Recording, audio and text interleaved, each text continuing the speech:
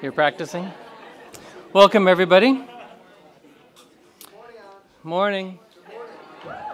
I'm very happy you're here because th this would not work if you weren't here. So, welcome, everybody. Uh, my name is Allan Chochinov. I'm the chair of the uh, uh, MFA in Products of Design program here at SVA, the School of Visual Arts.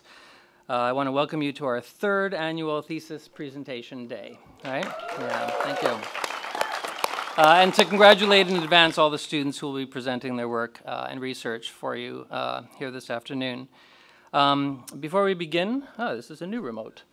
Um, we're going to animate things for you today. So, uh, and right after that, uh, we'll let you know uh, that you can jump on the Wi-Fi here. So um, while you're taking a picture of that or frantically entering it in, or writing it down, um, let me uh, know that we are uh, live streaming um, right now. So welcome to people around the world who are watching on the live stream. You can all turn around and say hello to the to the camera. Thank you for joining us. Yeah, uh, and if you know of people who would um, like to be here today and who can't but might enjoy it, uh, just certainly Facebook or tweet or Instagram or Snapchat or WhatsApp it out there um, and let them know that they can uh, find the live stream if they just um, hit the homepage at productsofdesign.sva.edu. Um, I also want to express a special appreciation for the families of our students uh, here and in other parts of the world for all your support. This has been an incredible journey, um, and we are so appreciative to have spent uh, time with these students, your family members. So thank you to the, all the families who are here and watching. Yeah. Mm -hmm. uh, I want to start off today by talking about the moment that we are in, uh, this moment we are in. Uh, Soren Kierkegaard wrote that life can only be understood backwards, but it must be lived forwards. Uh, if we think about that for a second, and if you forgive me for quoting Kierkegaard in the very first paragraph of my words here today, uh, for me anyway, it casts the present today in a kind of historical, inevitable limbo uh, we know that right now is all there is, and that right now will become the recorded history of tomorrow. And we know that today is something that we've waited for, that we've predicted for, that we've prepared for for a very long time. Of course, the students have been, well, they've been worrying about it for about two years. So just five more hours to go, everybody. Uh, but from William Gibson's famous quote, the future is already here, uh, it's just not evenly distributed, to Zadie Smith's quip that the past is always tense, the future perfect. Uh, that's my favorite. Uh, one of humanity's irresistible preoccupations has been obsessing over and desperately trying to predict the future. The future is a time, but for designers, uh, it also feels like a place. We do a lot of futuring work in this MFA program, and you'll see some of it today. Futuring and strategic foresight are now maturing design methodologies with scholarship and practitioners around the globe. We need designers to conjure the worlds of tomorrow so that we can see them in advance and make decisions about whether we want to build them or to break them uh, or to bend them. Uh, but now, about to begin its fifth year, uh, this coming fall, the MFA in Products of Design department has had from the beginning a keen sense of where it lies in the temporal fabric of both the built environment and the cultural moment. Uh, we encourage our faculty to devote themselves to teaching to the urgent ideas of the day, and our pedagogy and our curriculum attempt to sketch new vistas, all the while acknowledging that we are standing on the shoulders of others who created work and research before us. In fact, we need those shoulders to climb up on to see even at all. Uh, so, with the future bearing down on us and the past uh, shoring us up, what are we to make of the present? Because although the idea of preparing our graduates for the future of design sounds like a pragmatic idea, enabling them to actually deal with the present may in fact be a lot more difficult. Uh, or to quote George Washington in Lin-Manuel Miranda's celebrated play Hamilton, dying is easy, young man, living is harder. The present is a time, but for designers, it also feels like a place. We live in a moment of profound equivocation we like things on Facebook, and then we write gleefully that the platform has given us five other emotions to, to display after years of, of begging and complaining. We don't talk about religion. We don't talk about politics. Well, I guess now we scream about politics or mourn about politics. We pepper almost all our sentences with words like just or only or but or I'm not sure but or for what it's worth or in my humble opinion. We don't even write those anymore. We text them as acronyms on our mobile devices. We actively apologize for even having opinions. We have a crisis of upspeak, the term used to describe how people end their sentences on the up, turning statements into questions, as a way to prophylactically protect their ideas, even their mere thoughts, from criticism or judgment. Except that design is all about judgments. I once had a sophomore student years ago who said that she didn't want to make value judgments. I didn't quite know how to respond since design school is all about learning how to make value judgments, what we should or might make, what we should or might change, what we should or might value. I think she may have been in the wrong business. So. And you know, who can blame designers for wanting to equivocate? Our work has to acknowledge complexity and contradiction, of course, but it also has to acknowledge complicity. We understand that every move that a designer makes is fraught with consequence, and that the costs of material extraction or digital server cycles drops you into the red almost before you begin, making anything seemingly causes harm, if at the very least increases our carbon footprint. Awareness of this kind of initial doomer overhead can be paralyzing, and only a creative alchemy of self discipline and rule breaking, of infinite persistence and knowing when to speak up can help designers come out anywhere ahead. This requires unbelievable nerve and a fair amount of transgression in a time when transgression has a bad rap. Patti Smith's declaration, I don't fuck much with the past, but I fuck plenty with the future, is the kind of nerve that our messed up present demands. And since history is often changed by individuals, perhaps most often changed by individuals, perhaps basically only changed by individuals, the iconoclastic posture of the designer is probably a prerequisite to getting just about anything of value done. But herein lies one of the most important contradictions in design. It's a team sport.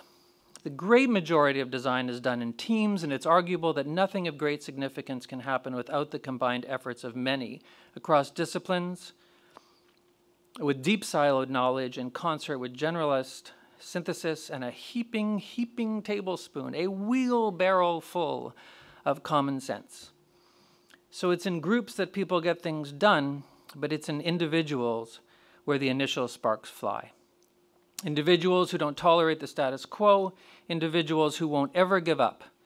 A current media backlash against brainstorming argues for its overestimation and inflated potential. Quiet's Susan Cain argues for the power of introverts. VC culture venerates small teams, of three, by the way business, code, and design. Design is always like the third one, by the way. It'd be interesting if business were the third one, and business. Uh, small is nimble, small is disruptive, small is the future, except that the de facto objective of all of this small is to get big, to scale up, to impact billions instead of mere millions. The paradox is numbing. It may quintessentially be oxymoronic. But this is the moment we're in right now. It's a time and it's a place. And if design is to have any effect on stemming everything from the tide of internet startups' rush to monopoly, to technology's algorithmic assault on journalism, its assault on the stock market, to its assault on free and democratic thinking, we've got to have designers with bravery, audacity, and a keen sense of their individual power. The future is, as they say, in the balance. And that's what we're trying to do. That's what we're trying to nurture here at Products of Design. And so today we're meeting our third group of graduates from the MFA Products of Design department. And really, it's our third family. This third, this three, is a profound accomplishment. From I to us to we describes a scalar growth from one to two to three. Uh, three is where a couple turns into a few. I know some people fight about that, but honestly, two is not a few. Uh, a few is three or more, not too many more, because then that would be a bunch or a handful. Uh, three is one of the most powerful numbers across so much of human culture and endeavor. In art, you've got the iconic triptych. In literature, the trilogy.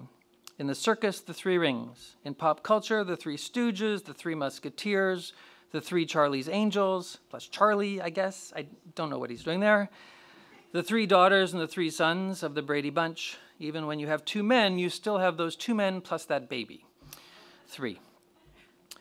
There's the beloved and arguably frightening three martini lunch. That's long gone. For cheaters, and we'll be learning a little bit more about cheats and thieves in a project a little bit later on today, the three card Monty is a staple, and so is the pyramid scheme which looks like a triangle. And triangles, well, triangles should enjoy the most revered place in geometry, since our natural world is made pretty much entirely of triangles. There are no 90 degree right angles in nature, by the way, only humans make those. My favorite design teacher, the sculptor David Lee Brown, and yes, he's also my father in law, and yes, I married my favorite teacher's daughter. And yes, we met on a blind date years later, and yes, we had a lot to talk about on that first date. Uh, well, David Brown is the person who introduced me to the mighty tetrahedron, the most distilled and stable structure, and perhaps the most versatile Platonic solid. It's also the most economical structure, and beloved by our hero Buckminster Fuller, father of the geodesic dome. And that dome, all threes all triangles. Fuller was a man for whom design's supreme achievement was lightness. For Bucky Fuller, if a design was lighter, it was better. How sustainable is that? And if we're talking about lightness, let's go to chemistry. The third element of the periodic table is lithium. It is the lightest metal and the least dense solid element. Interestingly, it's one of the most reactive elements, and so it's only ever found naturally in compounds. It's never alone. It likes to be together, like people. But paradoxically, or poetically, it is also the heaviest primordial element forged in massive quantities during the Big Bang. So lithium went from being the heaviest to the lightest, uh, probably how the students will feel at about 6 o'clock today uh, when we're all done. In sign language, the number 3 is signed like this. Uh, not like this, like many people do, because this in sign language is a W. We've got rock, paper, scissors, three. We've got earth, wind, and fire, three, and funky. We start with our ABCs, and then we move on to our one, two, threes. When we do a countdown to start something big, we say three, two, one, go. Or ready, set, go. Or, okay, everybody, on three. All threes. In oration, three rules the day. No need to even talk about that, as it does in freedom life, liberty, and the pursuit of happiness, liberté, égalité, fraternité. In Canada, we have three political parties.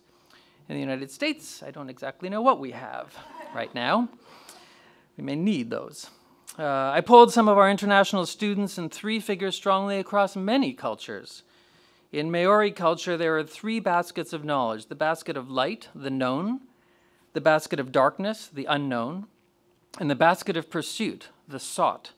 In Chinese tradition, the Tao produced one, one produced two, two produced three, three produced all things.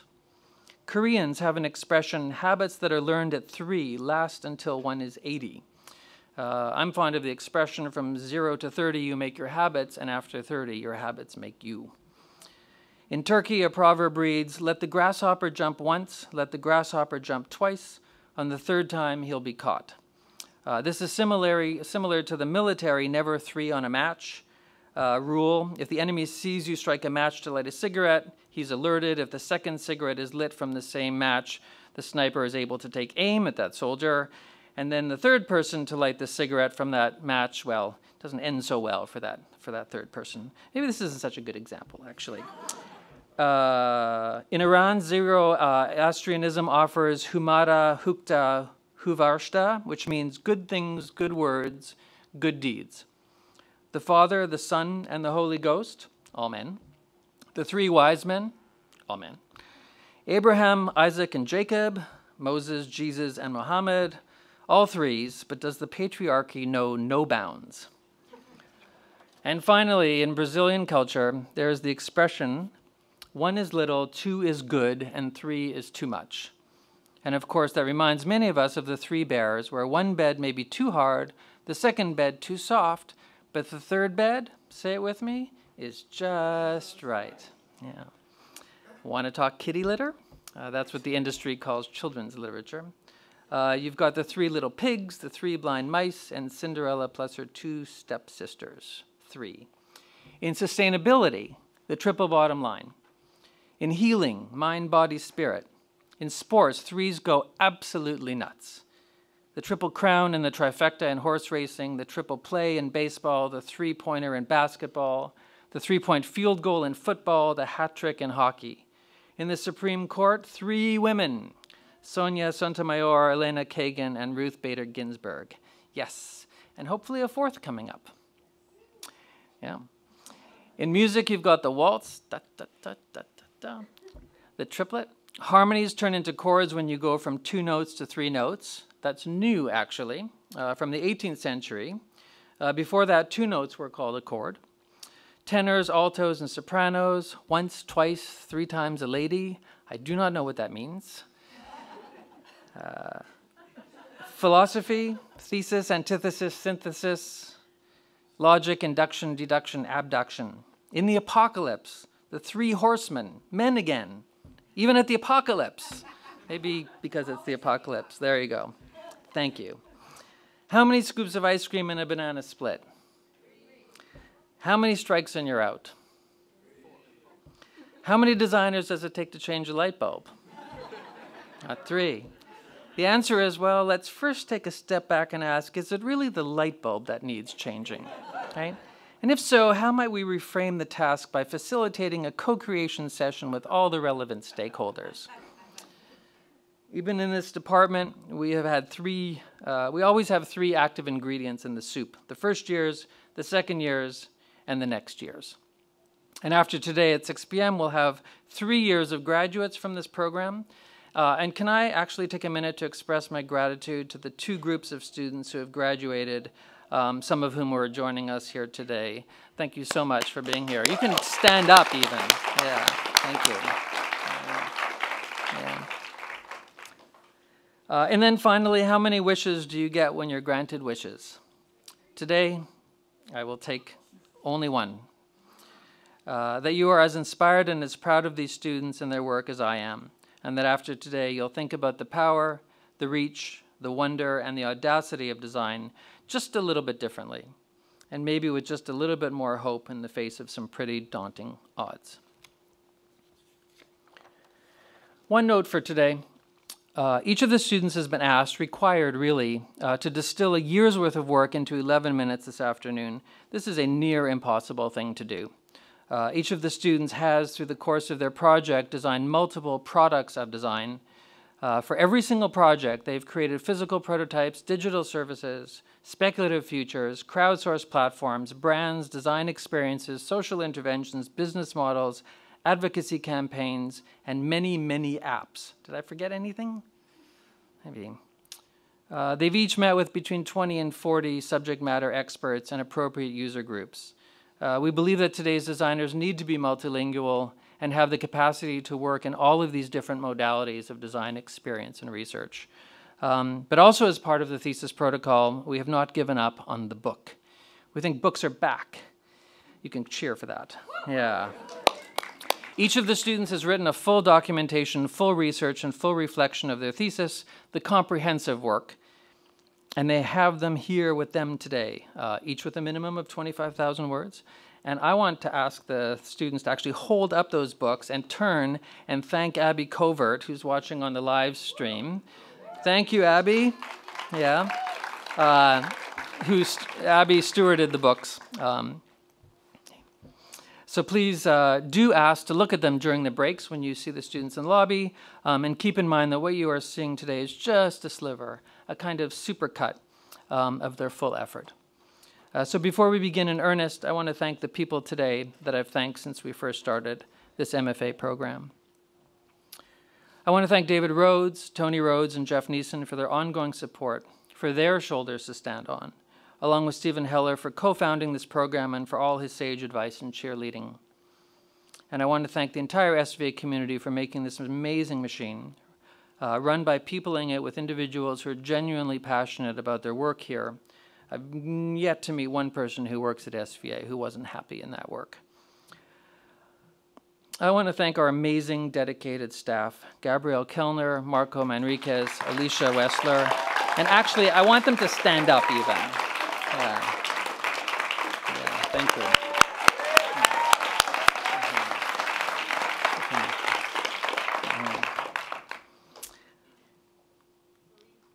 I want to thank uh, John Haida and the entire Visible Futures Lab staff for helping the students realize their tangible objects, uh, and Adam Natali and the entire SVA Theater team, who are maybe watching the live stream now instead of doing their work. Hello. Uh, for providing the space and the technology to record the proceedings here today. Thank you. Yeah. To our incredible esteemed faculty, thank you for providing the leadership, the mentorship, uh, and the dedication you bring to every one of your courses on every one of your class evenings. Uh, and for today, I want to particularly thank Andrew Schloss, my Thesis 1 co-teacher, for teeing the students up, and to Abby Covert, Brent Arnold, Emily Balt, Stephen Dean, Janet Gilbert, and Sinclair Smith for stewarding the students during this final fourth semester. Thank you. Yeah. Mm -hmm. Mm -hmm the first year students of the program who have been working today's event and whom you will be seeing here in one year's time, soon. Uh, yeah, you don't have to prepare just yet. don't even worry about this just yet. Uh, I know our students, uh, thesis students, will miss you terribly after today, and I know you'll miss them as well. Thanks to Chelsea Stewart, Ziyun Qi, Josh Korn, Will Lenz for the identity and collateral production for today's event along with Oscar Pipson for some color commentary photography, and to Andrew White for principal photography. Uh, you'll see Andrew roaming around today like a magical ghost. There he is. Uh, so don't be afraid to actually, you know, you're going to have to stand up so they can recognize you. He'll have like the largest lens today. Um, so grab him and take a picture with your family and, and don't be shy. Thank you, Andrew. Um, and of course, I want to thank Victoria Brown uh, and all my family for listening to my doubts, my challenges, my hopes, and my pride. And I am very proud uh, of the students today. Thank you. Um, and uh, I wanted to put a slide in here, and I think we couldn't uh, change it. I want to thank all the moms, because it's Mother's Day coming up on Sunday. Thank you, Mom. Yeah. All right. And now I'll ask you to help me count down to the beginning of today's student presentations as we welcome our first graduates. Remember how to count down? It's three. Ready? You'll count with me? Three, two, one. Please welcome our first presenter of the day, Marianna Mezhibovskaya.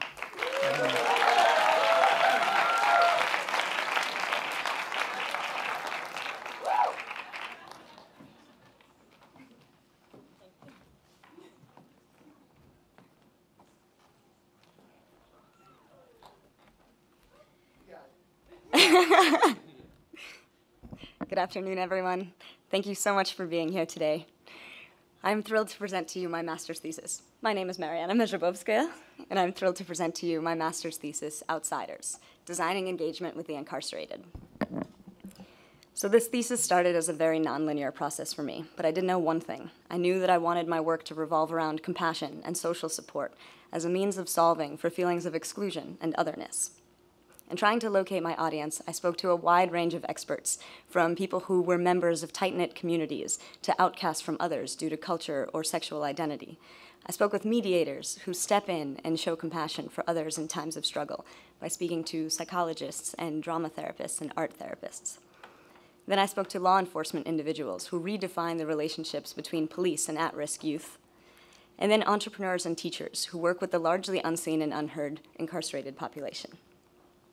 And then I began speaking with multiple people who have experienced incarceration themselves and work for an incredible organization, the Fortune Society. The Fortune Society is a reentry organization that advocates for the rights and the empowerment of people who have been through incarceration. And it was through them that I had the privilege to attend a performance titled The Castle, where four performers, Rory, Vilma, Kaz, and Victor, walked me through their troubled upbringing, their 60 collective years of imprisonment, and then the path in their lives, uh, and then the moment in their lives when they were introduced to the Fortune Society, and the way a few individuals helped them change the course of their lives. It was at this performance that I realized the profound impact of firsthand narrative as a tool for counteracting bias, and where I found the main goal of my thesis, which is to use design to shift negative public perception and inspire engagement with the currently and formerly incarcerated. So I started my work by designing a platform that took individual actions and rippled them out across, um, across communities by creating Social Mob, a social decision-making tool that reflects our actions onto our social network through organized flash mob performances. So this is how it works. You create a profile on the Social Mob app in which you enter in your basic information and work-life schedule so that then one week, oh, excuse me, and then Social Mob connects with your friends, with family, and total strangers to organize your flash mob. So then one day, as you're walking home from work, you become a surprise mob leader whose every action is mimicked. So when you get annoyed and you yell at a passerby, we follow suit. When you donate a dollar to a homeless person, we donate one too. You can then share your mob leader story online and ultimately join someone else's social mob. And then an interview I had changed everything. I spoke with a friend who works in government, and he told me about a man, a homeless man, who threw a brick through his office window. And man, when the man was later caught and questioned, he said the reason he threw the brick was that he was hoping to get rearrested, so at least he could sleep in a bed in prison and avoid the nearing storm in the DC area.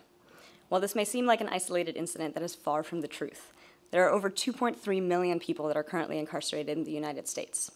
Nearly 10,000 of this population are released from prisons and jails across the country every single week, and two thirds of that population will return to prison for either continue, either committing uh, a new crime or returning to old habits out of desperation and necessity. On the other hand, there are, the people that have been to prison have a much higher risk of suffering from depression and are likely to commit suicide within the first few moments, first few moments after release. I've spent the entirety of this year looking for statistics and numbers about the number of people who leave prison and have no home and no support network to return to. And what I've discovered is that this population is largely excluded from large-scale surveys and social data sets. So I created my own systems map of the system of incarceration. And what I found was that um, by creating a map that mapped out, excuse me, that mapped out um, a system of incarceration through the lens of access to social support as a basic need, that the pivotal moment for intervention is the moment of release, and that became the moment that I designed for in creating Social Boost, a service that helps prisoners plan and survive their first few hours, days, and weeks out of prison. And the way it is entirely staffed by incarcerated individuals and works in partnership with existing reentry organizations. So the way it works is we partner with correctional facilities to establish communication with inmates that are nearing their release we coordinate with housing organizations to secure a safe place for them to stay upon release. And at the moment of release, social boost drivers or boosters meet their client and take them out for their first fresh meal out of prison. Then they drop them off at the safe place to stay.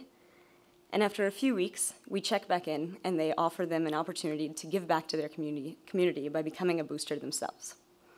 So as you might have noticed, I really quickly mentioned working with correctional facilities and establishing communication. That was not as simple as I naively hoped it would be. Um, so I looked for alternative methods to reach the incarcerated population. And what I discovered is there is a growing implementation of touchscreen tablets and video conferencing um, for inmates to be able to communicate with their lawyers and with their loved ones.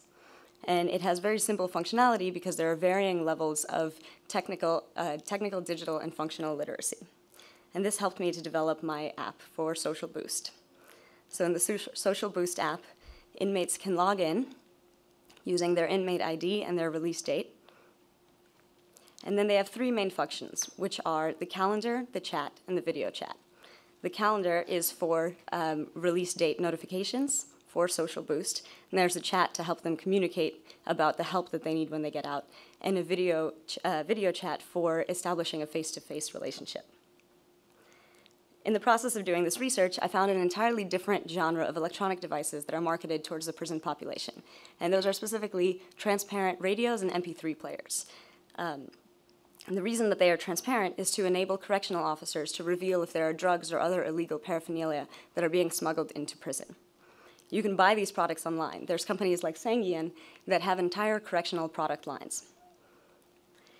But ironically, when I had an interview with a man who had been to jail for about a year, he had told me that it, um, that it was correctional officers themselves who are smuggling drugs into prison in some cases.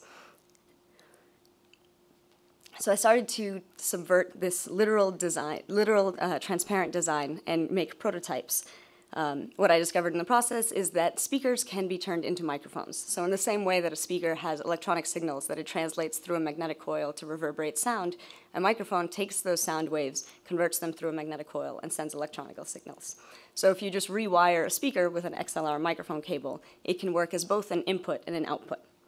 So using this, I started to make multiple prototypes. This first one looked entirely too much like a voice recorder. The second one, a little bit too much like an iPod. And finally, I landed on my final form for Chronicle, a contraband voice recorder that's disguised as a radio and marketed towards the prison population, intended, for, intended to be smuggled into prisons for a covert recording of mental and physical abuse by correctional officers. And now I'm going to take you to a completely different place. I wanted to make an analog form of expression that I could get into the hands of my audience right now. So I created Conviction, it is a sketchbook that leverages the graphic style of a mugshot, traditionally used as a tool to dehumanize people, but in this case, it creates a space for people to talk about their experiences through storytelling and drawing, ultimately creating a space for their humanity. So as people fill in these pages, the bars in the book slowly fade, allowing people to eventually have free reign of the page and to reinvent themselves and decouple their identities from that of the label of incarceration. Through the support of Dr. Leslie Achtoff, the Director of Creative Therapy, excuse me, there's no doctor there. Um, she works at Rikers Island Jail, uh, a local correctional facility here in New York, and she was able to help me distribute my books to some of the people that she works with, specifically two young men and eight women who she works with in art therapy sessions. And with her help, I was able to take their work out of Rikers and create a public gallery. I'd like to show you a short video of the result of that work. One of the most difficult things about being incarcerated is that life on the outside goes on without you. Your children grow up without their mothers. You're locked away and forgotten about. Upon release, you have to try to reclaim your existence, but now you're looked down upon because of your criminal background.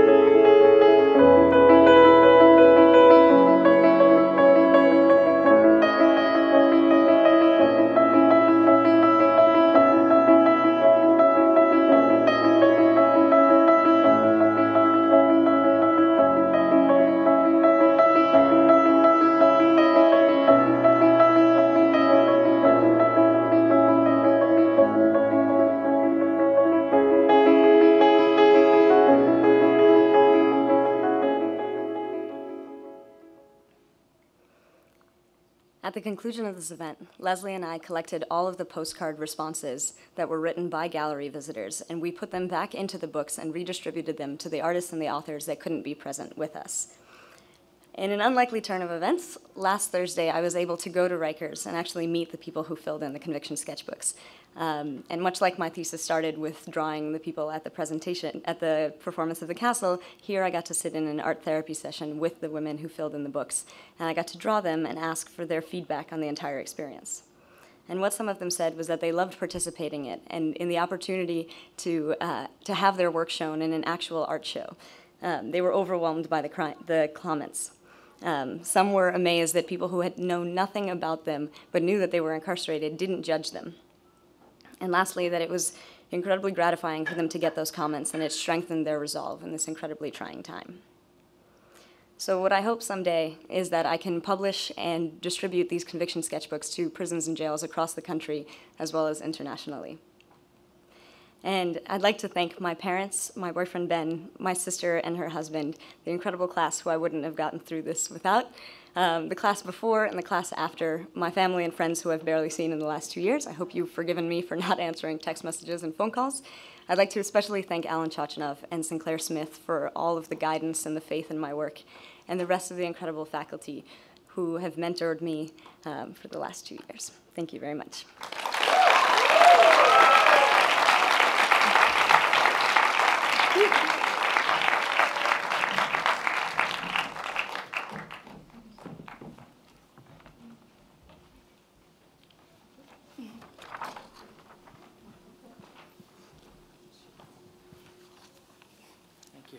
Thank you for kicking us off today. This is such unbelievably important work.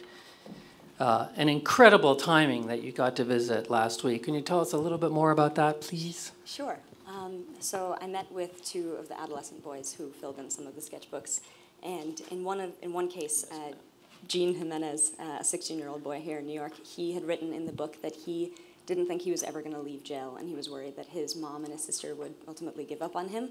And the day that I came and got to meet him, he said that he was going home this week. So I think that's actually happened yesterday. So that was an exciting moment. What else? I think this is just incredible timing. Yeah. It is incredible timing. There's a lot of a lot of work that's being done to help empower the incarcerated population. If you saw Governor Terry McAuliffe in Virginia uh, returned the rights to uh, voting rights to 200,000 convicted felons, so it's a good time. Uh, it must also feel incredible to have your work, uh, you know, validated, vindicated. Just you know, it's like it's incredible um, that you're able to actually do this. And, you know, not in a vacuum, but to be able actually be able to check it back with the, you know, I'm sorry to use this term, the user group. Um, seems These lovely term. people. Yeah, with these lovely people to actually be a part of it. I'm also fascinated by this product category of clear products available on Amazon. Mm-hmm. Amazing. Amazing. Yeah. Um, that's obviously going to be a more uh, a riskier um, product. But the books, the diaries, that's like zero tech. Yeah. Um, And so, do you have a plan for scaling that up and getting those into more facilities across the country? It's going to be a little bit political. You're going to need advocates to actually uh, uh, handle it for you, right? Yeah, and I'm speaking to Leslie, who loves the books and all of her art therapy staff, and they really want to push this forward. So I'm hoping to find a publisher who's willing to take it on. Yeah, and she's going to have some like-minded colleagues across the country, if not across the world. I hope so. Yeah. Thank you so much, Marianna. Thank you.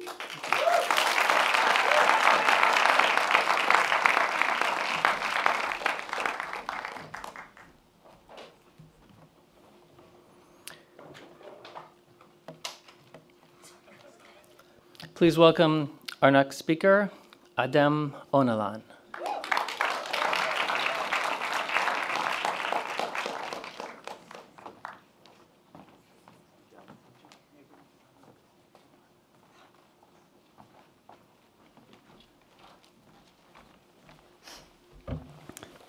Good afternoon, ladies and gentlemen. My name is Adem Önalan, and I guess I am the third uh, Turkish student of this program.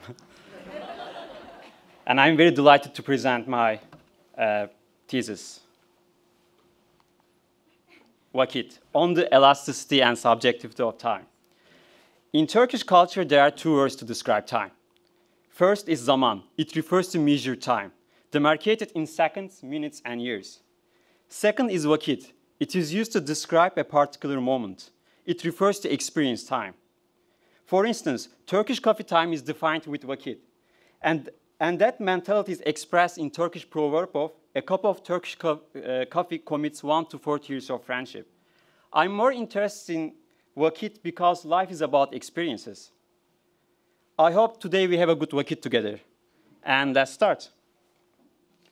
I believe our relationship with time has become problematic. The average person spends about five, five hours a day on their smartphones. We lose our sense of time when we scroll in the bottomless timeline of Facebook. Because we live in an attention economy, where products and websites win by getting our time, we are left constantly distracted. It looks like we, are, we no longer get to make the decisions on where we spend our time. Instead, the world dictates what we pay attention to. And they do this by creating meaningless goals. The reality is when we buy things, we pay them with our time. And this time is taken away from family and community bonds, social responsibilities, our passions, hobbies, and so on. Thus, we need to take our time back. So I started sketching to search for a better experience of time. I saw that although we live and experience linear lives, clocks interfaces are continuous and designed as closed loops.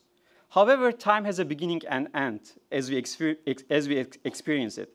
We start the day when we, go to, when we wake up, and we end the day when we go to bed. On digital clocks, seconds don't move until one entire second elapses, as if life was discrete. And, and the numbers on the interface don't communicate with our experiences at all. So I created product models that embody this concept of continuous time. The first clock is a linear clock which has a clear beginning and end. In the second one, if you look at uh, if you look time in three-hour segments rather than 12-hour uh, segments, we become more aware of cyclical nature of time and how quickly it passes. I researched elements of time through the lenses of physics, philosophy, neuroscience, chronobiology, and psychology. I read a wide variety of books. And that was followed by many subject matter uh, expert interviews. Design visionary John Thackara brought my attention to the idea of taking back control of our lives from the system. And author Dave Bruno questioned me, why are we always so busy? I organized a workshop in order to observe how people experience time, where I conducted a one-second experiment. It tests whether or not people perceive seconds differently and how time warps in different situations. Participants were asked to push the button on the product once per second. Then the device calculated how long each person thought one second was. In this example, the person perceived one second when average of 1.82 seconds had passed. So we repeated the experiment after running around the room for three minutes. And their perception of time changed drastically. This revealed how perception of time is subjective and can therefore be altered. So I began to wonder, how can we alter our experiences so that we have a better quality of time and ultimately a better quality of life? First, we need to reframe time. And then secondly, we need to slow it down. So let's start with reframing time. Although clocks were initially designed for religious purposes, they later became an important tool of industrialization and modern life.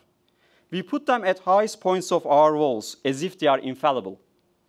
And that provoked me to design time off, a clock that only functions when it is needed. So here's a video showing that experience.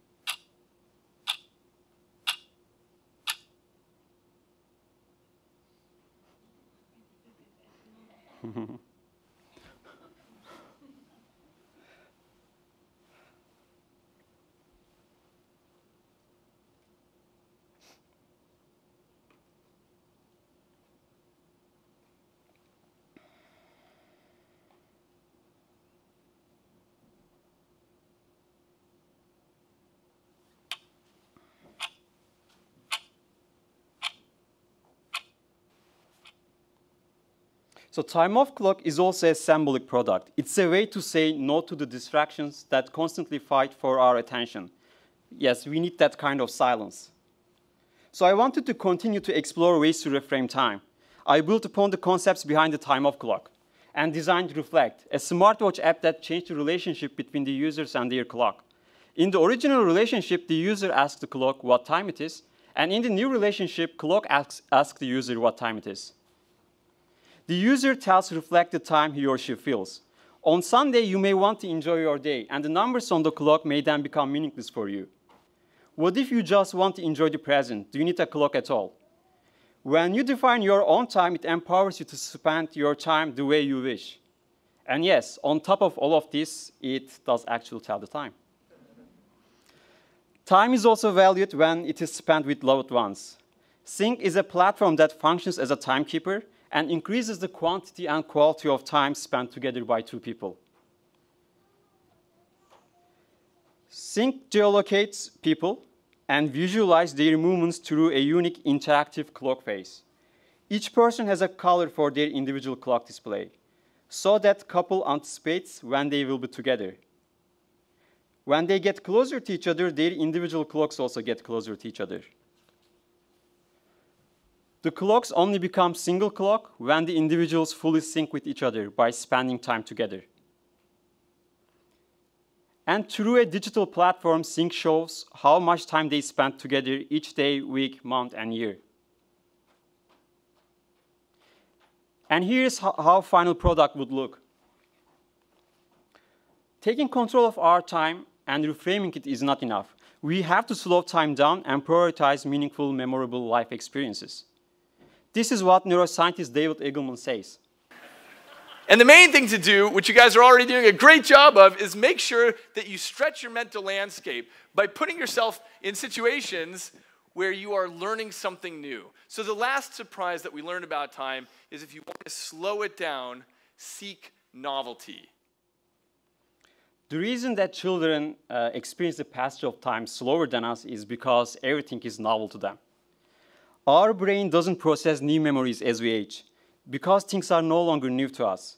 We are not able to differentiate last April from last March, and we don't remember what happened in the last three days. Time is tied to memory. The more memorable experiences we have, the more time slows down. I envisioned Novo, a journal app that encourages and challenges you to bring novelty into your daily life. At the end of each day, it asks you if your day was novel or not. You reflect on your experience in the app, and a beautiful pattern is created by using an algorithm based on your content. Your memory attaches your experience with the pattern, and when you see it, you recall ex your extraordinary day. Novo creates a calendar of extraordinary experiences, and you can see where you had a novel experience, where you haven't. When moving forward, Novo led me to ask myself, we are tracking the calories we burn, the steps we walk, the amount of time we sleep. How can we also track the quality of time that we spend? I wanted to track daily remarkable moments. And I started with drawings and making quick models of my ideas. Here is the final result, introducing Etki. Etki is a quantified self smartwatch concept that reminds you of the moments that actually matter. So this is how it works.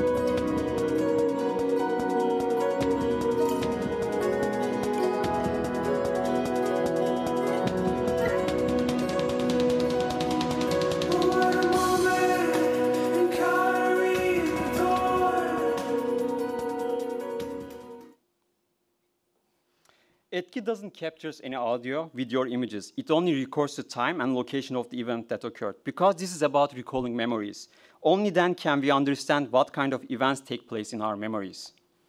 Moreover, by recalling your memories, Etki makes you think about the quality of time spent in your daily life. It leads you to try spend your uh, next day more thoughtfully.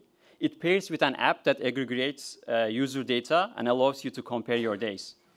The physicality of the object is a reminder for you to question the quality of your time. And it is accessible, so it doesn't take you from the moment. It is not another app because reaching out to your phone would change the moment. The hope is that the gesture of capturing moment with Etki has potential to be conditioned. because we have a special relationship with our wrists, especially when we express our emotions. In this example, football player uh, Luis Suarez is celebrating uh, his score by kissing his wrist. It's kind of funny. And this cute power pose of the success kit shows how intuitive the behavior of capturing memories can become. And when the gesture of Etki becomes conditioned, the behavior of capturing moments dissolve in the flow of the moment instead of distracting it. It comes with a wide variety of options.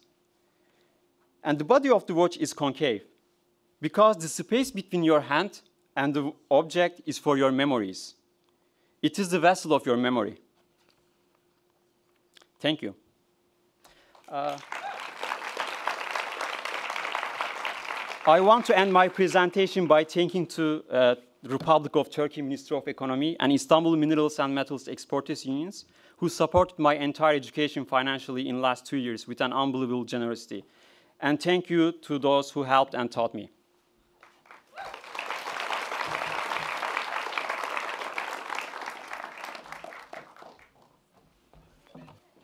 Yes.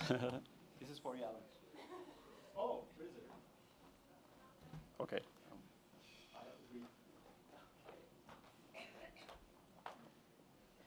Did you say that that was a kid's power pose? I love that with the sand. This kid is eating sand. Uh, tell us, this is such a beautiful project, uh, about the word and the name etki. Okay, etki means impressions in Turkish. So when we capture and when we do that gesture to capture the moment, uh, back to basically we leave the impression of that memory in our lives. So this is where it comes from. And the vessel, the vessel for memories. Yeah. Um, and also, yeah, the other thing, uh, so I was saying that like if this gesture is, uh, becomes conditioned later, then when people do that gesture and it leaves actually a mark uh, in your hand. So this is another uh, like temporary impression of. We're gonna have to yeah. demo that better. All right. this will only take a few seconds. it's a very important also moment. better work. okay.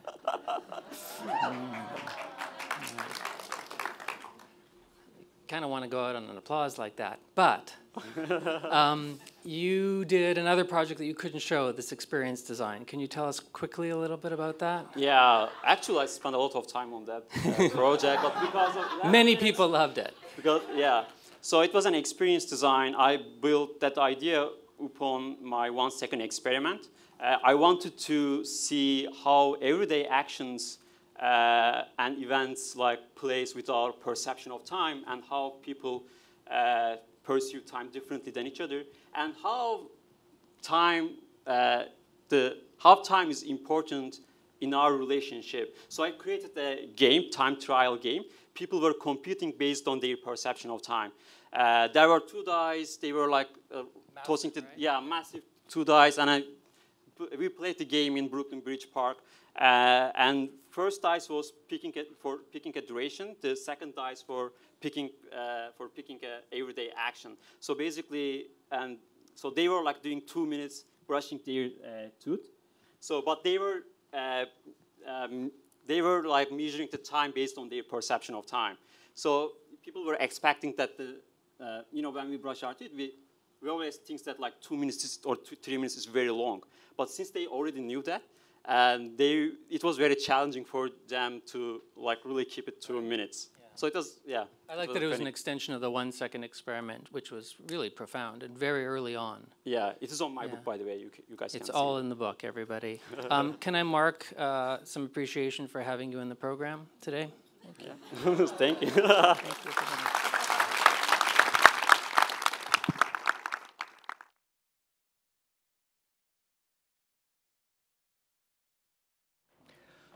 Sorry, I shouldn't be the one to be uh, touching the remote. Not again. Leila Santiago de Oliveira Santos.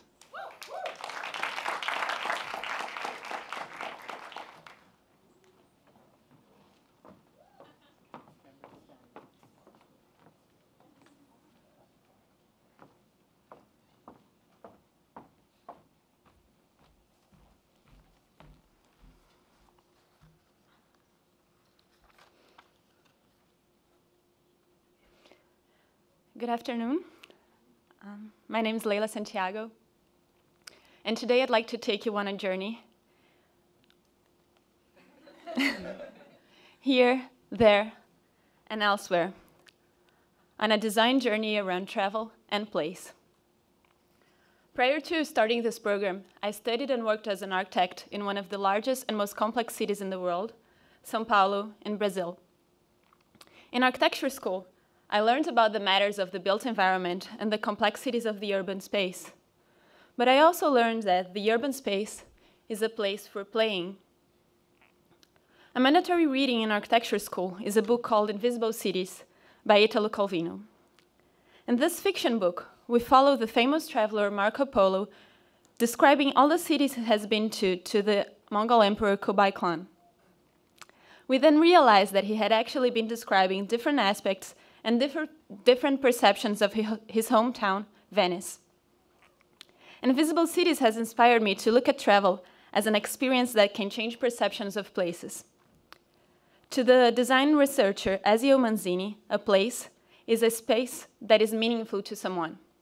And so, if places are defined by the understandings that we have of them, then by changing the perception of a place, we can change the place itself.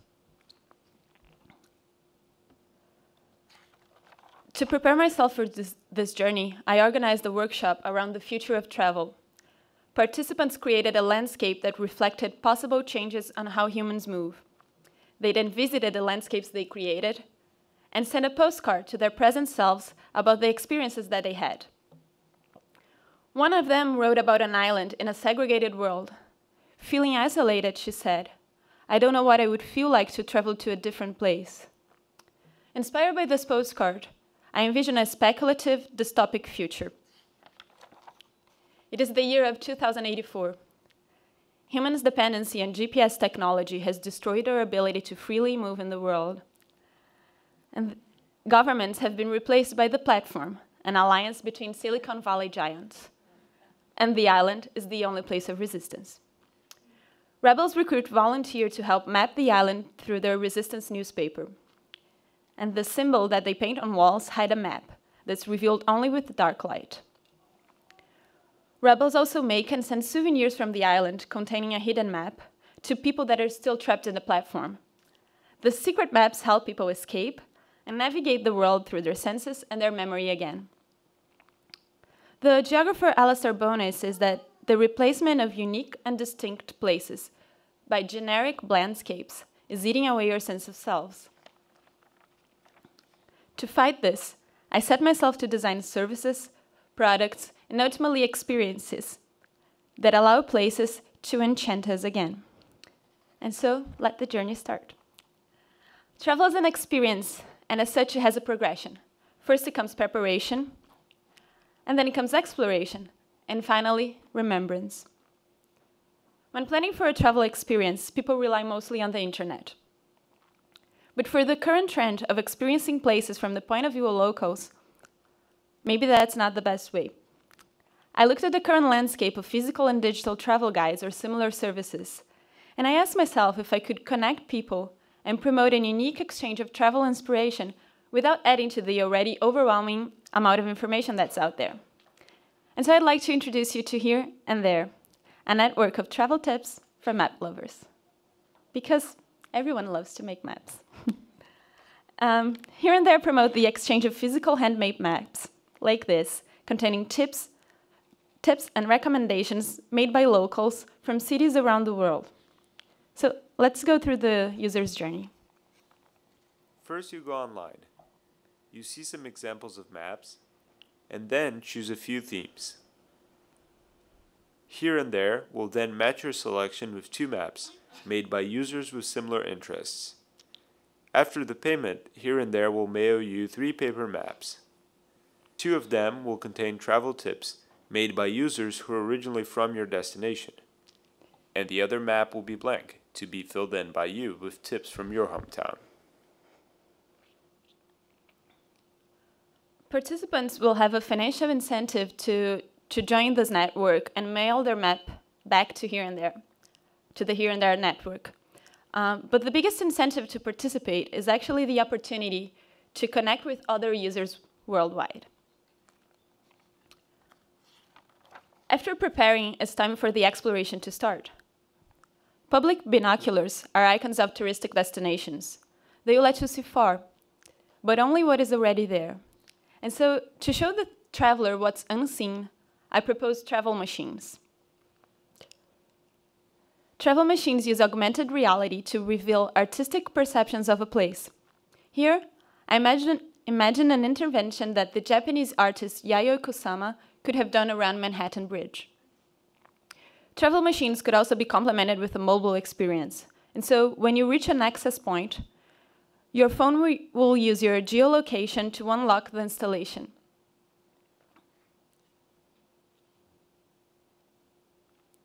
And this is a digital experience. However, because you need to physically move to access them, travel machines have the side effect of pushing people to explore the real world. And the travel experience is never really over, because you can always revisit the places in your memory. And this idea led me to souvenirs. Souvenirs, I believe, are containers for the relationships that people establish with places.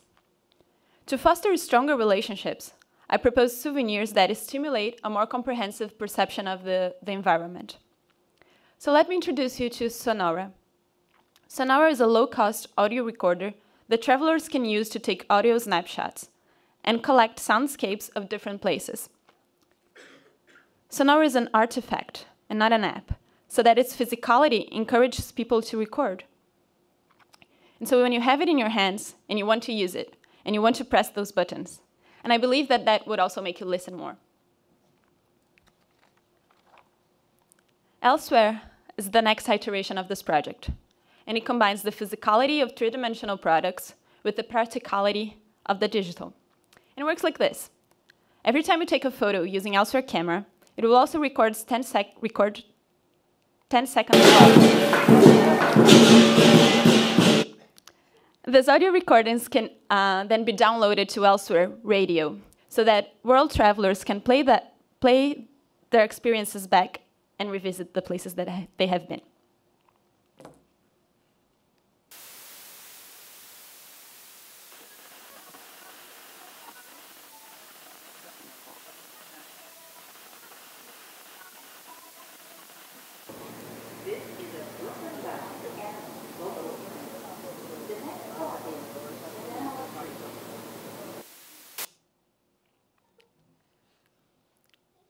Inspired by the words of the poet Susan Stewart, all the imagery that is created with the use of Elsewhere, the app, will then be printed as a ticket.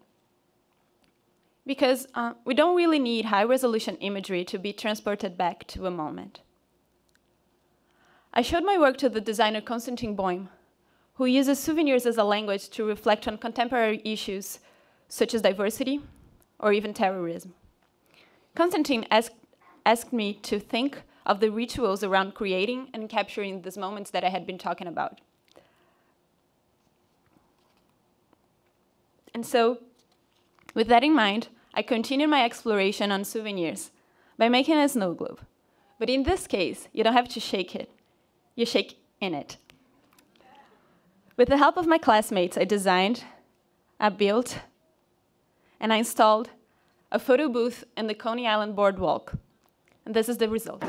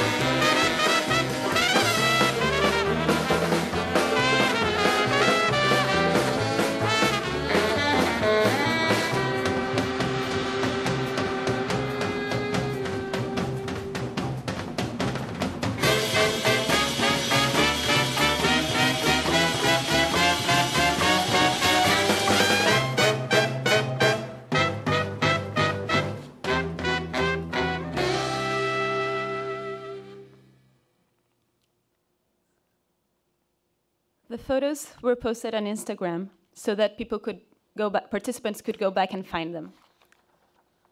But the true souvenir, the one that participants will always remember, was created there, where they were engaged and delighted in that very place and moment. And now I'd like to thank you all for being here today in this place, engaged in my and my classmates' journeys. And I hope you're also having a delightful experience. Thank you. Um, and I would also like to thank uh, the Brazilian federal government for sponsoring my education here, and the faculty and the staff and my classmates, and the friends that all the friends that I made here, and my boyfriend Bernardo today. Thank you.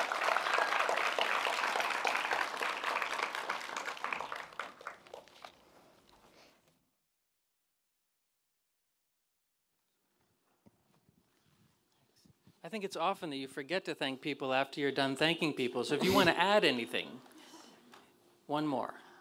Hi. Yeah, all the You're friends good. that I made here, and the friends that I made in Brazil and are also here. There you go. Thank you. Thank you. And my family, yes. We could just do that if you want. No, Uh, the work is just so life affirming. It's just so happy. I can draw a line between the last project and this project in the idea of taking away a sense, so taking away the video of the moment and having to remember it and build a sort of neuroplasticity groove of memory, you know, to, to make the life feel a little longer, a little wholer. In the same way as your Sonora radio, uh, where you have to in some sense conjure the idea through the sound of the idea. I have heard that R train uh, recording uh, thousands of times since I lived in New York for 30 years now, but I actually heard it anew in your video, which I hadn't Yeah. heard that part before. Thank you. Yeah, I think uh, one of the things that I was at first kind of, I think an intuition, and then I realized and I kept it to the end, was to avoid travel imagery. Because I think travel imagery uh, nowadays is so like ubiquitous and you see all this like the desire and the myth of travel, but it's actually much more about the, the experience. The experience is not those iconic images that sometimes you don't even get when you go to a place. And yet you were able to create a, a brand new iconic image in the. I mean, I just want that thing right here. Yes, I couldn't. I so couldn't that must have turned out better than you had imagined, right? Like in Coney Island. I mean, just seeing the images as it got darker in the day and that light started to, you know, uh, you know, combine with uh, what is it called? The no, the The parachute? yeah, The parachute, yeah. Yeah, yeah. I mean, that shot is just Yeah. thank you. uh, yeah, I think it was that, yeah, all the imagery I had to create myself and not just use the iconic. Yeah. it was the perfect place. Yes. Yeah. Thank I you so much, Leila. Thank you, Allan.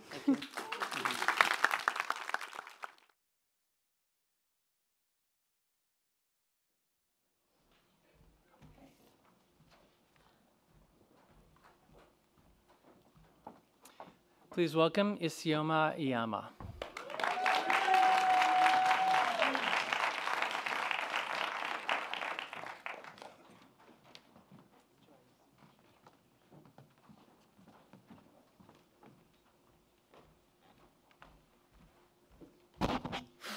Hi. Hello. Good afternoon. Um, thank you all for being here today. My name is Isioma Iyamah, and I'm excited to present my thesis with you. But first, a little bit about me. I was born to Nigerian parents who work at international agencies. We moved around a lot. And constant travel meant that my childhood was somewhat chaotic, but it also meant that I gained valuable exposure to different peoples and cultures. And so my fascination with people extended to my undergraduate, where I studied neurobiology. So I was really interested in understanding the biological basis of human behavior, our motives, our quirks, and our personalities. But I learned soon after graduating that behavior under a microscope on a petri dish was not as engaging as life outside of it. And so design proved to be a way to engage creatively with people. So this thesis is thus the combination of my two passions, social behavior and design. And so the sum of my work is entitled In Flux, Identities Under the Influence, where I look at the patterns of behaviors that frame our identities. We are multifaceted beings who manifest many identities throughout our lives. Unfortunately, these identities are subject to the influence of bias, both implicit and explicit. And so my aim was to expose those biases, and in doing so, introduce more empathy and curiosity into our dealings with one another. I was especially inspired by this quote by Robert Lane Greene. Whether Mr. Patel in London will think of himself primarily as an Indian, a British citizen, a Hindu, a Gujarati speaker, or an ex-colonist from Kenya depends on whether he faces an immigration officer, a Pakistani, a Sikh, a Muslim, a Bengali speaker, or so on. There's no single Platonic essence of Patel. He's all these and more at the same time. So our identities are in a state of flux, dependent as they are on context. To anchor my work, I spoke to sociologists, cognitive scientists, digital anthropologists, advertisers, translators, and design researchers. People who study people for a living. I then read and listened to everything from academic papers and books to pop culture publications and podcasts capturing a wide breadth of data around communication and identity. And what I found was this. As social creatures, we make sense of our identities by categorizing each other, and we judge harshly. I split, sorry, I split my thesis into four sections, language, social data, social dialect, and patterns of behavior, each as they pertain to identity. One of my earlier projects explored language, when we speak different languages, we transform a bit to suit the culture. We assume a role. And for this section, I designed a product called Dicto. Dicto is a speculative AI language module, and it's part of the Amazon Echo family. It speaks pitch perfect everything. It checks your grammar, conjugation, and accent, making sure you hit all the right notes and make the right moves. It's for people who want to learn a new language and embody a new culture, but who have no time to go out and do it the best way, which is immersion, being around native speakers. It differentiates itself from human teachers because of its accessibility and its affordability. Take Dicto anytime, anywhere, or anywhere, anytime. So with Dicto, you learn to talk the talk, to walk the walk. I imagine Dicto as a series of print and poster ads which were posted around the city. Its personality here is reflected by the copy and the colorway. Conversational, bright, playful, and a little saucy. I then created a video ad campaign, a series of short, humorous vignettes that showcase Dicto's functionality and intelligence. Here's a sample.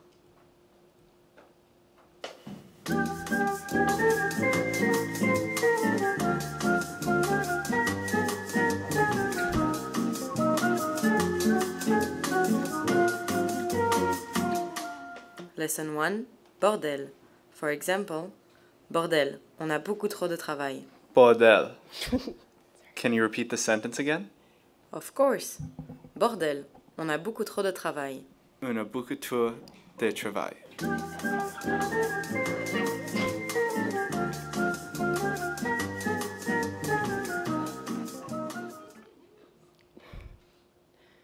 Still within the realm of communication, I turn to exploring how what we communicate in social media contributes to our different online personas.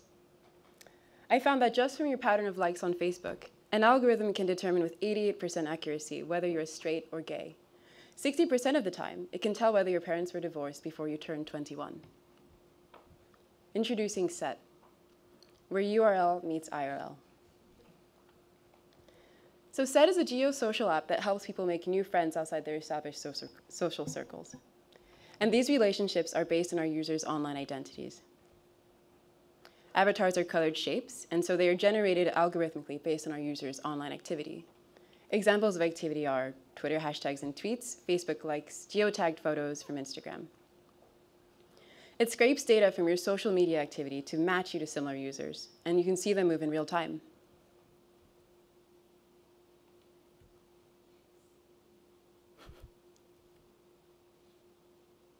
You can click on user avatars to interact.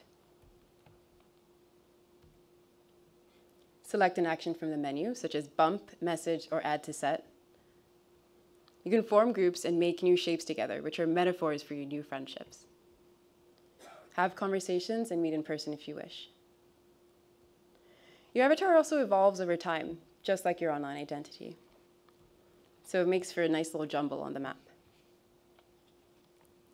I position SET within a brand matrix, and in relation to its competitors, SET sits between specificity and playfulness. Specificity because your avatar and your experience evolves, as you use it, and playfulness because in abstracting your users' personalities into color and shape, we begin to do away the aesthetic judgment that often mars our interaction with these other social networking apps. So where how you look is often more important than who you are. I designed an experience that examined the geolinguistic characteristics of social identity, looking at how speech content relates to the spaces we occupy. Where We Are, What We Speak was an event in the form of a multimedia gallery installation. It was a tour of the city that took place in one room through sound and eavesdrop conversation. I abstracted the city into, into a collection of concrete and steel sculptures, which were arranged throughout the gallery space. These, recorded, these replayed recorded conversations from different neighborhoods. Here's the experience.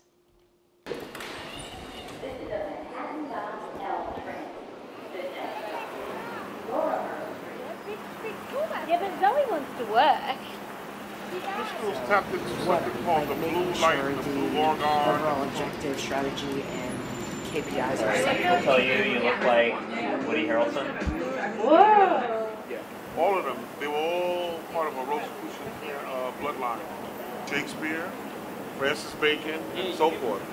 But a lot of people yes. don't know that he died for a period of time until he moved to a particular island and started aging and dying. Ladies and gentlemen, we're being held here by the train dispatcher. We thank you for your patience. So I learned some things that were quite expected. Um, people are judgmental. I heard a bunch of whining, so I guess financial district was something I heard. They sounded pretty hipster. Williamsburg? He sounded black. But I did hear some positive things. People were curious. They wanted to hear more. They were fascinated by the conversations, and they tried to imagine the lives of the speakers. Curiosity is good, because an empathetic response demands an ability to imagine the lives of others.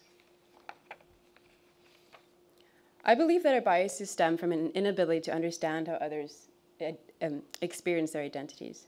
And researchers have found that listening to a narrative involving people provokes a greater empathetic response than simply viewing one. Jamil Zaki from the Department of Psychology at Columbia University says a perceiver's ability to correctly identify the internal states of social targets is known as empathetic accuracy. Results suggest that auditory, and especially verbal information, is critical. We are so fixated on the visual.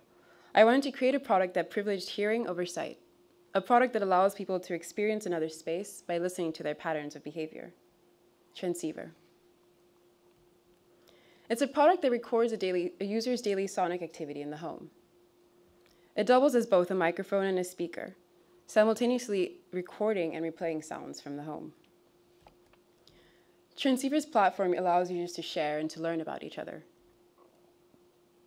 It's linked to a dedicated SoundCon account, where users from all over the world can upload their daily rhythms. You can explore different locations.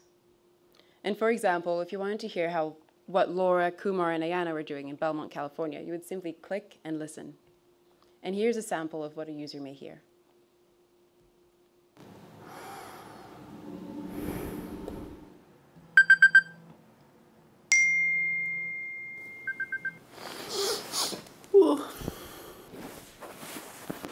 Good morning. Good morning.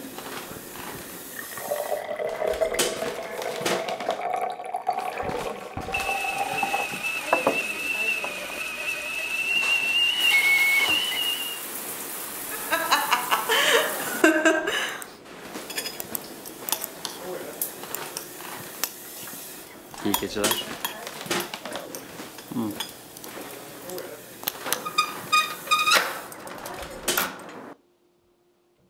So by following the activities in the recorded audio, listeners use the immersive narrative to imagine what it means to be a person on the other side of the world. We learn how our differences are also our similarities. Our patterns of behavior are notes in one ever-shifting composition. We each belong. And so thank you, everyone. Thank you, POD family and staff. And thank you to friends and family for supporting me through the grad school vortex. Um, I love you.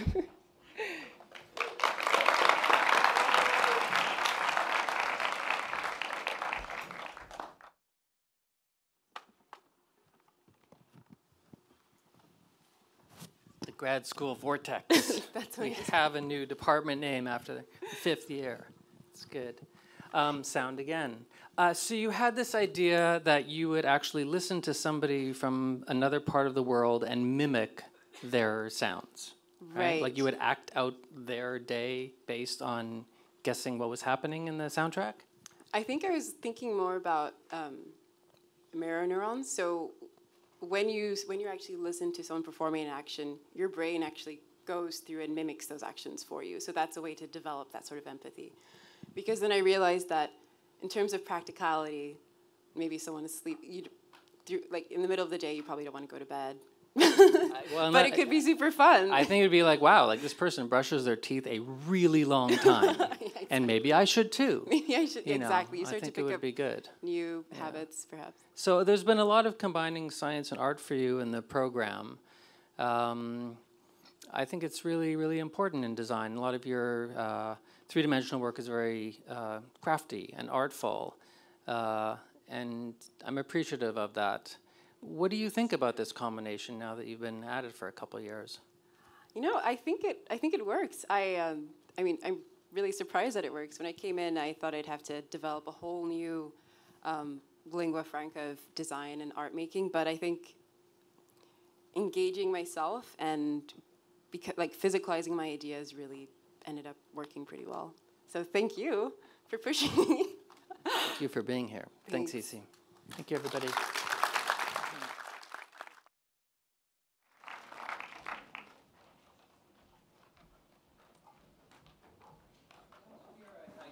The stool raisers, and I, I remarked that we needed a better name for them, and I have no better name. So we're still open for the new name for the stool raisers.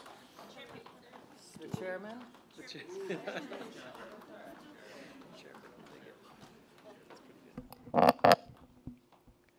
Please welcome Oscar de la Hera Gomez.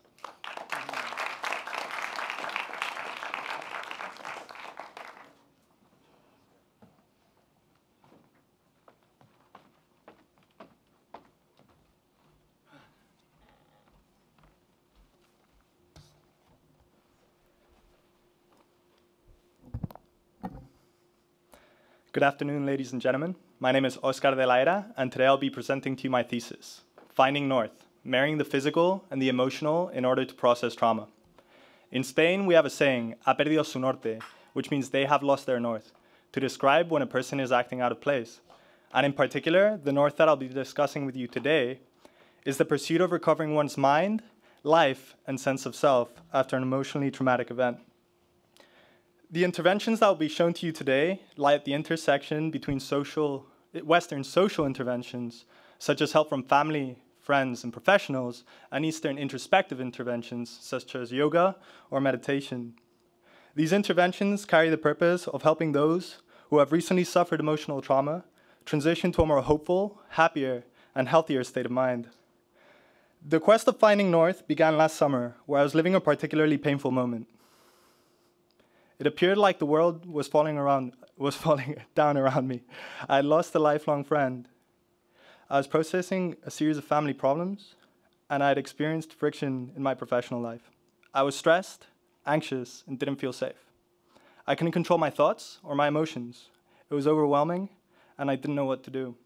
As part of this experience, I did some research, and it turns out that when Dr. Francine Shapiro was asked about broken relationships, she said that research indicates that many kinds of life experiences can cause more post traumatic stress disorder symptoms than major trauma does. Having intrusive thoughts of an event is one of these symptoms. Others include avoidance of trauma related stimuli, such as avoiding people or places, emotional numbness, difficulty sleeping, and concentrating. And what's more is that according to the world's largest epidemiological study that was carried out in 1995, experiences like the one I had described have occurred to 193.7 million individuals in the US alone. I took these facts as a call to action, but was unsure how to approach this topic. So I dove into a series of books with the vision of discovering means to an end, ideologies, and philosophies. And as part of this, I learned about the areas of neurolinguistic programming, spirituality, neuroscience, and sociology. However, this wasn't enough, and so I conducted a series of interviews from a wide range of fields, from psychotherapists to magicians, through spiritual leaders and transformational coaches. And although all these interviews were extremely engaging and eye-opening, there were a few in particular that stood out. the first of which came from my interview with uh, psychotherapist Emily Roberts, who said that there's a necessity for, to produce a product or system that alleviates emotional distress, and that through this, individuals would be able to rationalize their thoughts and thus enable them to deal with the trauma from a different perspective. This insight struck a chord inside me, and as a result, I began to research popular types of psychotherapies, which is when I came across eye movement desensitization and reprocessing, which is also known as EMDR, and was discovered by Dr. Francine Shapiro in 1987, and through more than 30 studies has demonstrated its ability to alleviate emotional distress associated with traumatic memories. I'm going to run you through an exercise to show you how it works. So please follow the pen on the screen. Okay, so the most common way EMDR works is by making your eyes follow lateral movements while simultaneously attending to emotionally disturbing material. This is a form of bilateral stimulation that rhythmically stimulates the rational and emotional side of your brain in harmony, alleviating your emotional distress. And inspired by this ability, I created Finito, which is a product that's envisioned to be handed out on the streets with the purpose of raising awareness of how individuals can ease their emotional distress through drawings. And under the slogan, Draw for Relief, it requires the individual to take deep breaths while simultaneously following the tip of their pen or pencil with their eyes as they draw a figure eight. This simple exercise only requires a drawing utensil and a paper and reduces distress from an individual, aiding them as they process trauma. However, although this may alleviate emotional distress, it may require a therapist to put the trauma into remission. So I wanted to find a way to support this process by an introspective approach, which is why I reached out to Enrique Simo, who's a transformational coach, who suggested that this could, process could be supported through meditation. Meditation refers to a broad variety of practice destined to help individuals attend to their thoughts, emotions, and sensations with an attitude of non judgment, kindness, and curiosity. And in particular, what he said was so powerful was its ability to control where you focus your attention on, and that through it, you could change your inner narrative. Other benefits include reducing your resting state functional connectivity, which is the activity that your brain experiences in the absence of external stimuli, and this significantly reduces stress and anxiety. And additionally, I discovered that, one second. And additionally, I discovered that in a study that was carried out in 2012 on uh, 92 veterans, that uh, meditation had shown clinically significant improvement in PTSD symptoms after two months. So meditation is currently practiced by 25 million individuals in the US alone. However, given the value that I know that this practice has, I was shocked that it had such a small market size compared to those who have experienced trauma. So I turned to users to find out why this was the case. I interviewed 10 people who had experienced at least one trauma in their life. These people range from experienced meditators through beginners to cynical people. And although I heard a lot of things such as, I don't want people to think that there's something wrong with me or when I'm fragile, I don't want to leave my personal safe space. The key pain point that kept rising was the following How do I know that I'm doing it right? This left me clueless. I didn't know how to answer this, so I reached out to experts, and as it turns out, learning to meditate is a common problem, and that it could be solved through ceremonies or through biofeedback, which is learning about your physiological or psychological functions through external stimuli. And then, in particular, focusing on the breath was a common technique when using to learn how to meditate. This really resonated with me. I wanted to discover whether light driven biofeedback of your breath could help individuals learn how to meditate. And perhaps this could be done with a wearable that measures the width of your diaphragm and converts it into light. So I created Solace, the light in all of us, an interactive experience that enables users to practice contemplative meditation through a system that converts your breathing into light.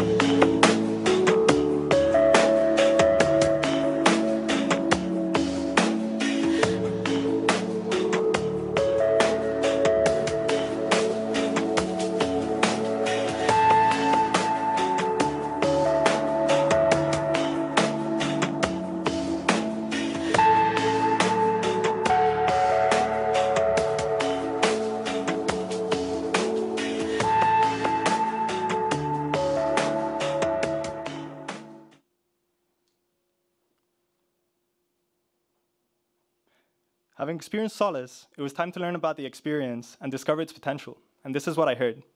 The first came from Jane, who's the director of voice and speech at NYU, and she said that this gave a really nice center to one place in the torso, which made me worry less about breathing and what it should be when working on releasing the mind. Or Mark, who said that seeing your breath turn into a calm and rhythmic flow of light makes you feel peaceful and confident when meditating. And finally, Jen, who would recommend this experience to her friends as she found it very easy to go into a deep state of meditation. Having received this positive feedback, I wondered how I could expand the reach of this experience. What if Solace could operate as a platform, which would allow you to practice meditation individually or collectively with anyone around the world? What if it could be practiced anywhere that has access to internet and electricity? That would mean you won't have to leave your own safe you wouldn't have to leave your own safe space or have to expose yourself in those delicate moments when you're dealing with trauma. The platform could be centered around products such as Lumi, a smart lamp, which uses a wearable to turn your breath into light. And the community could be led by leaders that give ceremonies, which potentially could serve as a source of income. And all of this could be available via an app, which would enable you to find solace alone or through our community.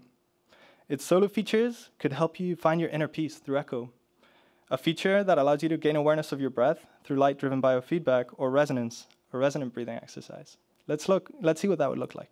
So I'm going to give you guys a warning that the exhale is twice as long as the inhale. So if you breathe in through your nose and out slowly.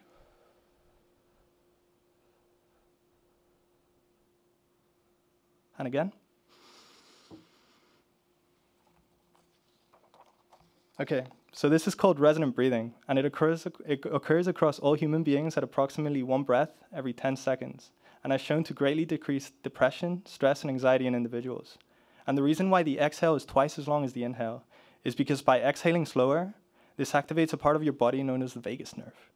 The activation signals your sympathetic nervous system, which reduces your blood pressure and thus makes you feel rested and relaxed. This exercise is available for all of you to practice at the following link. Having explored the solo features, I wonder what the community could offer.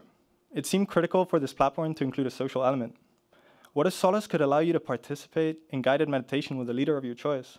Or if that wasn't for you, perhaps you'd be more interested in finding solace with your family or friends, and thus share an intimate moment with them by allowing you to visualize their breath in real time.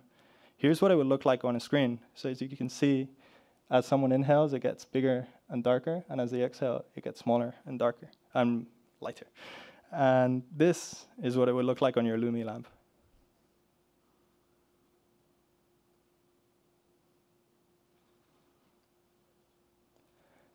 Looking forward, I'm interested in developing Solace further and plan to hold an experience in the future to test and learn about the kin feature, an experience that I consider vital in the path towards creating Solace as a platform. Thank you. And before ending, I'd like to partic particularly thank my mother and my aunt who are sitting with us here today our department, and uh, my extended POD family, and my friends and family who are watching from Europe. Thank you.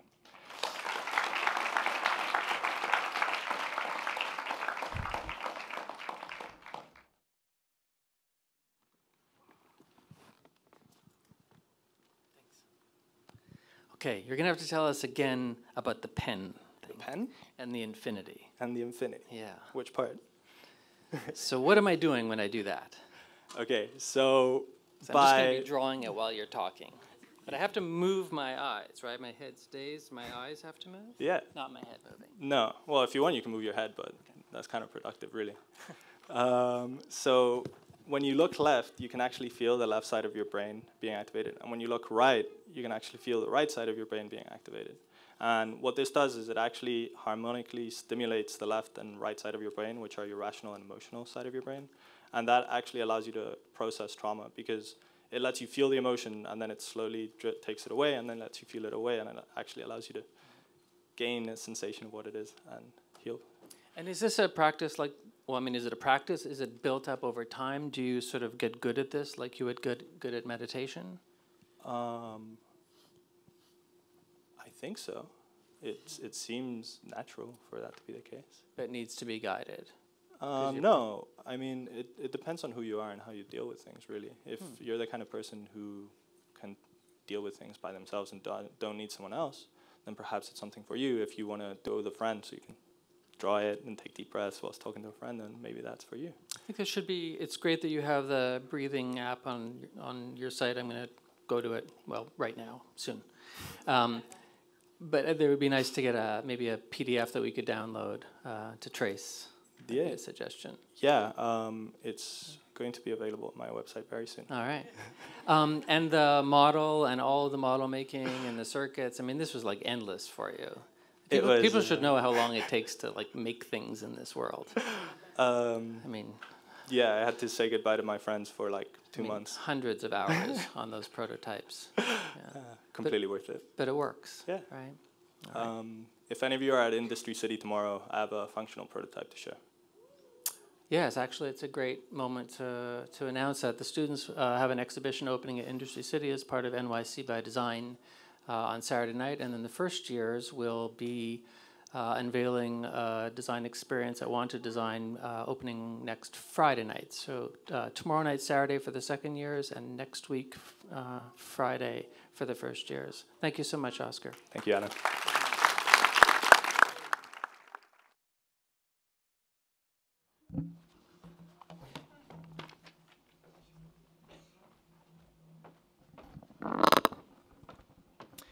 Please welcome Wan Zhang Heng.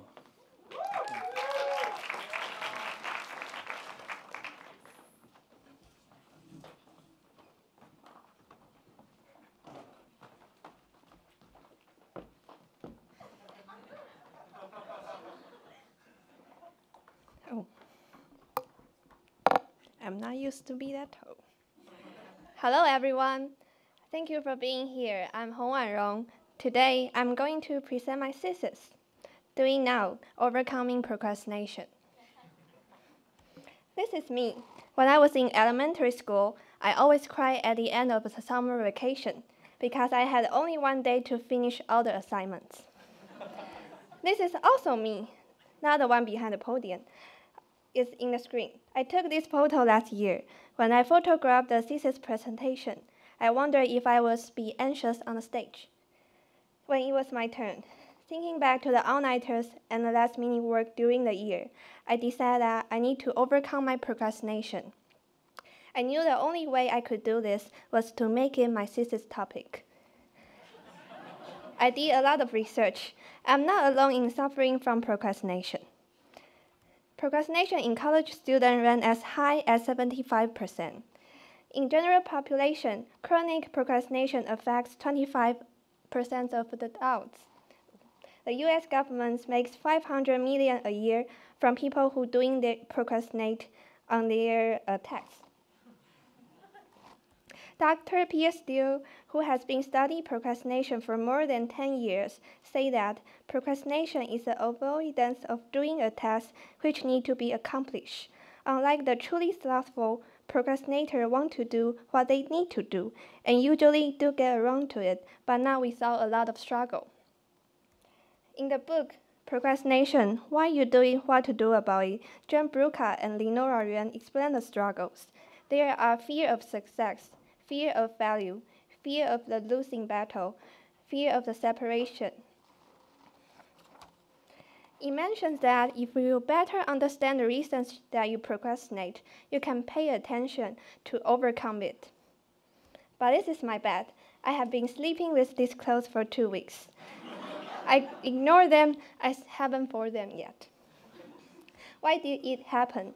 I did further research on neuroscience, which shows when we procrastinate, the unconscious brain, the limbic system, has an argument with the planar brain, the prefrontal cortex. Usually, the limbic system wins.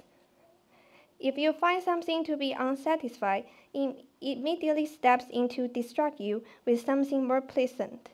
The most evident thing I saw in my research was that screens are the biggest cause of procrastination. Research shows that people are easily distracted by internet. Last semester, I shared a Google Doc on my thesis draft with my classmate Qi. Her profile picture would show up whenever she opened a link. As I was typing my thesis, I had the feeling she was looking at me. It was like she was keeping an eye on me because it was real eye. I feel I was reading real being watch. So I mock up a low fidelity version prototype. It's a sticker for people attached on their phone to keep an eye on them. I mock up Watching You, a device that tracks pe uh, people's movement, that exerts pressure on users to motivate them to do their work. Users hang Watching You on the wall or place it on the screen and connect it to their laptop, laptops.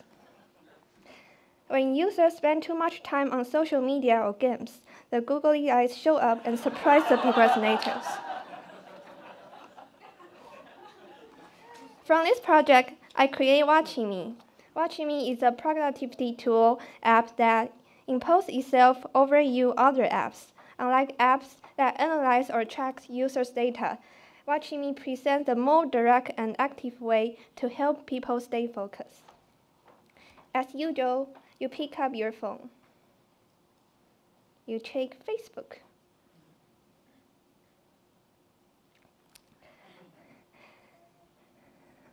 Mm, nothing special. Maybe look at the Instagram.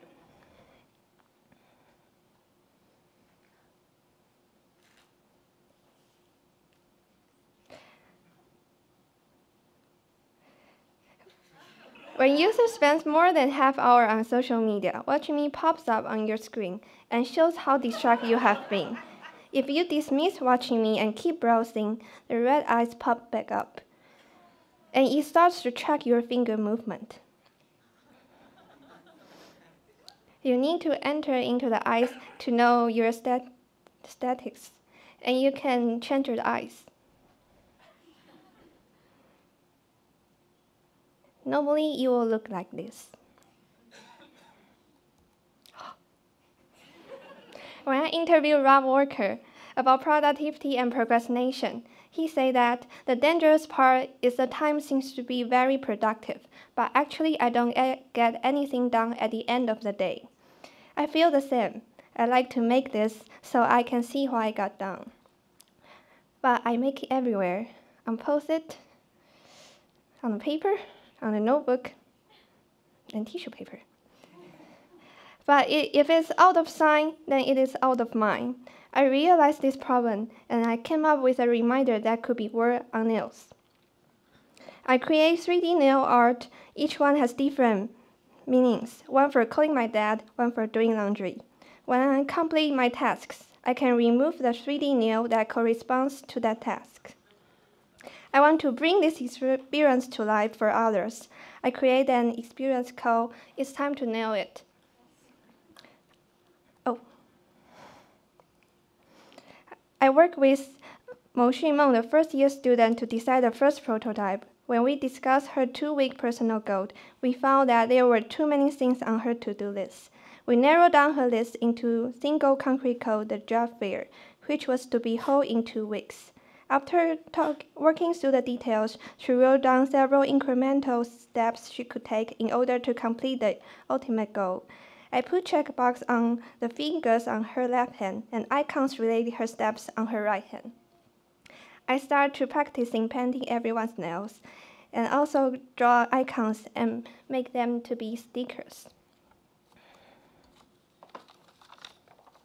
On March 20, I used my final prototype and did nail art for 10 procrastinator. Here is a worksheet I provide. Please enjoy the video.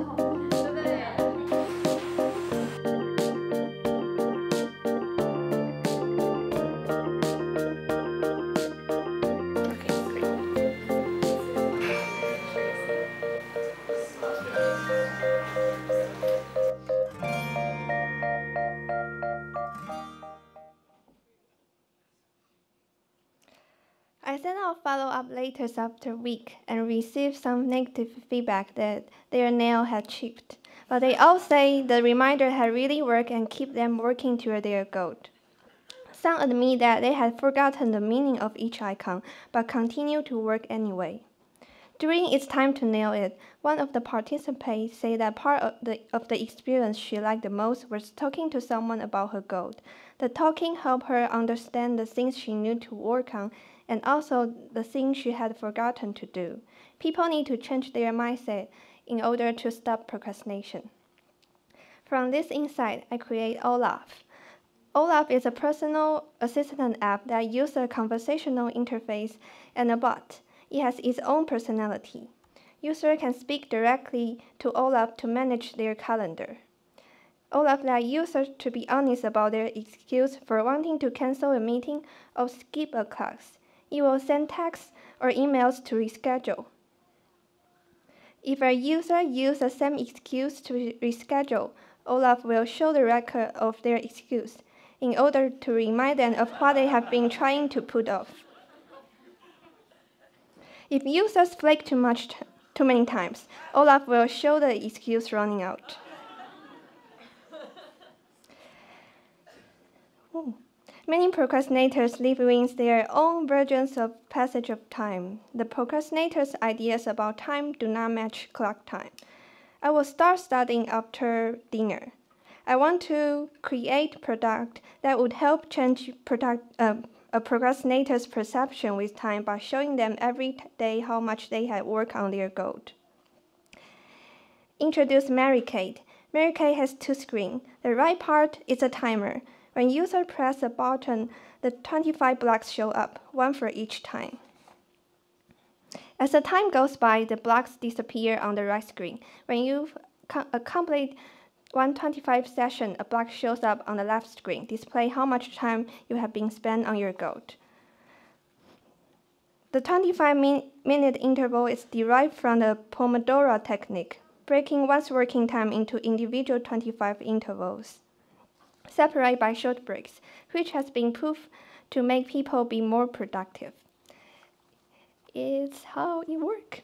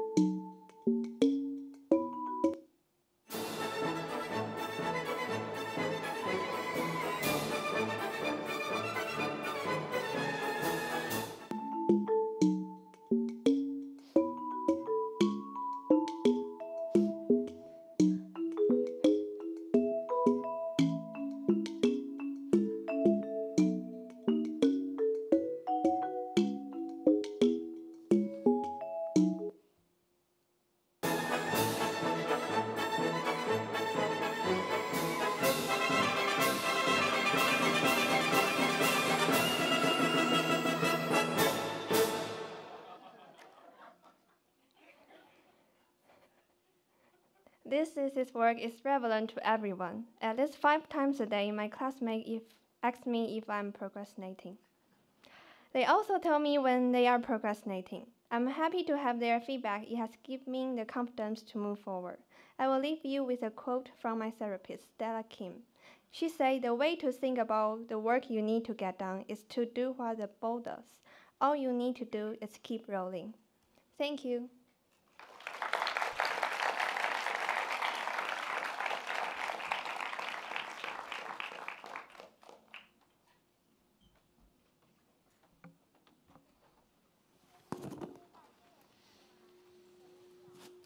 Did it make a difference? Yes. Yes? Are you procrastinating with a longer answer? A little bit. what? The nail thing is just so great. Thank you. Yeah, I think maybe we should set that up outside um, in the lobby. So the work is really very much a combination of a carrot and a stick, like a punishment if you don't do stuff, like Olaf, you know, yelling at you. Um, and an incentive. So, do you think that both are required? Did you sort of land in one or the other, thinking that this is a better strategy, uh, maybe for you personally or in general? I, I don't get your question. well, that's all right. Um, do you think that people need to be, uh, that Olaf needs to yell at them? Or they need uh, gentle reminders like the oh. nail? I, I feel like it's a little bit different from each one because each one have different um, fear of what they procrastinate about. So some of them yell at them might work, but some of them it's like, oh, then you work. Yeah. yeah. And uh, so I know that it's a lot of uh, all-nighters for, for the faculty. Like, just give us an image of what your bed looks like now after the last couple weeks, or it's cleaned up. I cleaned up yesterday. Yeah. All right. All right. So this works. Design works. Yeah. Congratulations. Yeah. Thank you, Long. No problem. Thanks.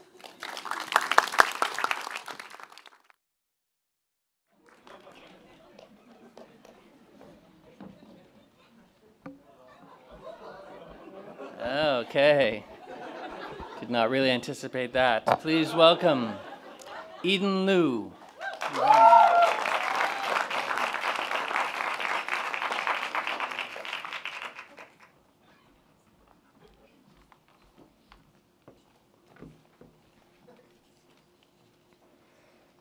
Okay. Hi, thank you all for being here today. My name is Eden Lew. And I'll be honest, I'm scared of graduating because that means I'll need the bravery to voice my opinions, to say no, and to stand up for myself. School has always taught me to be kind and to do good. But in my last year, I realized I was never shown how to be bold and bad. So, in order to find my confidence, I studied the criminal mastermind.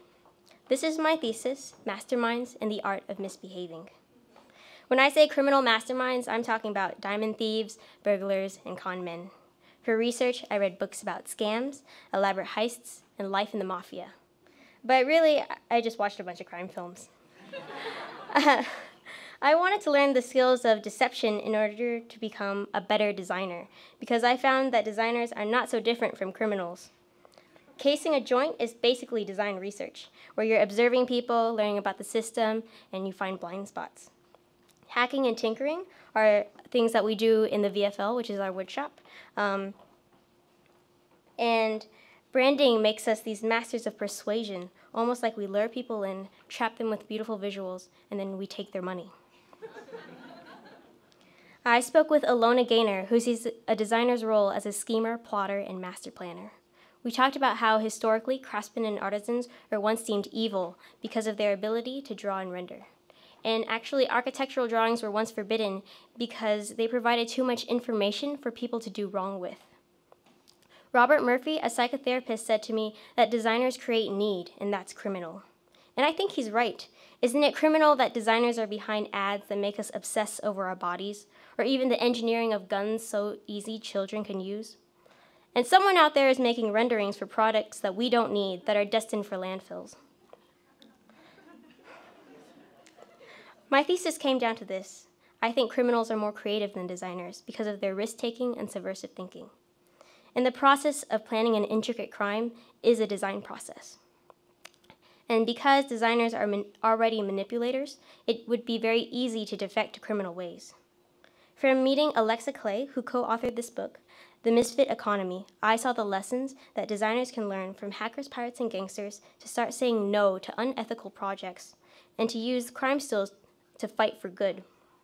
But really, in the end, all I wanted to do was spend a year learning how to be bad. So, in my transition from good to evil, I started sketching quick products of stealth to hide my secrets. I made sticker secret compartments and hid credit cards and copies of keys um, around the studio.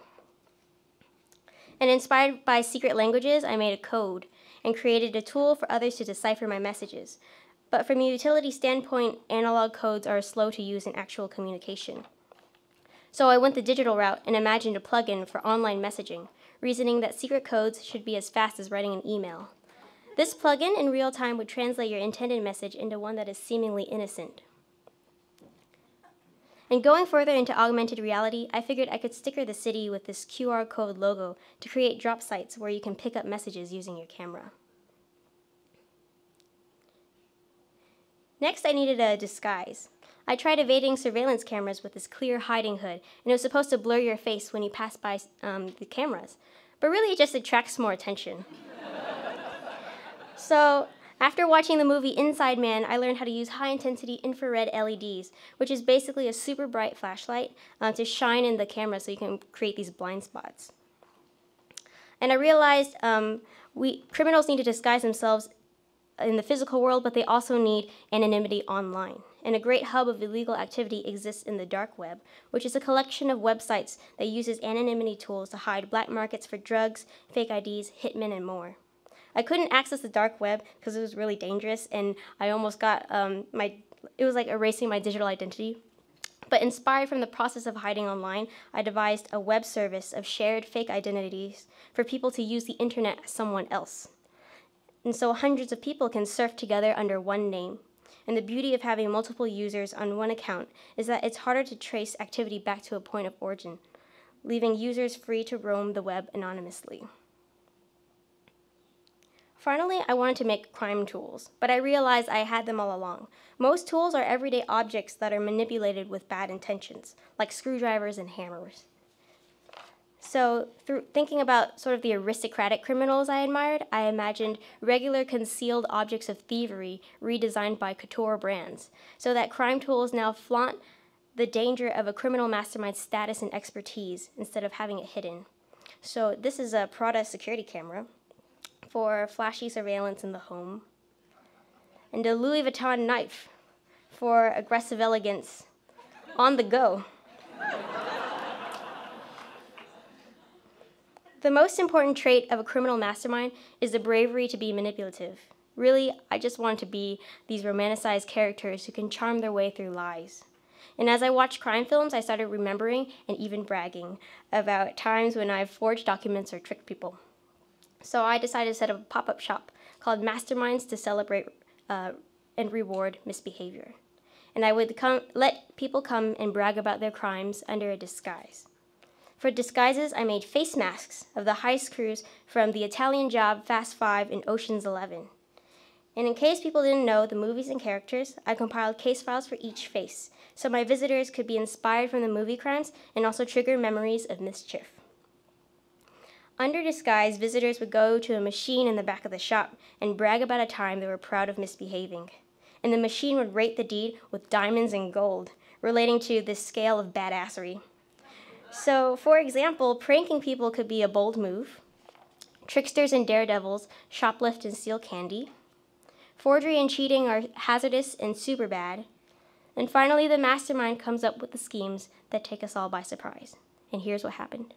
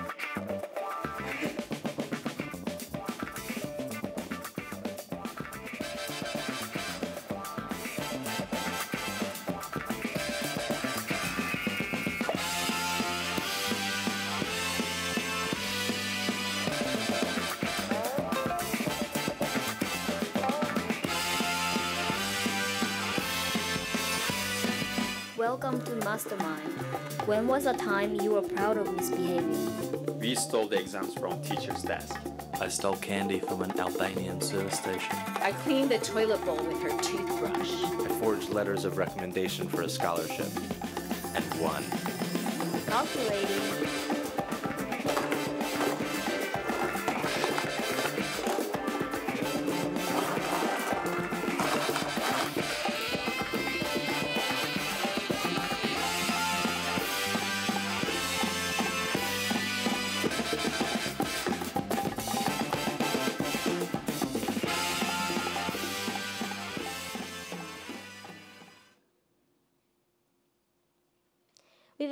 That criminal mastery is cool and badass, but in reality, old school burglars are a dying breed. There's no need for the strategy and knowledge in planning a bank heist anymore because hackers can do so much more damage with a few keystrokes miles away. So for my last projects, I wanted to bring back the physical knowledge of planning heists and raise a new generation of criminal masters and strategic burglars. I saw that in extracurricular education, children are rarely taught to break rules and challenge authority, and I found that rebellious kids grow up to out-earn rule followers. So Masterminds Academy allows kids to engage in creative rule breaking. It's an after-school program to teach the physical and digital skills of criminal mastery. And we would teach lockpicking, safe cracking, and sleight of hand to give kids the permission to misbehave and have confidence in their new skills. And I imagine it competing with other educational maker movement programs. But as you can see from the highlighted direct competitors, there aren't many programs that teach this white collar crime to ch uh, children.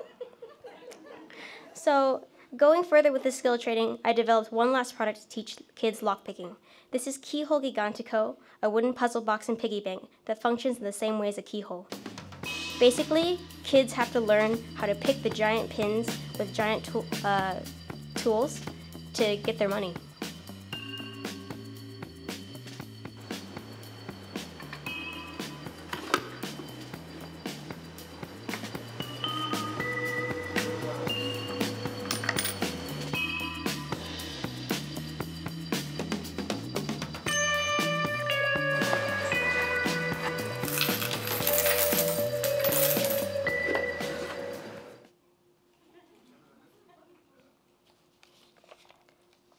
My journey this year, I've learned so much more by breaking rules instead of following them.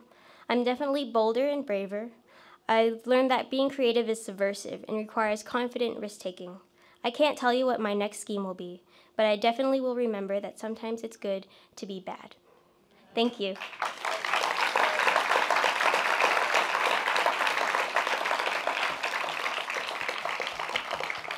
And thank you to everyone who supported me for the past two years. You all know who you are. and thank you for all coming.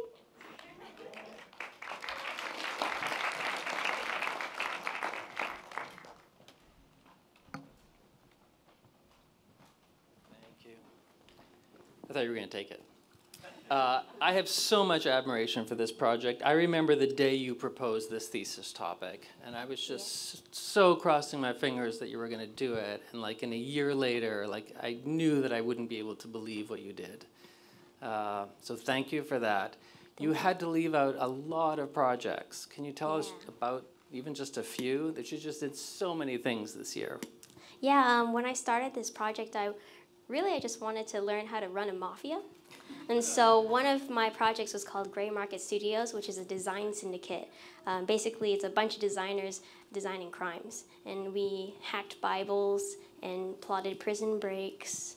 Um, I made a lying conversational UI um, so that it would help people scam on like on telephone records and stuff. Um, we also, oh, I made like fake plastic bags and yeah. We also uh, broke into your office. Ah. Yeah. You want to see?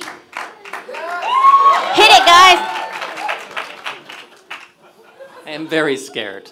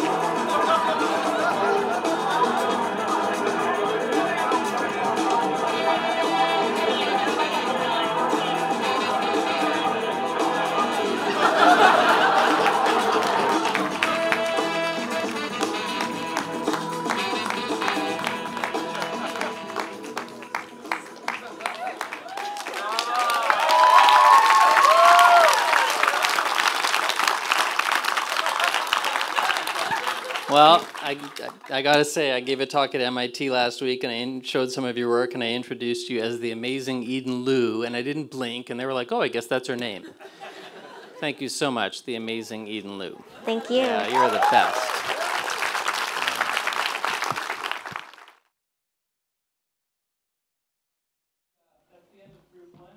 Have a short break with amazing refreshments outside. It's going to be pretty quick because we have a lot of students today. We want to make sure that you're around and they all have the time that they rehearsed for. I think it's just going to be 15 minutes. Uh, we're going to find a bell and we're going to ring it. And then if you can just sort of hustle back in here, that would be so much appreciated. Thank you, everybody.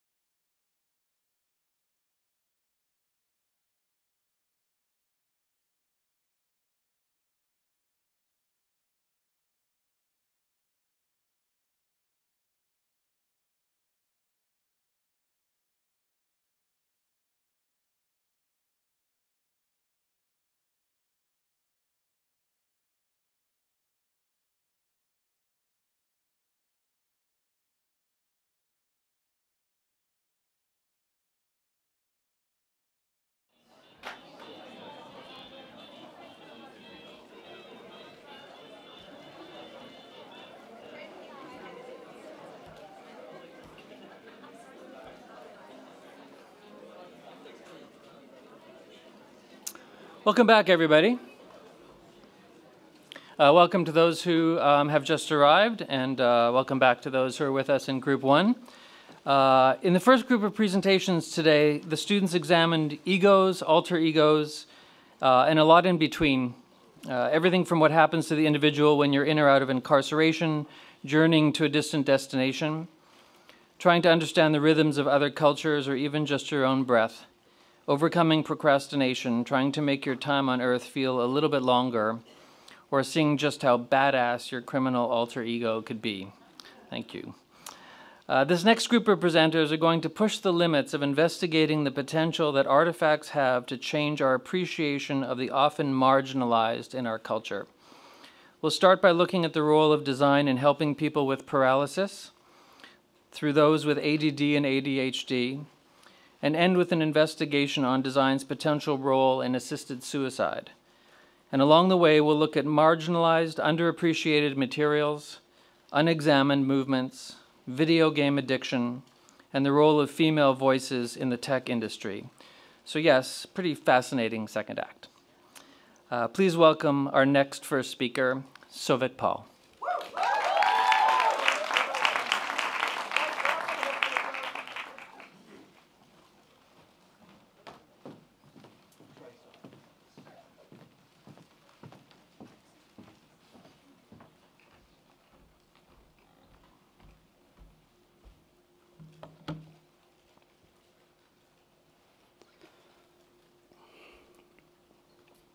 On August 15th, 2014, there was a car accident. My good friend Karina was driving a black SUV when her car was violently rear ended by a tractor trailer. The force of the collision severed her spinal cord and left her paralyzed from the chest down. And when I visited her in the hospital, there was one thing that kept repeating itself in my head, and that was how can I use design to help my friend? Good afternoon, ladies and gentlemen, and thank you so much for being here. My name is Souvik Paul, and I'm proud to present Unbound Psychophysical Design for Paralysis and Disability. A master's thesis that, over the course of the last year, I realized was as much about helping my friend as it was for me to personally come to terms with the accident, with the feelings of helplessness that I felt that day in the hospital.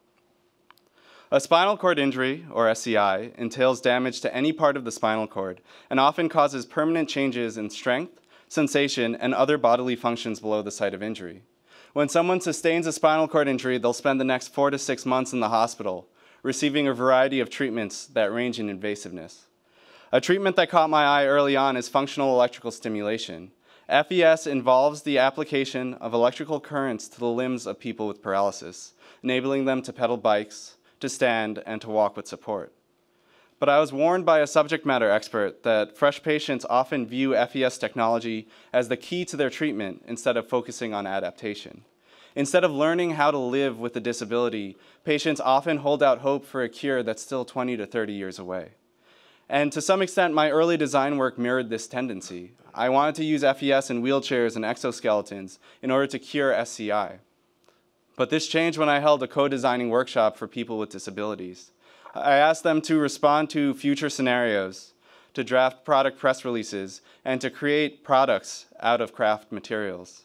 And I learned that for individuals who have lived with disabilities, adaptation truly is the primary concern. One participant created the Zero Step, a modular and inexpensive solution to inaccessibility in cities. Another created the Store and Fly, a packing solution for wheelchairs so they don't get damaged in flight.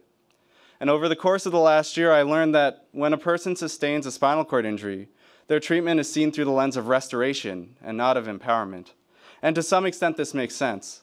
According to psychologist Abraham Maslow's hierarchy of needs, before we begin to address our mental or emotional needs, we must secure the body first. The problem is that too often medicine stops at the physical needs and doesn't adequately address mental or emotional needs.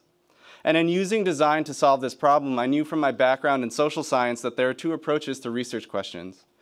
The first, the emic approach, involves embedding oneself in the culture of study. The etic approach involves studying it from afar. Knowing that I wanted my thesis to be an instantiation of human centered design, I knew I would take an emic approach, but the very existence of this dichotomy told me that I would have an undeniable bias as an able bodied person designing for disability. And so I set out to establish a sense of empathy for my users. And I began by asking the taboo question of, what does your paralysis feel like? Even though I felt like this question um, highlighted differences between me and my users, the reaction that I felt when hearing the responses was visceral. And wanting to see if I could inspire the same kind of visceral empathy in other able-bodied individuals, I designed a yoga session during which cl audio clips of people um, describing their bodies and their paralysis would play, as participants adopted yogic poses meant to mirror or mimic the sensations described in the clips. With the help of Eden, I was able to record a video that captured the event. Paralysis feels different for everyone. For me, it feels like a numbness, like when you have a limb that falls asleep and there's a burning tingle, and for a few seconds it feels disconnected from your brain. Like the sensation and your ability to move that limb has been obstructed in some way. And all you can feel is this overwhelming tingle.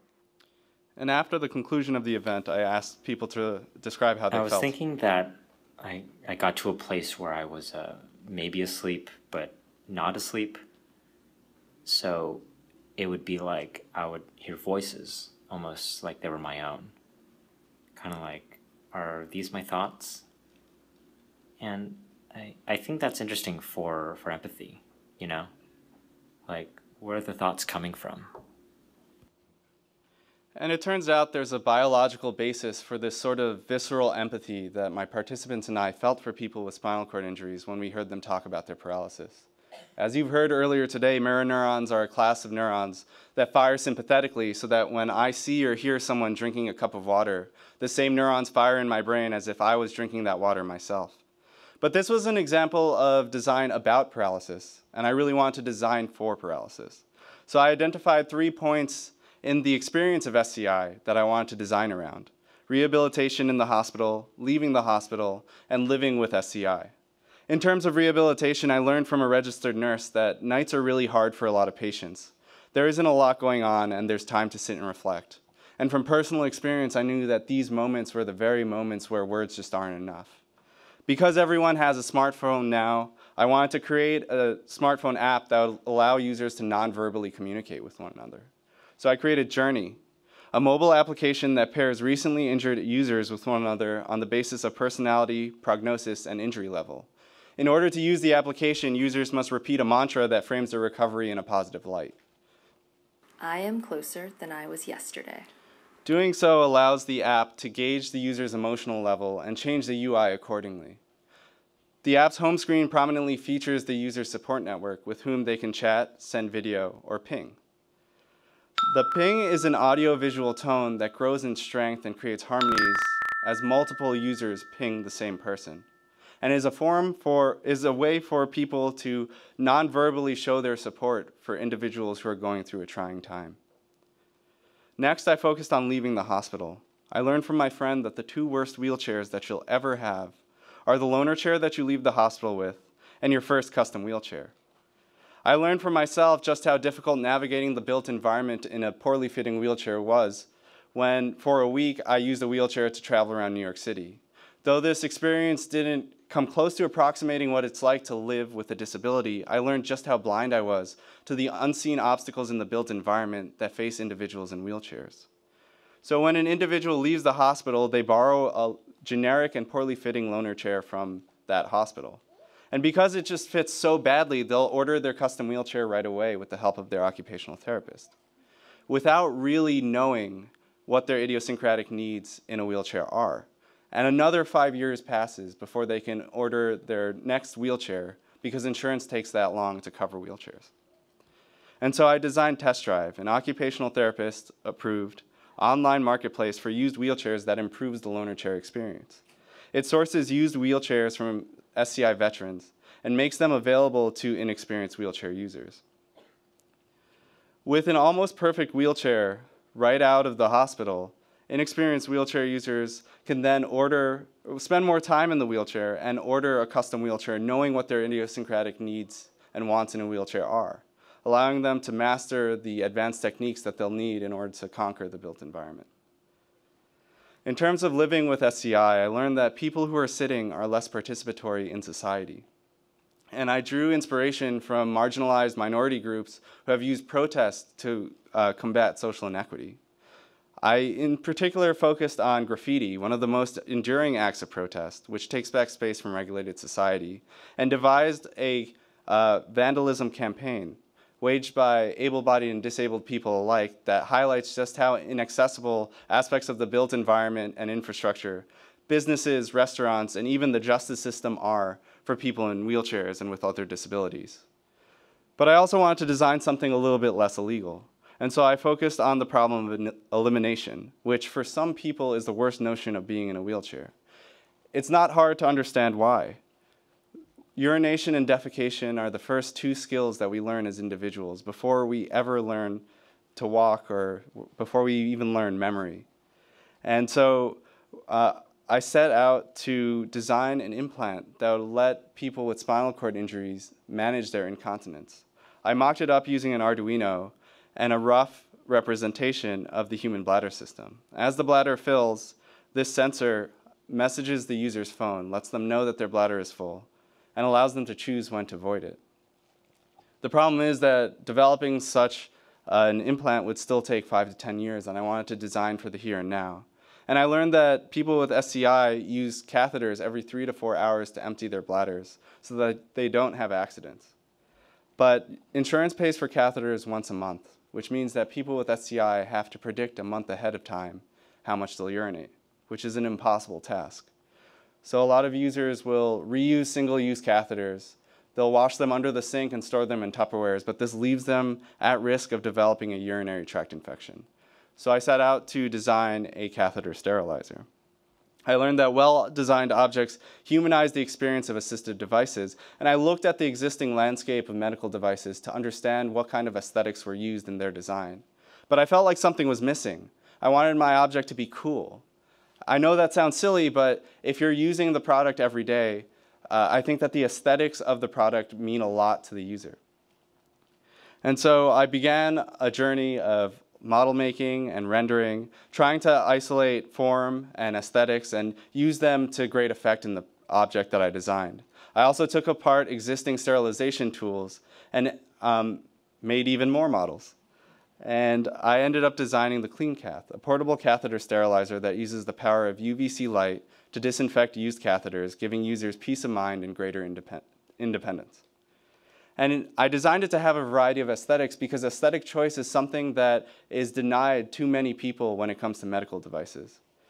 Uh, it sits at an angle as it charges in its base so that someone in a wheelchair could uh, see the contents of the device from their seated position. And every detail from the buttons to the grip was carefully designed so that in the context of its use, even in the bathroom, it would give users a sense of security and a sense of pride the same kind of pride that you might have for something like your cell phone.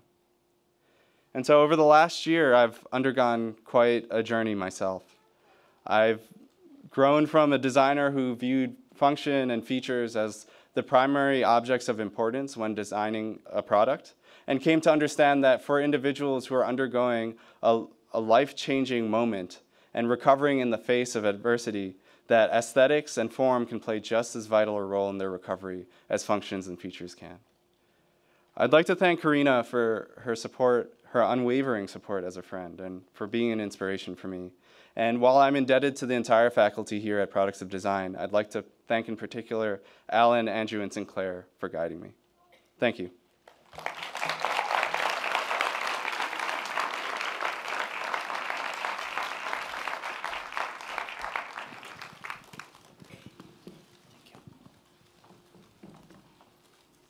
I have so many things I want to talk to you about. I remember that day when we met, when you were looking at graduate programs, and you had told me about this accident, um, and that that was one of your prime motiva motivations for becoming a designer, and for the some of the time that you would be spending in graduate school. I'm hoping that you have you felt that you have honored her um, in this pursuit. Yeah, I think that I still have a lot of work to do. Um, but the thesis was very cathartic in allowing me to take active steps to respond to like the accident and what had happened. I'm also struck by how like just wonderfully humble both of well really all of your solutions, but in particular the test drive service, which is really made out of nothing. Um, and the clean cath, which responds to, in some sense, like the most humble need and ennobling it uh, in such an incredible way. Uh, and for you to acknowledge that, you know, you wanted to like, you know, get people to walk again and to be able to really listen to what the actual uh, urgencies are and to be able to respond to them, again, with incredible humility. Thanks, Allan. Yeah, I think that um, when it comes to disability and uh, just the public's perception of what disability is like, we tend to glaze over and like try to ignore the most like the most disturbing aspects of it, whether that's go, uh, traveling around cities or something that makes people as uncomfortable as talking about incontinence. And uh, you can't really serve those populations if you're going to ignore the the problems that face them most prominently. And certainly in watching your work and listening to you describe it week after week for a year, I think it was very much normalizing in terms of the language and the dialogue of what people, you know, became used to hearing about. I think we're going to see that in a few other projects today as well. Congratulations, Souvik. Thank you. Allan. Thank you.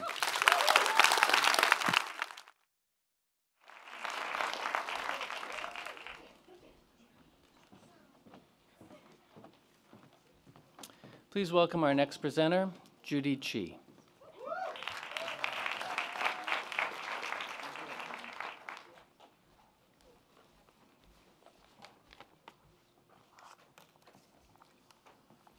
Good afternoon. Thank you so much for being here today. I'm Judy Chi, and I'm excited to present my thesis titled Permanism Towards the Obsolescence of Disposable Furniture. When I was growing up, like most American households, my family owned a washer and dryer set. But I was the child of Chinese immigrants, and my parents did not view these appliances the way my neighbors did. They came from a time and place where minimizing consumption was part of a prudent lifestyle. So my brothers and I were not allowed to use the dryer. In fact, we were forbidden to use the dryer except for emergencies. And so it was from a young age that I was instilled with this aversion to waste and what led to my interest in studying consumerist habits. I delved into research on consumerism and waste, reading books, research papers, articles, watching lectures. And I learned that Americans are the leading consumerists globally. One American child will have the same environmental impact in his or her lifetime as that of 35 children in India. And working in corporate America these last 18 years as an in house architect for big corporations, I saw and participated in this system of American consumption firsthand. And I became particularly interested in studying the waste generated by the fast paced lives of young career people. In today's global economy, millennials are moving at increasing rates. And the shuffle from city to city, country to country, generates a lot of waste, a lot of furniture waste. And young adults account for 42% of all movers, even though they only make up 24% of the US population. The average amount of furniture waste per capita has more than doubled in the last 40 years. And so I asked, as a designer, how can I address this issue? And I began by first mapping the current landscape and forming this grounding statement. Good design can help young American urbanites with sustainable actions and around furniture consumption hence reducing waste. And I looked at the behaviors around furniture consumption and the nomadic lifestyles that fed into it, and also the American culture embracing disposable products, and how these two intertwine to create this continual cycle of buying and throwing away and buying and throwing away of furniture with each new apartment moved into. And I thought, what strategies can we consider here? And I realized that the features that we find so appealing about disposable products, the affordability, the convenience, the ease of use, if we could harness these same qualities, perhaps there was a path here. So with this in mind, I pursued and investigated several strategies to gain efficiencies. looking at physical product designs and at new technology. With CNC milling, drawings are downloaded onto a computer and all the cuts are automated. Lattice furniture uses CNC milling, and linear slots can be made in the, the body to give it flexibility. And early prototypes show that this flexibility allows for what are called live hinges, which can then replace tra traditional metal hardware. And multiple tests were needed to, determine the correct bend and flexibility. But once this pattern is determined, a piece of furniture can be cut from a single sheet of plywood, then wrapped up and connected with tabs. The other benefit that Lattice offers uh, with this flexibility is uh, furniture can be reconfigured. So here you see it as a shelf, but it can be disassembled and then compressed down, and then it becomes a low coffee table. And this compression also allows for flat pack shipping. The other advantage that Lattice Furniture offers is a new manufacturing and distribution model. With open source design, users can download drawings for free and make the furniture themselves, or they can take it to a local digital fabrication shop to be made for them. This decentralizes manufacturing from faraway places like Asia, and it also lo lowers the cost and carbon footprint of shipping. And because products are made to order, materials don't need to be warehoused, and this reduces on warehousing. And lastly, it supports communities by keeping the value chain local. I next turned my attention to undervalued materials. I thought, instead of waiting for the next new big technology to save us, what about all the materials that are already around us and have a low carbon footprint and perhaps have been overlooked? Materials as common as cardboard. And I was inspired by the work of architect Shigeru Ban, who builds architecture using cardboard tubes like this monumental cathedral in New Zealand. And I was even inspired by the humble hollow core door. Most people see this as a cheap product, but the paper honeycomb core on the inside is actually a modern marvel of structural integrity. And so these inspirations um, led me to create a speculative brand called Common, a sustainable line of furniture. And the first prototype is the added value table, using the paper honeycomb and cardboard tubes. And to offset the sense of cheapness that people associate with lightweight furniture, the legs also act as piggy banks. And so as you add change, it gives the table heft and the weight that people, uh, that people equate with value, and it also literally increases in value with more change added. I next wanted to create a wood version of this table, and first started with creating this sandwich panel uh, sample. So instead of surrounding the paper honeycomb core with thin veneers, as most, uh, as many furniture products do, I used a thicker quarter inch solid surround. And I also aligned the grains to, uh, to be consistent with a solid piece of wood. And the Quattro table is made using this sandwich panel combination. And the Quattro bench also uses the sandwich panel combination. Here's a short video showing you the assembly of the interior.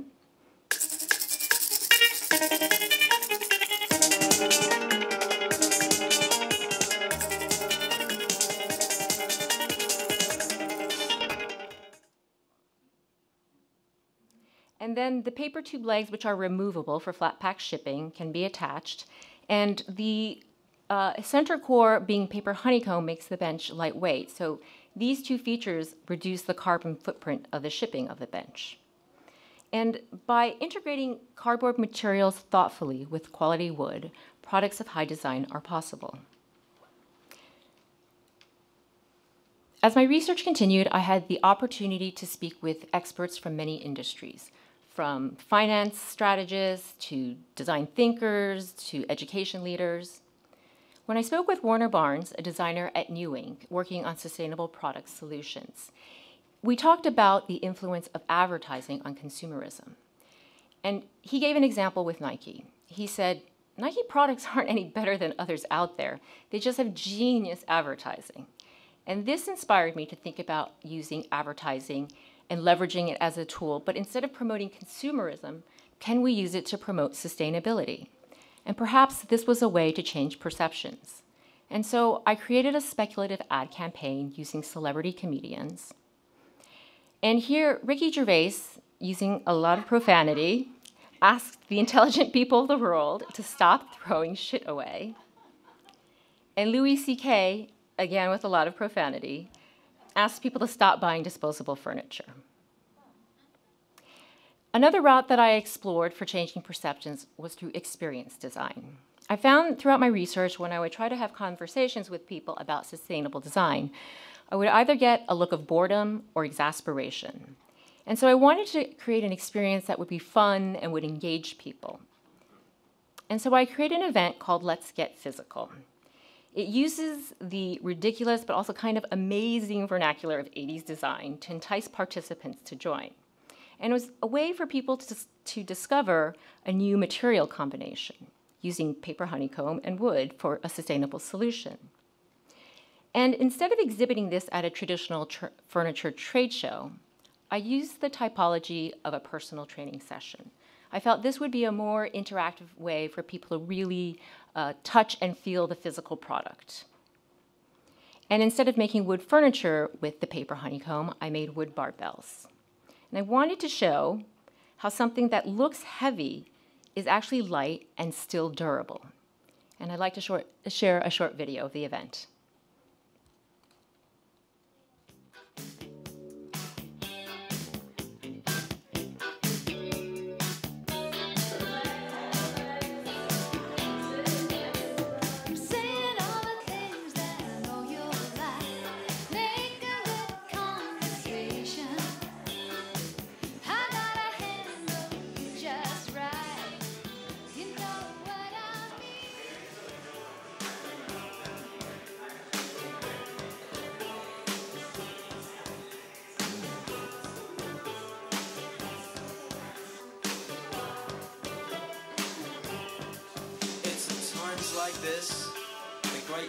Knows that we wish we had not so many clothes.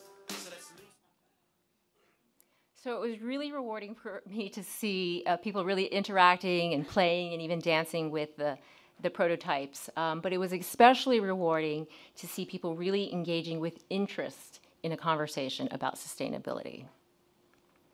Wanting to reach a broader audience, I next considered uh, looking at collaborative consumption as a path. And created a service called Norman, which is a furniture sh sharing service. Now, there are many out there who feel the sharing economy is dead. And in fact, a recent Fast Company article declared that it was. And in that same article, one of the entrepreneurs explained the problem with sharing. Nobody gives a shit about other people's things, and then they get damaged. But I don't think the sharing economy has to die. And Norman is a service that gets people to care because all of the furniture that's shared have anthropomorphic personalities that you can't help but care about. So when you go to the website, you can click on the green chat function and talk to Norman. And it's this conversational chatting that really draws users in. And because Norman is like your best friend that knows everything about you, he can make suggestions that you'll like. Perhaps you need a new nightstand. He introduces you to Frank and Alda, and perhaps you're interested in finding out more about Frank. You click on his details, and Frank will introduce himself and tell you all about his history, his past owners, including his current owner. And Frank's been a little lonely living with his current owner because he's never home. And because he's a little flirtatious, he asks, Do you want to take him home? And if you say yes, the Norman service will handle all the details to coordinate the delivery for you. So Norman provides a convenient and fun to use furniture service, making it easy for young urbanites to choose a more sustainable solution. And this demonstrates how design can be used to encourage better behaviors around sustainability. And on this note, on the power of design to script people's behaviors, I'd like to close with a quote from Cameron Tonkinwise. Designers need to be using that power to make sustainable behaviors more convenient, or pleasurable, or default. This is how designers, in their little ways, begin to combat the bigger systems. All these are tied together, and intervention in one will begin to make ripples in others. And for me, these ripples are what I want to continue to pursue. Thank you.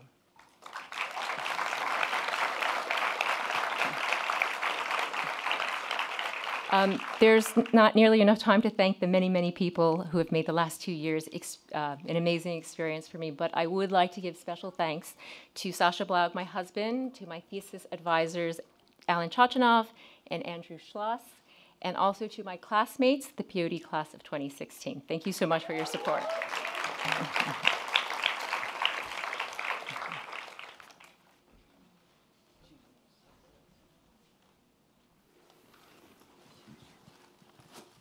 There is so much great work here. Uh, Thank you. I want to talk about the barbells. I want that coin table. Uh, I think people loved it. I don't know when we're going to be able to order that, but we're ordering it. I remember the first time I was uh, doing product design and um, learned that people were putting these lead weights inside um, telephones, like consumer right. phones, because the phone is like, you know, it's nothing, it's a tiny little circuit board, it's a chip at this point um, because of this association with, of weight with value. Uh, but the way that you've turned that, you know, you've added the ingredient of time there and had it actually become more valuable, literally, uh, physically. It's just so great. Thank you. Yeah. Um, and I also uh, think that Norman's pretty brilliant. Um, your argument that people just don't care about their pieces is, uh, I believe it, and I think that giving them actual personalities uh, and uh, history, like um, provenance, is like a great answer. Thank you. Um, I think uh, the Norman personality might have been modeled a little bit after you. Yeah. Truth, the truth comes out. Oh, okay. Uh, I have never been thrilled with the name Allan, so I'm I'm right with you. Uh, okay, this is a day of surprises. Um, also, again, you showed some process. You know, I've been I've been just teasing and you know yelling and begging the students to show process of, of again how hard it is to actually make these things. The hundreds, the thousands of hours that you were in the shop yes, building definitely. furniture, that ends up looking so you know obvious and simple. It's like that's how you know it's good. When it seems like, well, of course, how else would you do it? That's how you know it's great but it's such a journey to get there. Absolutely. I mean, the persistence. Um, but it, I will say it was a labor of love. Yeah. I loved every minute in the VFL wood shop. So there's lots of pictures of you smiling in there. With the fa- underneath the face mask, the dust yeah. face mask. Just so many hours. Thank you, Judy. Thank you, Allan. Yeah.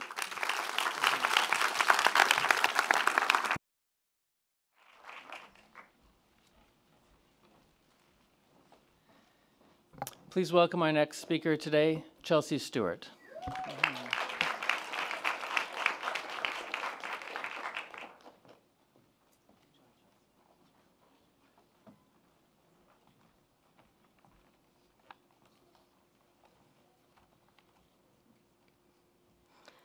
So like Allan mentioned, my name is Chelsea Stewart, and I'm here to introduce you to Atto, an exploration between design and movement. Growing up, I was always fascinated with the things that moved, but it was driving in my dad's 911 that made me fall in love with movement. He would take me on long drives which led me to the back roads of Arizona and New Mexico. And I rem remember the way that we would accelerate through turns as if we were dancing. And when I got a little older, I began to play soccer, and I loved how the sport created beautiful moments inside of actions and plays. And as I entered into my thesis, I was inspired by Martha Graham, who express, expressed it best when she said that all that is important is this one moment in movement. Make the mo movement moment important, vital, and worth living. And when I began exploring the topic of movement, I found Charles and Ray Eames' The Powers of Ten inspiring. I realized that the different scales in which these movements are actionable were equally as fascinating as the actions themselves. And over the course of the year, I created a lot of different projects about movement, but I want to show you five of them today. Inspired by Martha Graham, I held a workshop that explored singular moments in movement. Titled Micro Observations, it, it is a study of two people in action. The participants were given a series of prompts. First, they were asked to mirror one another to make quick movements to test reaction times. Secondly, they were asked to move about the room freely and record how they felt through simple line drawings. As you can see, these movements were very different from one another, and the participants went away with a different perspective on how those interactions with other peoples and the space created new opportunities. And what I realized is that there was a lot of, that through movement is the key to discovery. I believe movement allows us to find small moments in systems that can be created and inspire us. But it is within those systems and actions that begin to work together I find fascinating. And I'd like to introduce you to Flock, an app for visualizing those different systems moving around us. Flock is, Flock is a geolocation app which finds instances of small actions happening in specific radius to the user. The app takes those movements and abstracts them to make colors and shapes. From Instagram posts to friends in the area to taxis driving by, subways underneath their feet, and helicopters overhead. This app connects the physical, social, and digital aspects of our city's systems. Flock is important because it's able to show us all the micro actions happening around us, but in a um, micro actions happening around us, but through a microscopic lens, which gives the user a perspective of how all these actions can work together. And after looking at these, these macro scales of movement, I wanted to go back and focus on the individuals and the one to one scale between human beings and their objects. Tempo is a new take on the conventional means of keeping rhythm. Currently, we are tracking our every movement through mobile devices. And products like Apple Health, Fitbit, Nike Plus are all great ways of finding the different data sets behind our daily actions, but they cannot physicalize and show us those action, how those actions look. So inspired by the humble metronome, which traditionally kept rhythm for musicians and dancers, tempo harnesses the individual's personal rhythm and uses it as a snapshot of their daily activities. So in short, it takes these footsteps and makes them actions, and rhythms. Tempo connects the user's smartphone through the user's smartphone and device. Tempo tracks how fast or slow the steps and it mimics them. When the, for example, when the user is running in full stride, Tempo does the same. Or when the user is not necessarily walking, but performing actions such as tying their shoe, it interprets those actions as small ticks. So Tempo challenges the traditions and roles of our products and smart tracking devices. And as a designer, I urge them to create products. And as a designer, I urge us to create products that physicalize data sets and information. My next project focuses on something that, is often, that often goes unnoticed, the movement of goods. When thinking about consumption, I'm constantly reminded of all of the neighbors that I have in my building but what I rarely don't, what I rarely see is their deliveries. Our building uh, alone receives 75 to 100 packages a day. It has become clear to me that buying things online is the newest form of navigation and convenience. And in, through my research, I found that in 2014, the consumer markets reached $453 billion in online purchases. But when, it, when I came to find out, is a third of those purchases were being returned, and that is a lot of goods and, and money in movement. And at the moment, we are only using our sense of sight to navigate these online shopping experiences. But traditionally, shopping has always been a physicalized experience, meaning when you saw something you liked, you picked it up and you felt it. You tasted it, maybe you even smelt it. But so I saw the opportunity to help bring these five senses into a shopping kit. Innate Goods is a speculative kit which intends to make the online shopping experience more physical. The kit comes with three options for every sense, and once you try the kit, you find out what you liked most and what you liked least. From there, your preferences, you can go online and get a curated set of preferences for your instinctual choices. You can buy them right there, or you can save them for later. And although this is a speculative project, it urges the actions to be more powerful and purposeful in hopes of finding new ways to make people happier with the products they buy instead of returning them. And so, my last project is the movement of our communities. My project, OTF NYC, is a, is a built typeface with communities. With the help of my friends and classmates, we prompted people to use their feet to write their first initial of their, of their name in the sand. From kids to adults, everyone followed, followed suit. And I would like to show you a quick video.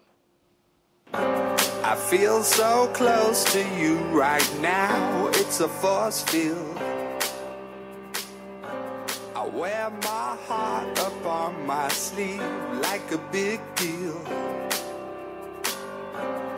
Love pours down on me, surround me like a waterfall. And there's no stopping us right now. I feel so close to you right now.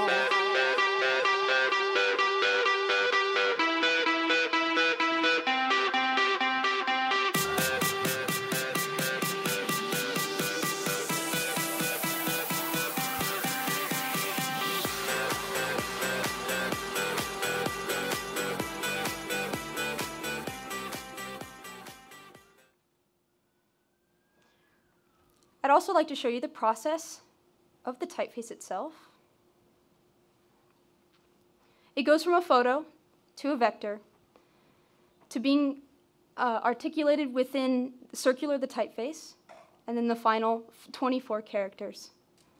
I want to leave you with this project because it combines so much of what I love the movement of our societies, the actions designers take to create opportunities to harness movement, the aspirations of giving people a voice through design. And I'd like you all to remember, like I try to every day, that there's a lot of things happening in our societies and in our lives, but it's important to pay attention to and, and be inspired to create through those movements. Thank you.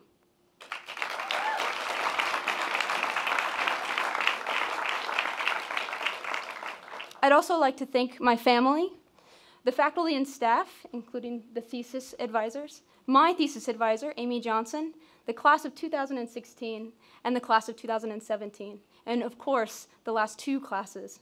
Thanks, guys.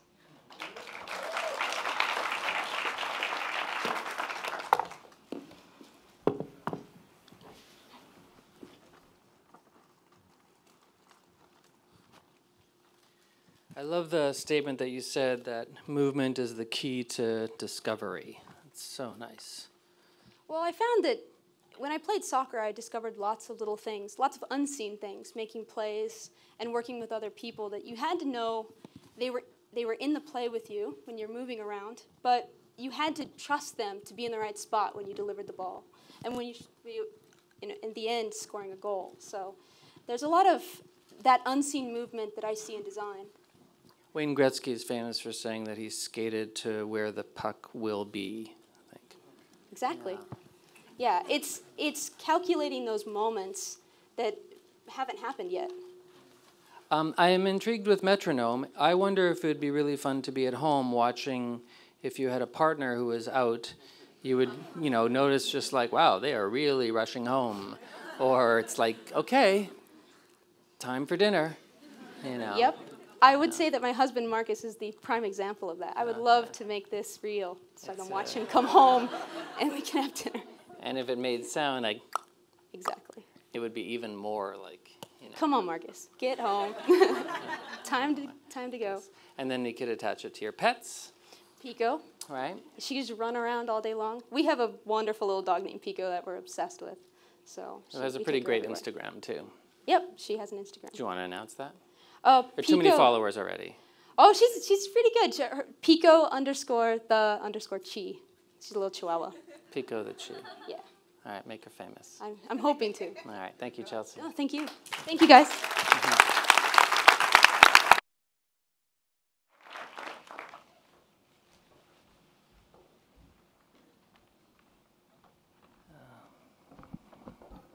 Please welcome our next speaker today, Belen Tenorio.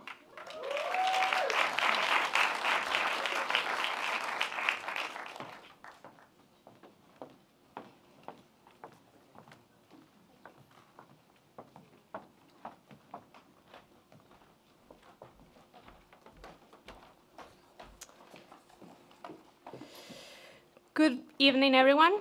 Thanks for sticking around. My name is Belen Tenorio, and today I'm going to be talking about ReMind, reevaluating ADD and ADHD in a quick fix society. We live in a world where distractions are seen as evil, where distractions are seen as disorders, where distractions work against productivity, where distractions are sedated with pills. This made me look more into my personal life with attention deficit disorder, as society will call it. And guess what? I'm not alone. There are between 70 and 80 million people diagnosed with ADHD and ADD in the world. Do you know what this means? We're taking over, baby! no. kind of. For people around us, it means we're easily distracted. But it's not that simple. There are many types of ADD and ADHD, and since this is very personal to each individual, no one really knows how each person reacts to stimulants. So going back to general terms, when people with ADD and ADHD walk into a room, we notice everything. The tactile cues, sound cues. Very, these very rich and satisfying things in life are amplified. The problem is that whatever is the most captivating, more sparkly, and shines the most, that's what, we're that's what we focus on. If we look at the systems map I developed, there is a lot to solve under the umbrella of ADD and ADHD. It's been challenging, and I wanted to focus on better understanding this aspect, which is agreeing with Thom Hartmann. In my work, I chose to concentrate on what designs could be developed if I treated ADHD and ADD as a result of adaptive evolutionary behavior and not a disease. Because ADD and ADHD only means a different perception. And so I did a lot of primary and secondary research from talking to subject matter experts like Jay Parkinson, co-founder of Sherpaa, a nationwide online physician practice, who thinks ADHD and ADD is a fictitious disorder. Ignorance is big.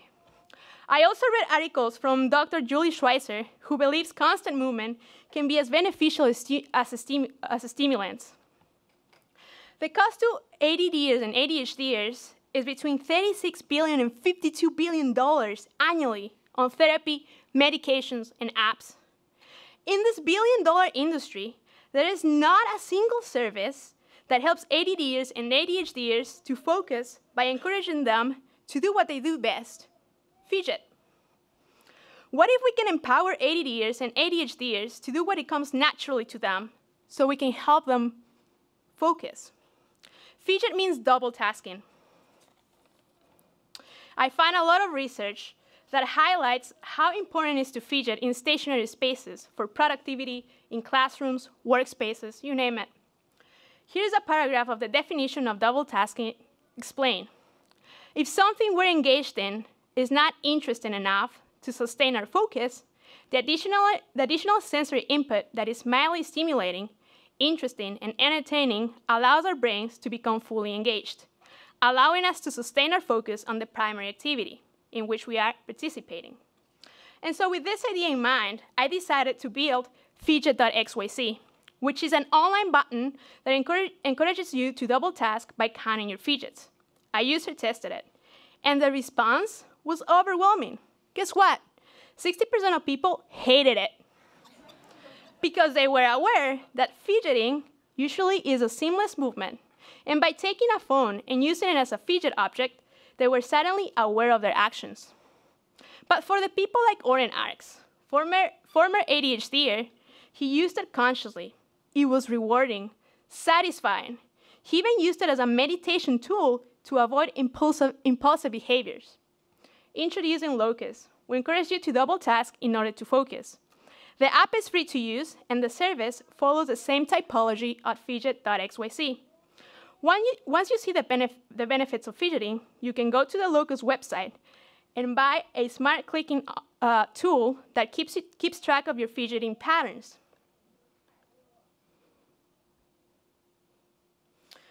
With the device connected and the app downloaded, the user starts their measurements, and the tracking of the fidgets begin. Thanks to this, we can listen and change what needs to be changed. It's an exciting new relationship between the environment, your movements, and most importantly, yourself.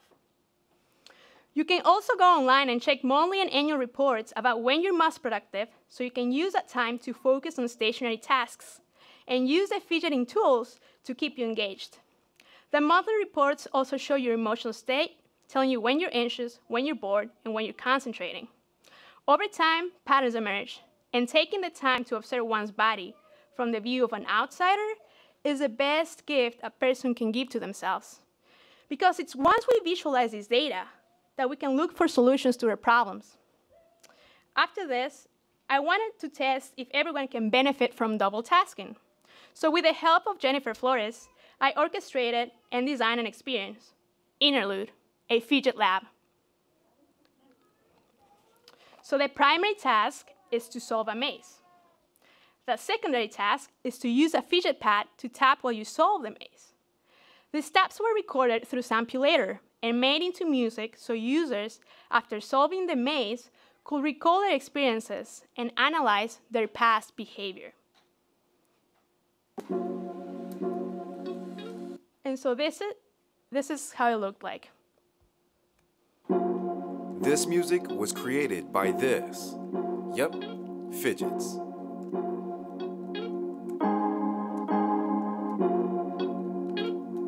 Interlude is a one minute sound exploration of our bodies and movements. We wanted to test if ADDers and non ADDers can focus when double tasking.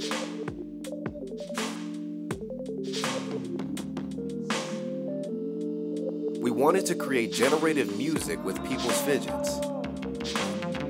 Task is simple. Tell us about your experiences with ADD. Complete the giant maze using a textured pad to help concentrate. After you've completed the task, you can literally listen to your body through your fidgets.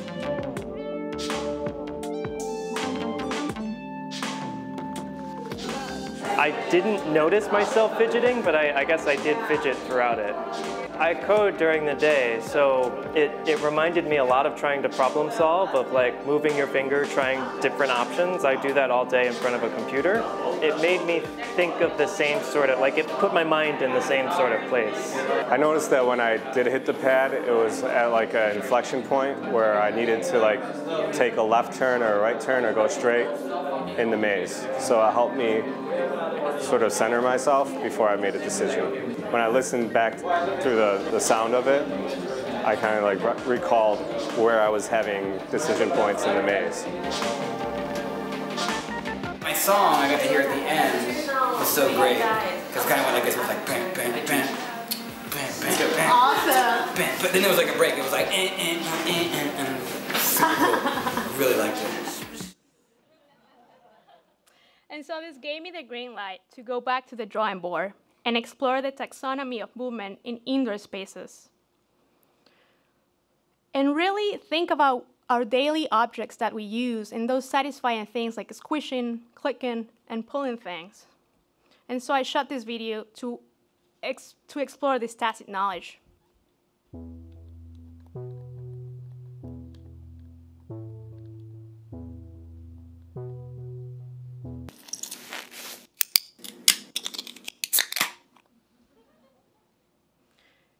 Introducing digits. They're a set of small fidgeting tools. They're pocket size, so you can carry them around with you all the time.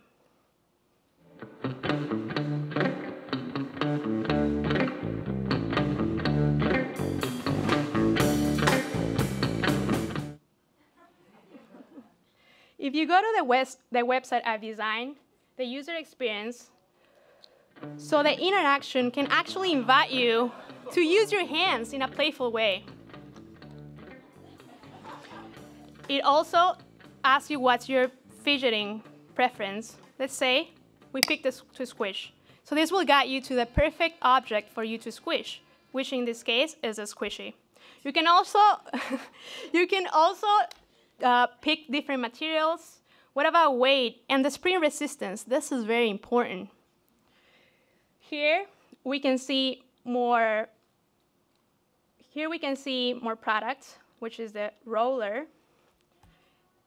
and it has haptic interfaces and different surfaces. It, the, you can pick it all online. And also the cubics, if you want it all, if you want to rub it and click buttons, etc. There has to be a balance in life. I'm not suggesting we should focus or be productive all the time.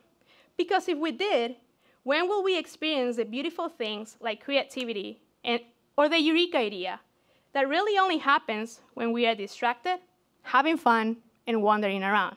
Thank you.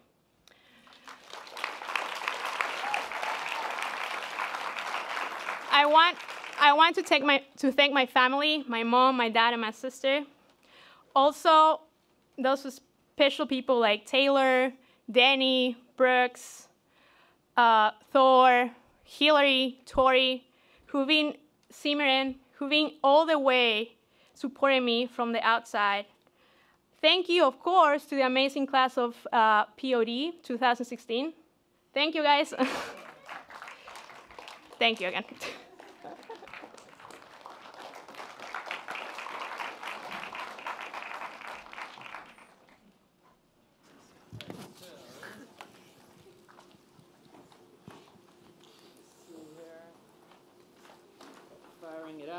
demo. So somebody had 975 taps? Yeah, that was me. Oh. Probably in your class. No. Well, I've, used, I, I've used this a lot. So here it is. 60. Oh, wow, and come on. All right, well, you can download this at fidgets.xyz. Exactly. All right, I highly recommend this. Um, I have also been testing some of the rollers, And I, which I love. Also, Yeah. Oh, yeah, I brought up pear for you because I know you love them so much. So you can keep this Oh, prototype. very sweet. Okay, now I remember that you get, oh yeah, towards you, you get good at. Yeah, Thank you, Belen. you're welcome. I have nothing else to talk about. yeah. And then I'll be like, your competition, I'm like clicking over here. So- exactly. I really like again, like just so simple. I like how you've turned something that is such is seen as such a negative thing and celebrate it and coming across this notion of double tasking, this discovery that it's actually helpful instead of like stop doing that. It's just I don't know, like this is the power of design to me. Exactly. I, I agree with you. Why would you stop doing something? Everyone is different. We shouldn't box everybody in the same place. And everybody are different learners, different thinkers. We should actually encourage encourage uh, originality and difference. I will be doing this for a while. Uh, I challenge all of you to beat 60 on the fidget.xyz. Give it a shot at the break. All right. Thank you. Thank you.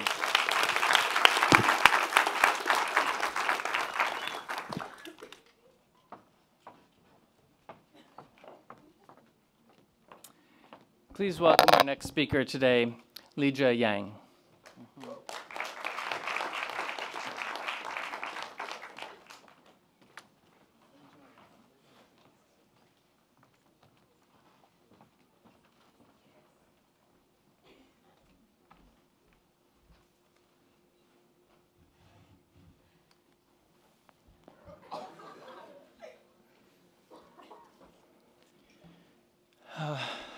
Hello, everyone. Uh, thanks for being here for our thesis presentation. I'm so glad to present my thesis, uh, Reload, Triggering Your Passion for Life with Gamification. My name is Lijia Yang. I'm from China. Like many other Asian kids, I grew up with comic books and kung fu movies. My childhood was, full, uh, was so um, full of fantasy and uh, imagination. And one day, my cousin showed me this Super Mario game, and you know that's given me a brand new perspective to everything. And that was the beginning of my 15-year-long journey with video games. I'm a video game enthusiast. What, is, what do you see on the screen right now? And these games, and these games, and these games. Yeah, they are part of the game that I've played in the past few years. Uh, I have to say that they made me really happy playing these games. But sometimes I feel distracted, so distracted when I'm playing these games. It's very hard to balance playing video games and dealing with the reality of everyday life, especially when the time that I got in my undergraduate school. With more time that I spend on the video games, more stress I feel from the schoolworks. And during the great opportunity of working on my master's thesis, I started asking myself the question, why don't we, why don't we combine working and gaming? And this question led me to my primary research around gamification. Then I began my interviews with the expert in the field of game study. I did more research to help me understand what's gamification and why people why do people enjoy video games. And at the early design stage, I came up with a hundred ideas and uh, around the topic, and they addressed various social issues. And let me share some of the share some of them with you. The first one is called Ninja Hunting. It's an uh, historical uh, no, it's a it's an public installation um, based on the historical Japanese character ninja, and we, uh, who always had themselves within the environment. And if you can tell, uh, if you can find a ninja hiding in this picture, here. And oh, by the way, I also had some of these stickers just around you. And if you feel interested, maybe you can take a second and find, try to find them during the break. And the intervention is aiming to recall people's curiosity and the desire to explore by encouraging them to find the stickers. Um, and by seeking and sharing the ninja's posters spread all over New York City, ninja hunting is encouraging people to go outside. the next concept is called Squeaker. It, um, it's, a pub, uh, it's a public installation designed for subway riders and people, people being observed by their smartphone is a far too normal sight on the subway. And Squeaker's goal is to break the silence by creating sound. When people looking for the sound resource, sound source, they will have a chance to press pause um, on their digital life.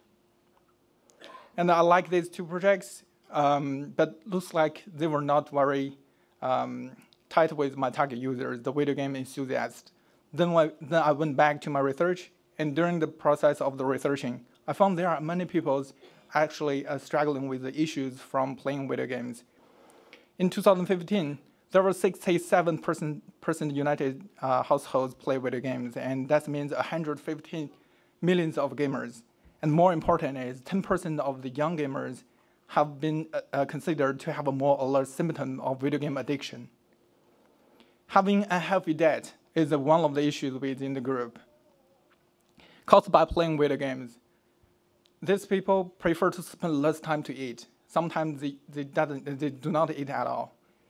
And why this happen? Why do video games have the magic power to chain up with gamers?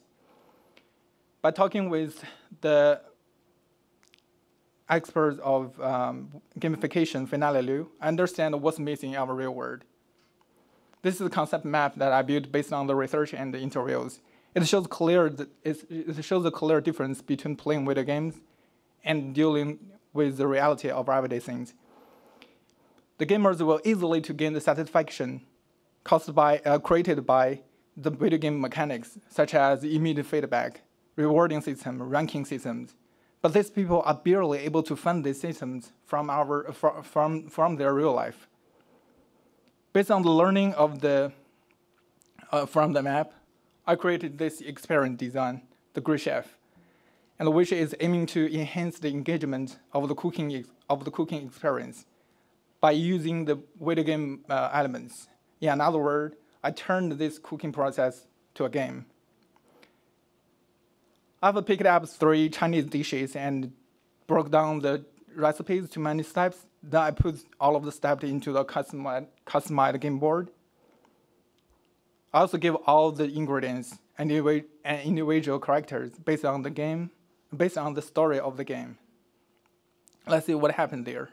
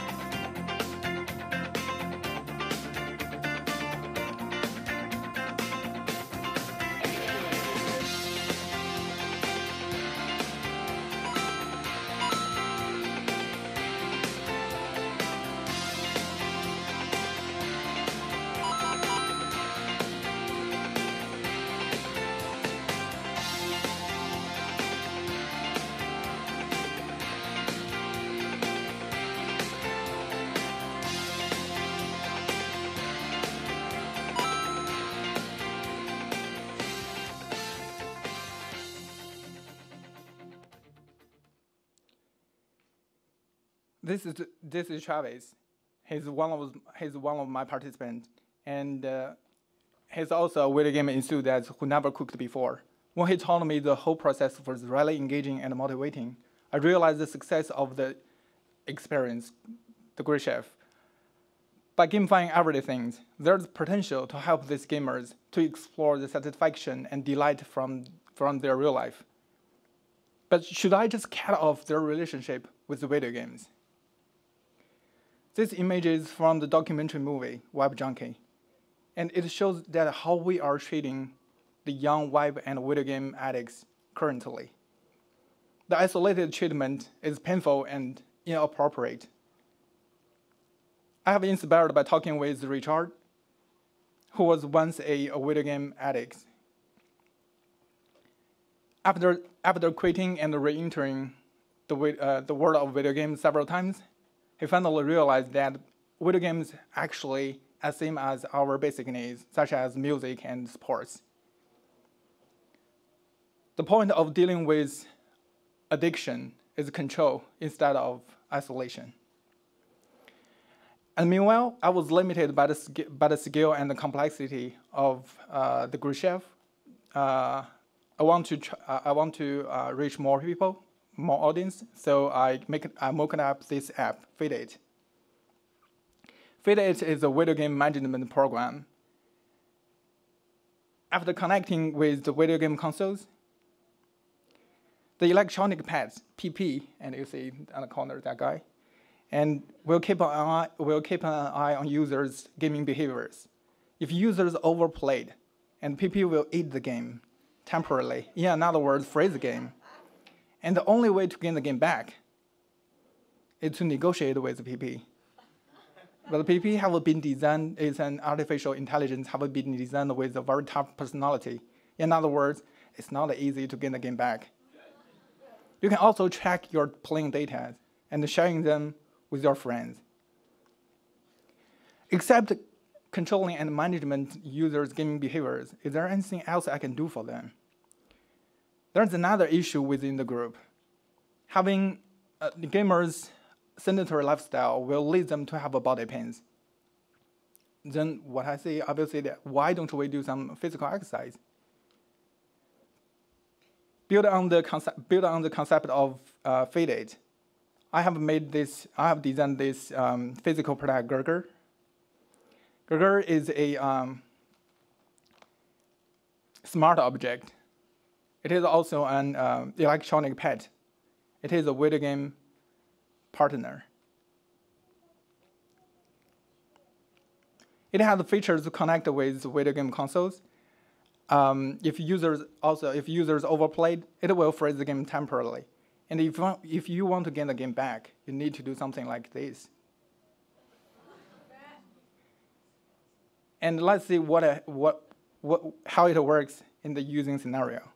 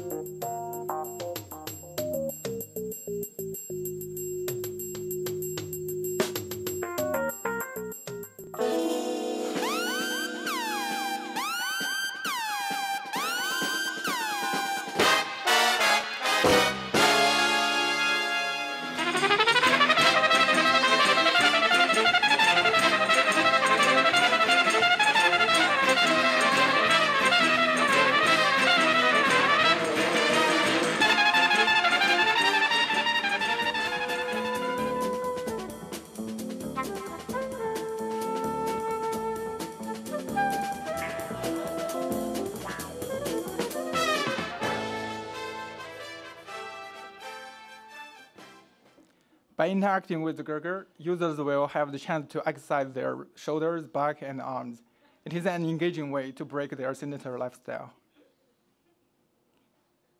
And then I want to thank all of, uh, all of the people that who give me their um, generous help. And uh, I want to thank my parents uh, who probably cannot see this video, I mean, um, online stream yet. Uh, I also want to thank Shichi Li, and I want to thank um, Ellen, uh, Sinclair, Gabriel, Marco, Alicia, and uh, also want to thank um, Andres Iglesias, Adam Fujita, Arjun, Oscar, and also um, Josh, and all of the classmates of class um, 2016 and 2017. Thank you all.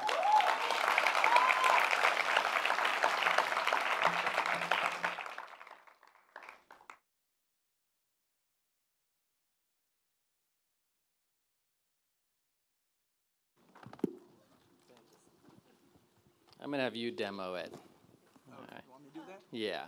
Uh,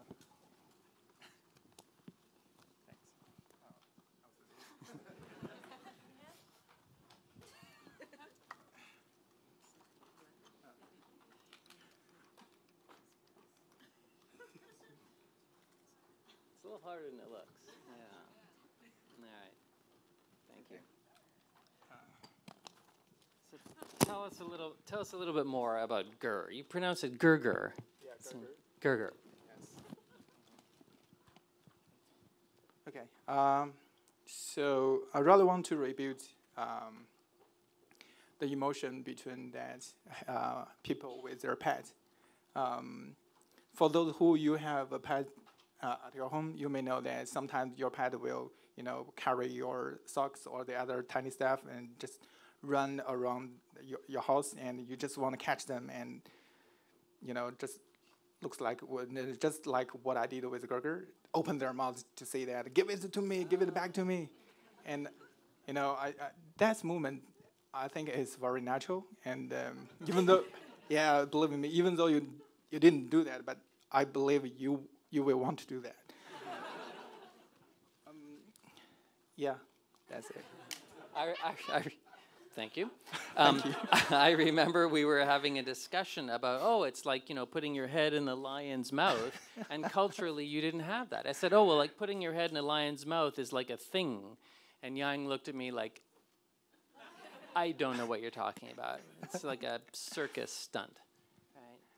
So, so that would be uh, still, still, I'm just. Uh, so there's like a Gurgur Pro or a Gurgur Senior. Yeah, maybe. I can imagine. Yeah. At the foot of the bed, maybe.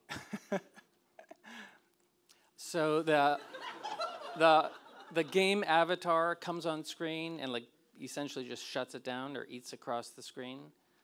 I'll have to see that in the next version. Um, yeah, we'll do. And how many minutes exercise? it totally depend on depend on different people, and I, I, I guess there are still a lot of work need to do. For example, that based on um, based on different people, and also there are different body qualities, and uh, we have different sighting, different options. So. All right, so let's say 20 minutes. okay. And so my last question: Are you a video game addict or an enthusiast? I, I prefer to see enthusiast. All right. Thank you. Do we have a lot of enthusiasts here today? yeah. Thank you so much, Yang. Thank you.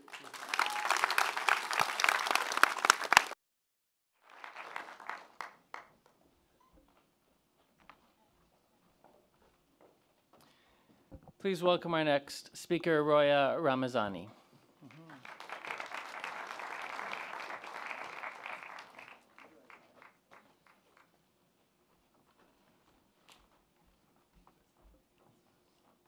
Hi, thank you so much for being here.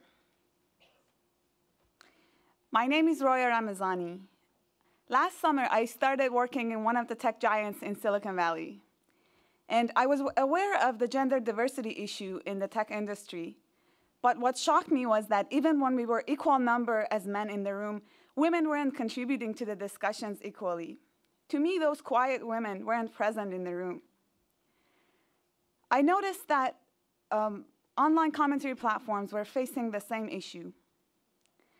A contribution rate of 85 to 15% was common, according to the Op-Ed project, an organization in New York City that monitors, monitors gender contribu contributors to thought leadership forums. Introducing Exponent, amplifying the female voices in tech discourse. So I mapped out the landscape of the gender contributor contribution gap, and um, there is a complex ecosystem around wicked problems such as diversity or equality. And they are typically offloaded to policymakers, but they can be mitigated through the process of design.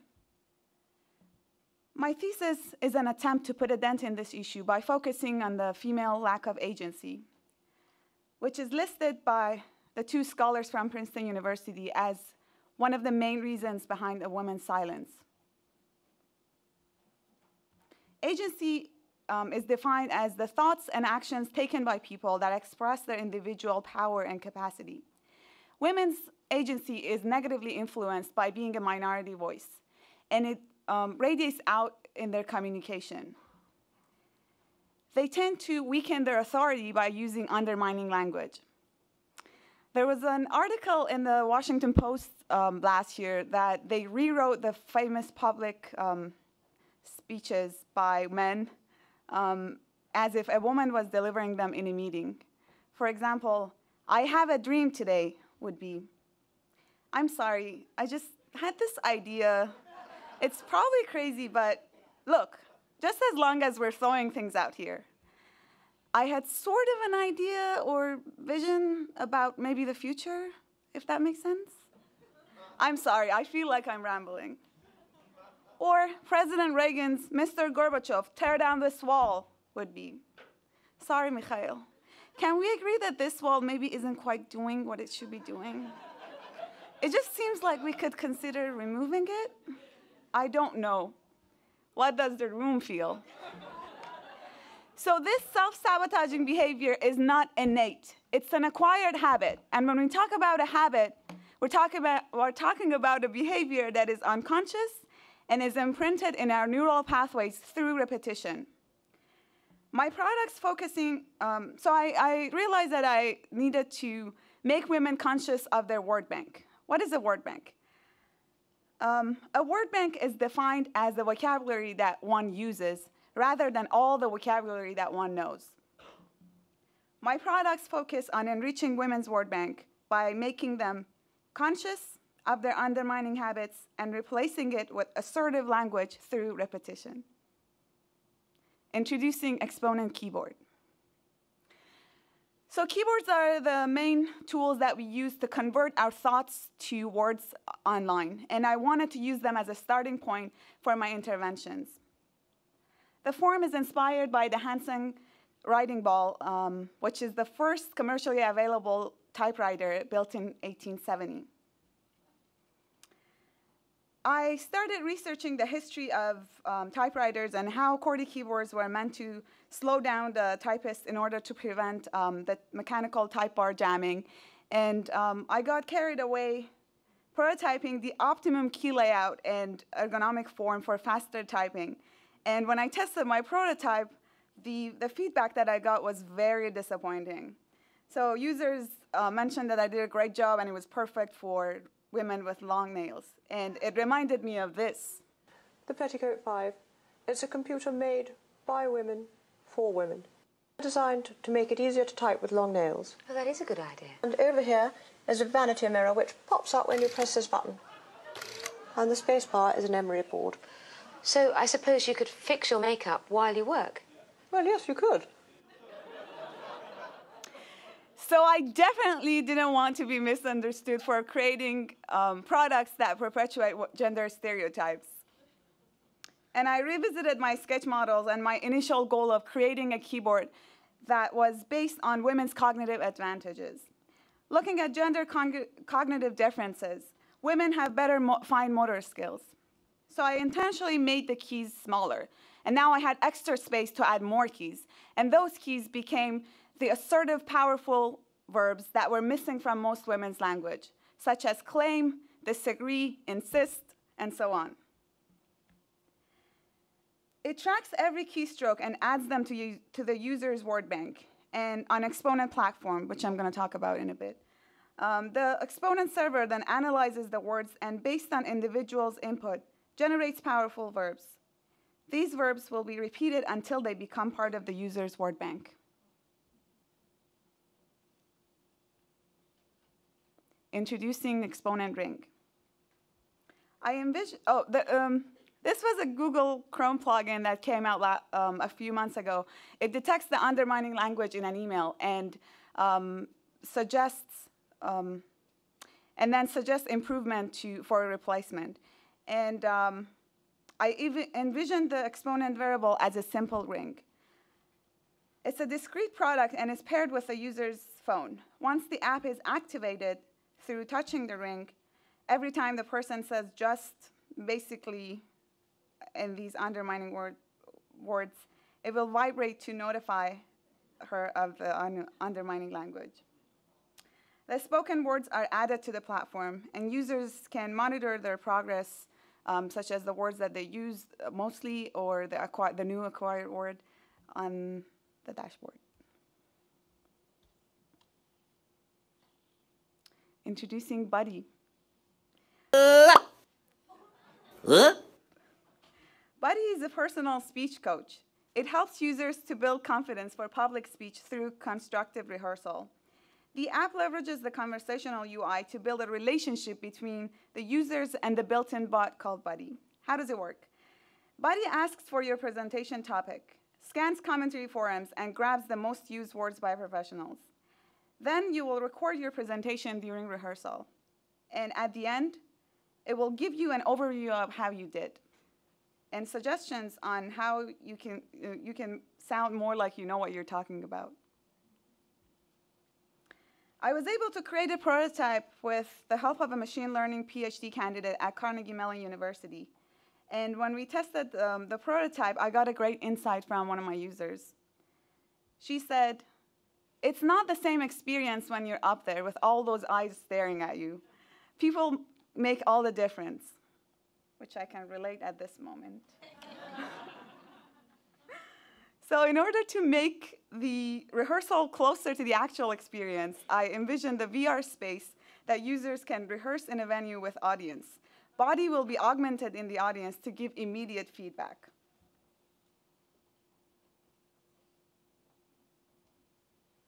Introducing exponent voices. So one of the best practices for expanding a powerful vocabulary is to listen and mimic people who are successfully doing it. I created exponent voices for women to listen to powerful female voices in their industries. Here's a video of what happened.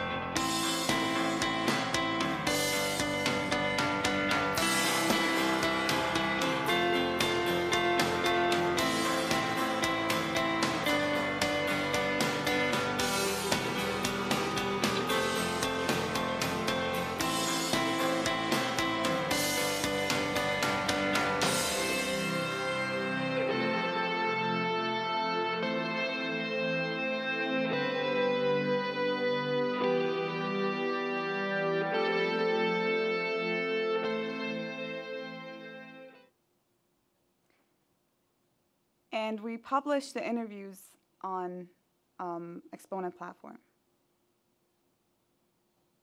I have a very um, honed sort of set of things that I do before I give talks. It's almost like a ritual. I get. Um, so I admit that even though the colors were based on individuals' dominant pitch, the relationship between each pitch and the assigned color was a bit arbitrary. But I noticed um, a pattern. Every time um, the person did upspeak, the needle went a note higher.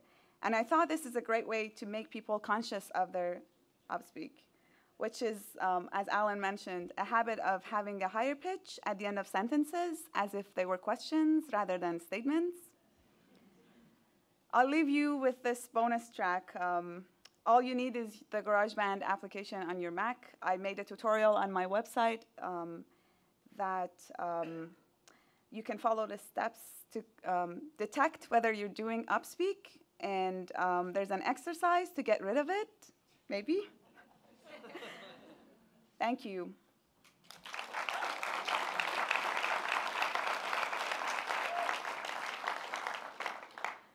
I wanted to um, thank my parents speci- specifically. Um, مادر پدر مرسی واقعا برای همه چی. They couldn't be here today with us.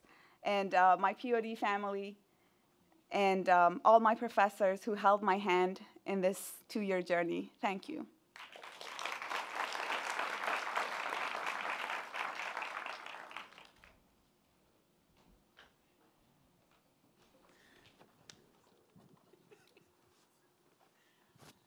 So we're going to do this. I guess so. Okay. I like the work very much. I like it too. it's very hard. I've been trying. So um, one of my best friends, Mohammed Sharaf, he's been helping me with um, putting Oh, this. student. yes, you're student. He's been um, helping me to put this presentation together, and he actually does it a lot. So I'm not saying that this is a women's thing to do. It's men do it also, and um, it, it was very hard for me to because it's very contagious. So I was being conscious not to pick it from him, and it didn't um, reflect and come out in my presentation. But- did he improve at all, do you think? What do you mean? Guess he'll have to do the tutorial, right? Yes. Yeah. He didn't have time. He was, he was busy helping me, but Oh. While he was speaking up. Um, yeah, so go to your website, and uh, all you need is a Mac. You have the GarageBand, you have QuickTime, you do Right. like a sample videotaping, and then and then um, you because when you do it even though i've been studying it and i've been researching still when i do it like i don't notice it when i pick Me it from too. other people so um, it's great that you can record your your your um, yes you can record your your own um, speaking and then once you play it back you can see whether you're doing it or not so um, recording yourself and um, looking at the needle and you just see it going up, Yes. and then train yourself not to make it go up. Sure. To make it go down. Yes. Thank you, Roya. Thank you, Allan.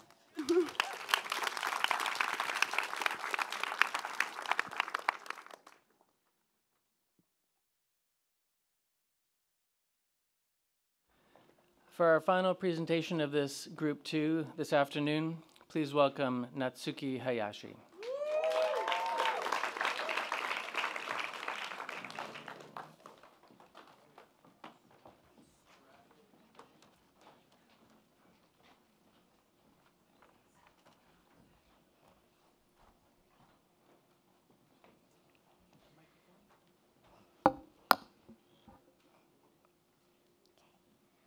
Hello everyone, my name is Natsuki Hayashi, and my thesis is Sincerely Toward a Contemporary Design of Assisted Suicide. A bioethicist, Margaret Battin, said, We are living in a contemporary world of slow death. Deaths that have shapes like this. This is how most of us are going to die. Death is predictable and occurs later in life. With advanced medical technologies, doctors can do a lot to prolong life, even if that means more suffering for the patients. And that is how a good friend of my mother died. Before she passed away, my mother took me to a nursing home to visit her. She had an Alzheimer's and age related health issues. At the end of the visit, my mother said to me, If I ever become like that, just kill me. It was a difficult conversation to have with my mother. I didn't want to hear her talk about dying, but she wanted me to know that she doesn't want to have a lingering life at the end. So, depended on other people and possibly machines. So, this thesis is for people like my mother who want to have control at the end of life. Currently, five states in the United States legally allow assisted suicide and more than 25 states have the bills to pass the law.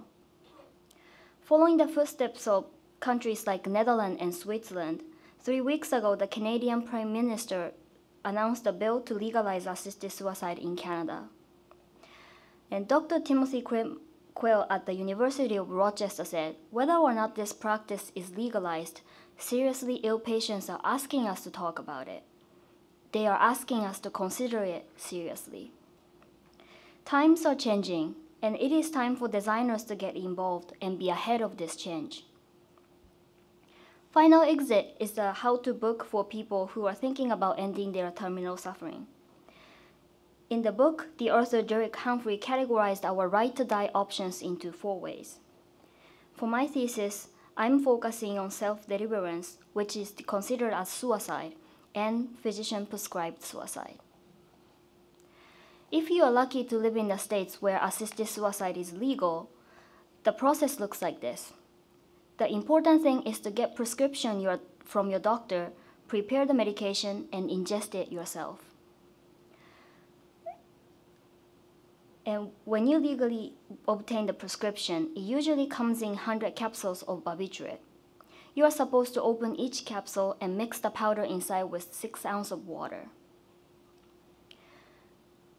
Inspired by tea ceremony, Passage is a final cocktail kit that introduces ritual into the preparation of your final drink.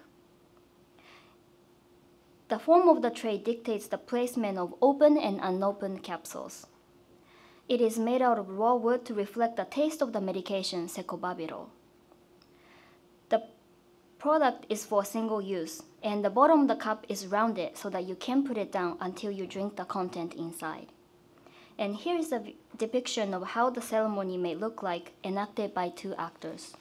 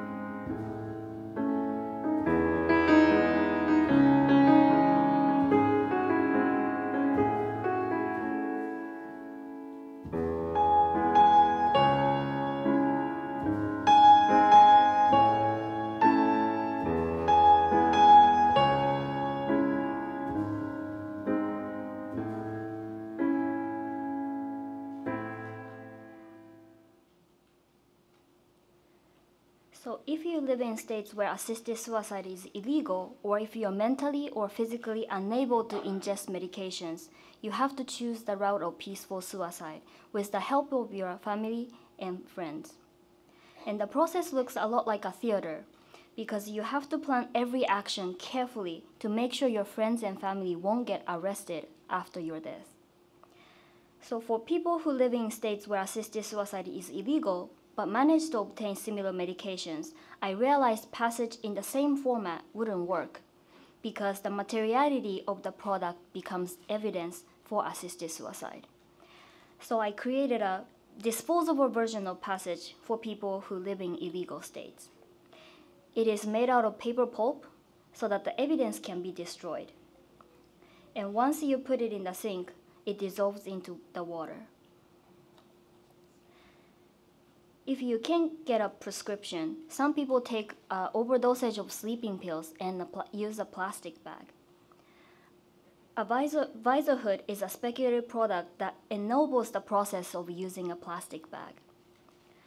The visor creates space between your face and the bag to remove the discomfort of the bag sticking to your mouth. And this is how the product will be used. After putting this product into a real life context, I saw the disturbing imagery and the potential impact of this product, even though my intention was to help people who want to end their terminal suffering. This is Peter and Pashels. They had a wonderful life together, and they couldn't imagine the life without each other. As they aged, the quality of life decreased, on October 27, 2015, they decided to end their life together, both at the age of 87. Then I asked myself, how can we respect the decision of a devoted couple reaching the end of their lives? This is a speculative product called couplehood, a plastic bag that uses inert gas to achieve a peaceful death. For example, helium gas is a fast, effective, and accessible way to achieve this. Within a minute, you will fall asleep, and 5 to 10 minutes, you will be gone peacefully. One person seals the bag, and the other person turns on the gas. This is an act of collaboration. But death is not that easy and quick to achieve. I was inspired and shocked by a true story I heard from an interview with a man who helped his friend commit suicide. His friend was 75 years old, dying from th- throat cancer. He decided to end his life using liquid morphine, but he had a tracheotomy on his throat, so he needed help from his friend. After drinking a whole bottle of morphine, unfortunately, nothing happened. For some reason, the morphine wasn't working, and everyone panicked. At the end, it took five hours, another bottle of morphine, and a plastic bag for him to achieve this. So, when something goes wrong during medically justified suicide, people have nowhere to ask for help. They can't call 911 because they want to keep the police and paramedics away from the situation. Compassionate is a 24 7 hotline service that provides medically justified suicide consultations. People can call a toll free number to reach to a trained professional who can provide information and guidance. The phone call will be routed to four states where providing information, aiding, or abetting suicide is not a crime, so that we can protect the caller and the information provider. It is free of charge, and the service is sustained through a gifting model. Users can gift or donate afterwards through Compassionate website.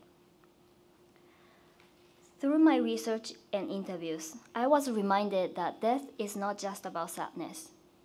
When you have control over it, you can celebrate the life before it is too late.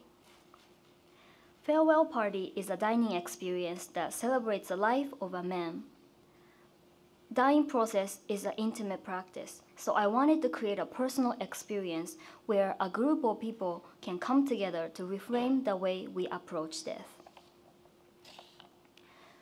This past March on the 20th, a group of people spent an intimate evening together around the dining table. The tablecloth brought the experience together and served as a blank canvas for conversations about friendship, life, and death. Hi, my name is Christian Lemson. I'm a 46 year old gay male. I live in New York City and I have been HIV positive since I was 11 years old. Tonight I'm having my party of the people that are the most close and loving to me that I've had.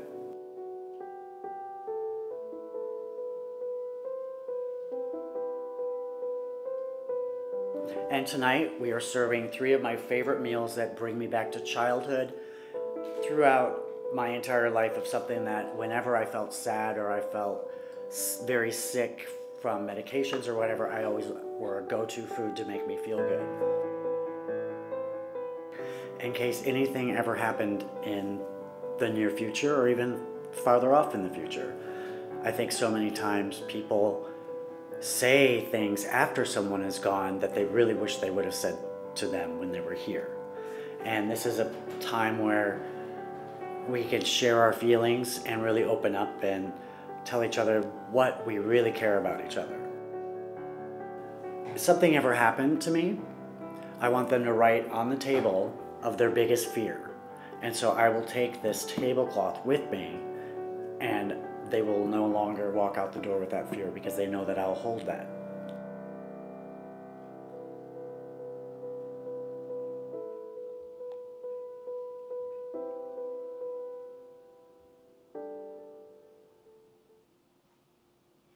So originally this event was for Christian to celebrate his life, but at the end, it became the guests reflecting on their fear they might have about their own death and how they want to approach the end of life. To end with this note, I would like to leave you with a question How would you like to celebrate your life at the end? I would like to thank Christian and Valerie who have helped me throughout the year, and Allan, Sinclair, and Stephen, who, and the rest of the POD faculties who have supported us and guided us for the past two years, and the class of 2015 and the 16 and 17. You have become my extended family members, and I will miss you guys so much, and I love you guys.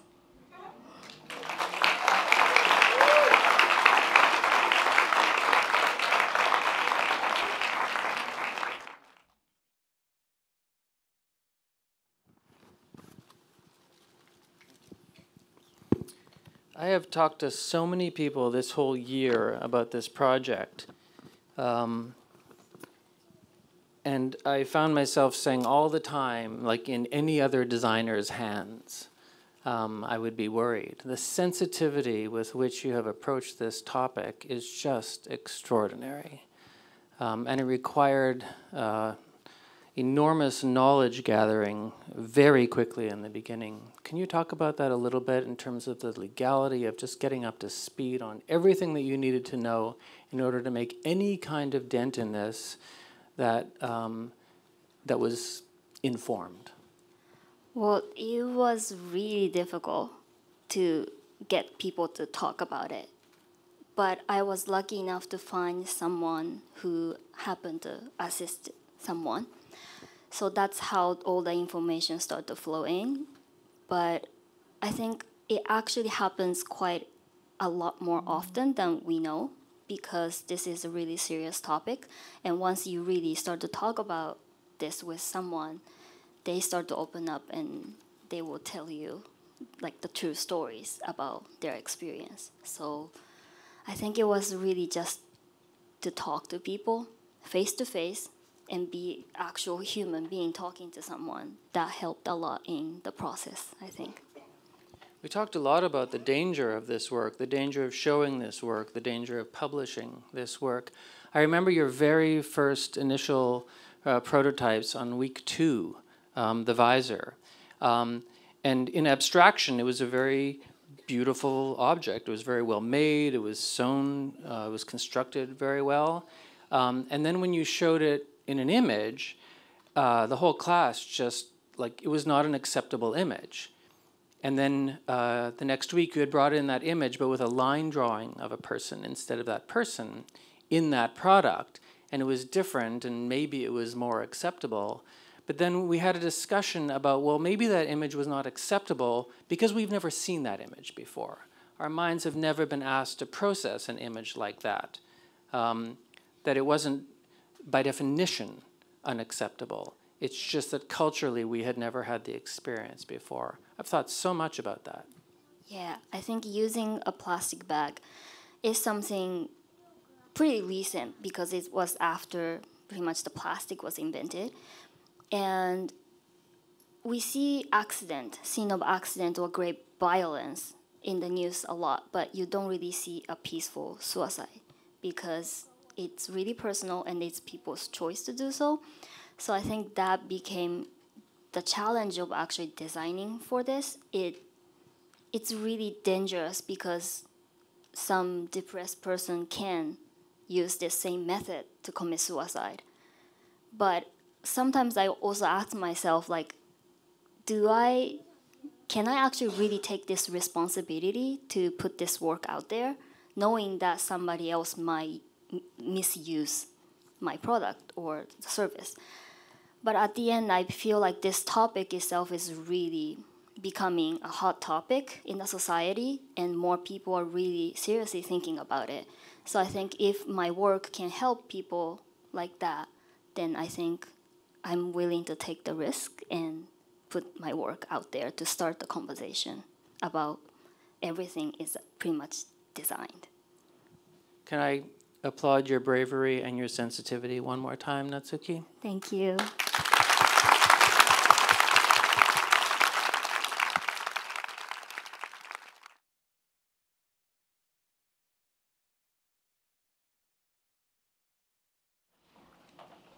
Thank you, everyone. We have one more break with one more delicious uh, set of snacks and beverages. Uh, once again, 15 minutes. Please stick with us. We have uh, six more projects to go after the break. We're so appreciative for your time and consideration uh, for being here today. Thank you.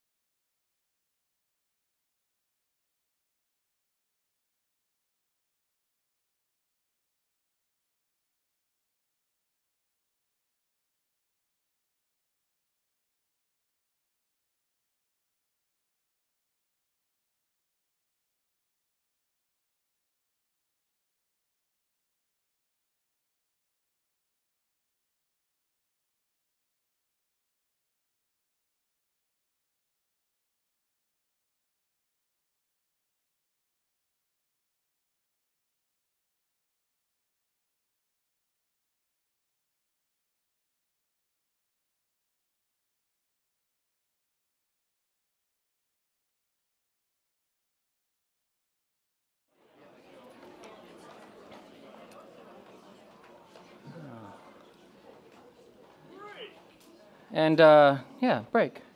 And uh, welcome to the people on the live stream who I forgot to say hello to again at the at the last break. So thanks for being with us. Uh, you can eat dinner if you're in the East Coast on the live stream. Uh, if you are on the West Coast, you can grab a coffee. Uh, and if you're in Europe, uh, thanks for staying up. And if you're in other parts of the world, you know, good morning. Uh, this is going to be a really great day ahead. Um, so we're really happy to, to have you.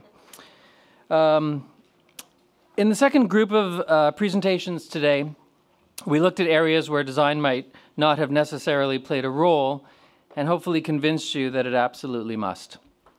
This final group of projects will pick up where we left off, Natsuki's proposals for the design of assisted suicide, and continue with Panisa Khunprasert's extraordinary treatise on memorialization. After that, the students will offer products of design that examine the other, from the magical distraction to the artful immersion, from the experience of trying to make sense of racism to helping displaced migrants. We'll end with John Lung's thesis on the paradox of danger and preparedness in a fitting bookend to where we started with Marianna's research into the perils and consequence of a country that has the largest prison population in the developed world. Please welcome our first speaker of this third group, Panisa Khunprasert.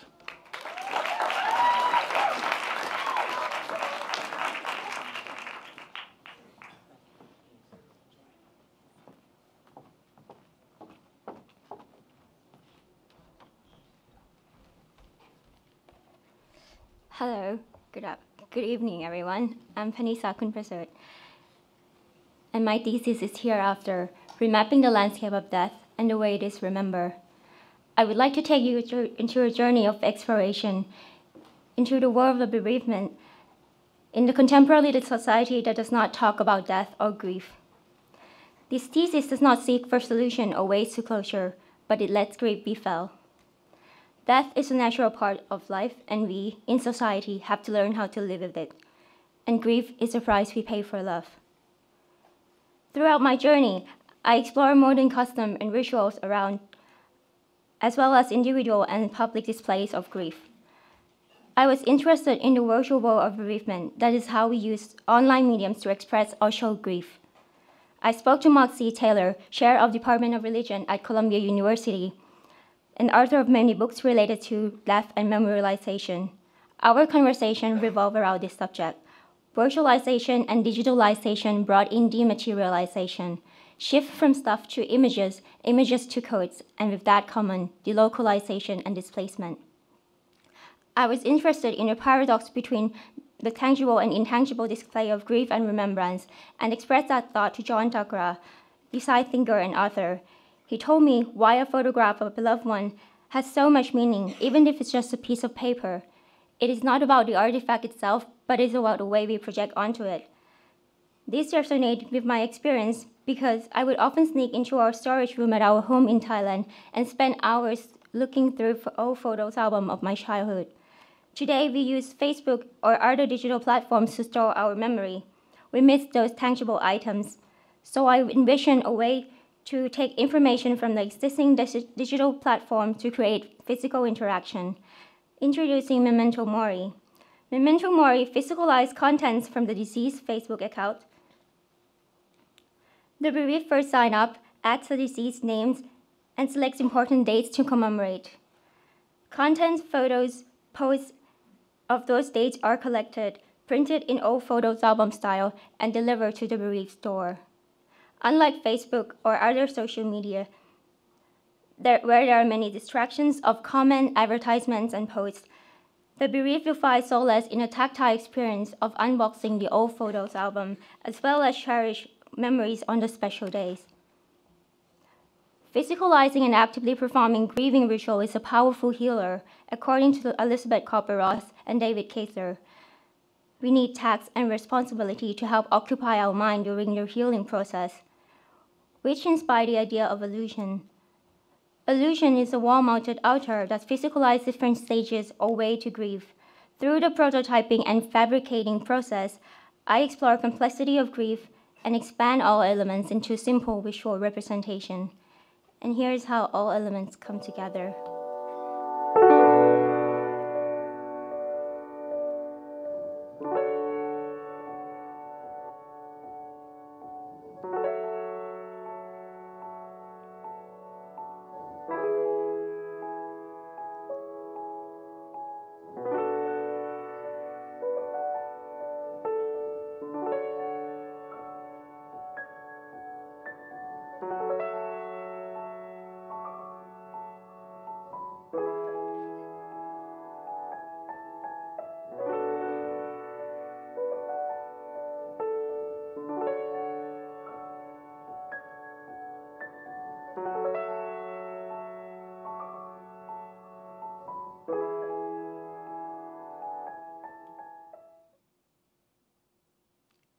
Are encouraged to store physical items that are important to them or the deceased and establish their own symbolic rituals and routine to commemorate. When it comes to personal grief, I want to share with you my story. 13 years ago, my family was in a terrible car accident. I was seriously injured. I remember waking up in an unfamiliar room, barely able to feel my body or my face. It was a relief to see familiar faces of my parents and my cousin. But the faces that were missing were of my twin sister and my younger brother. The accident took away the life of both of them. After the accident, my family signed up for organ donation with Thai Red Cross Society. We wanted to find a way to offer tribute and find meaning to their untimely death. For Thai people, this card represents the realization of no attachment to the physicality of the body, and it is an act of honor. In New York, I discovered Live On, New York Organ Donation Center, where I connected with amazing people from psychiatrists, social worker, coordinator, and organ recipients. According to Maria Torres, director of Donors Family, and also an organ recipient herself, she said that um, my donor was younger than I was. It took me 10 years to write back to my donor's family because I didn't want to bring them back to the time and place of their loss. So for me, it was very difficult. I was fortunate to join annual Live On remembrance ceremony and luncheons and witness the beautiful moments of transformation where um, the donor's family and the recipients first connect. This inspired the idea to create organ donation stationery set, which is a set that dignify and glorify moments in organ donation process. The set consists of donor's card, donation policy documents, and letter writing stationery, which is which, with which donors can leave testimonial to family or future recipients. As time goes by, we find it harder to har and harder to talk about my siblings. We have developed the custom of being silent, but the only visible things that speak to me every day about the trauma are scars on my body. These serve, also serve as testimonial of memory that I want to remain with me. This is why I started to look into a form of scarring that allow people to honor and remember loved ones, tattooing. When I interviewed Amanda Washam, an artist that used tattoo machines to create innovative artworks, she, she expressed that I think scar can be beautiful because it's like your battle wound. It is your existing in life and it's your real life experience. I imagine bloodline, a therapeutic way of liberating grief through scarification. Pains created by the needle of the tattoo machine represent pain of loss, and the art of tattoo create marks of remembrance and beauty.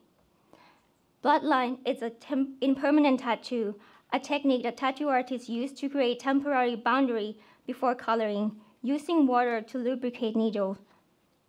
The marks will fade within two to six weeks, and as the skin heals, it is time for you to move forward. User can always come back to get another bloodline tattoo when need be, and another. Because grief comes and goes, and somehow you never want it to stop coming. My scar is a testament to love and relationship that I have or with the person. And if the scar is deep, so was the love, so be it. This quote was shared with me at one of the night of support at Good Grief. For 13 years, I've always thought that grieving is a personal journey.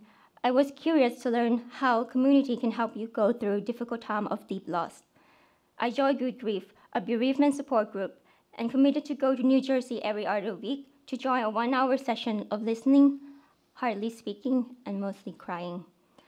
I learned many valuable lessons, but one of the things that strikes me the most is that it takes a lot of courage to be vulnerable. And sometimes the easier, it's easier to express those lost to strangers. This realization was confirmed when I went to test my first prototype of the grieving wall on the street of New York. I was inspired by the typology of message wall exists in many cultures and also reiterated by many artists. My designed grieving wall was built and installed in East Village neighborhood, community garden. These experience design invites individuals to express their grief through writing. They are encouraged to read people's messages and appreciate collective hard work to help create.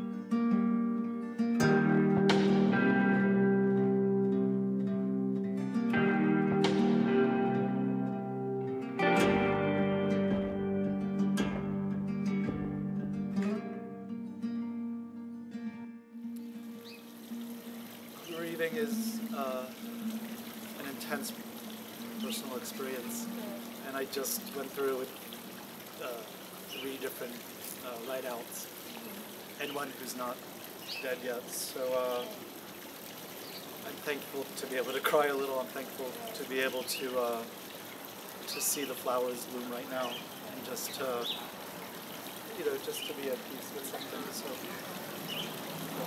So what I wrote about was when um, my father passed away of cancer when I was 13. Felt like pretty much every night for a whole year I would um, see him in my dreams. Like he would just kind of show up. And then I remember like it felt like almost a year, almost a year right after that. I woke up one morning and I realized that I had a dream and I didn't see him in it. And so it was this like moment that was both like very sad for me, but also like I was like happy because I knew I sort of I felt like we were both kind of like moving on in our way. So.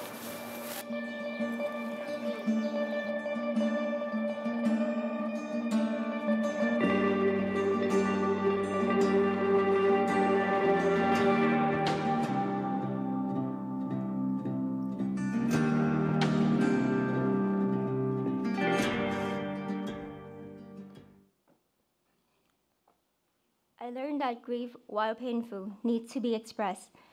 The expression of our grief allows us to heal our pains and remember those we loved. Allowing people to grieve is a gift that we can all give to others. I would like to thank these people for guidance, support, love, and kindness, and I am thankful for the stories of grief that were shared with me throughout my journey. And I thank you all here today for allowing me to share mine.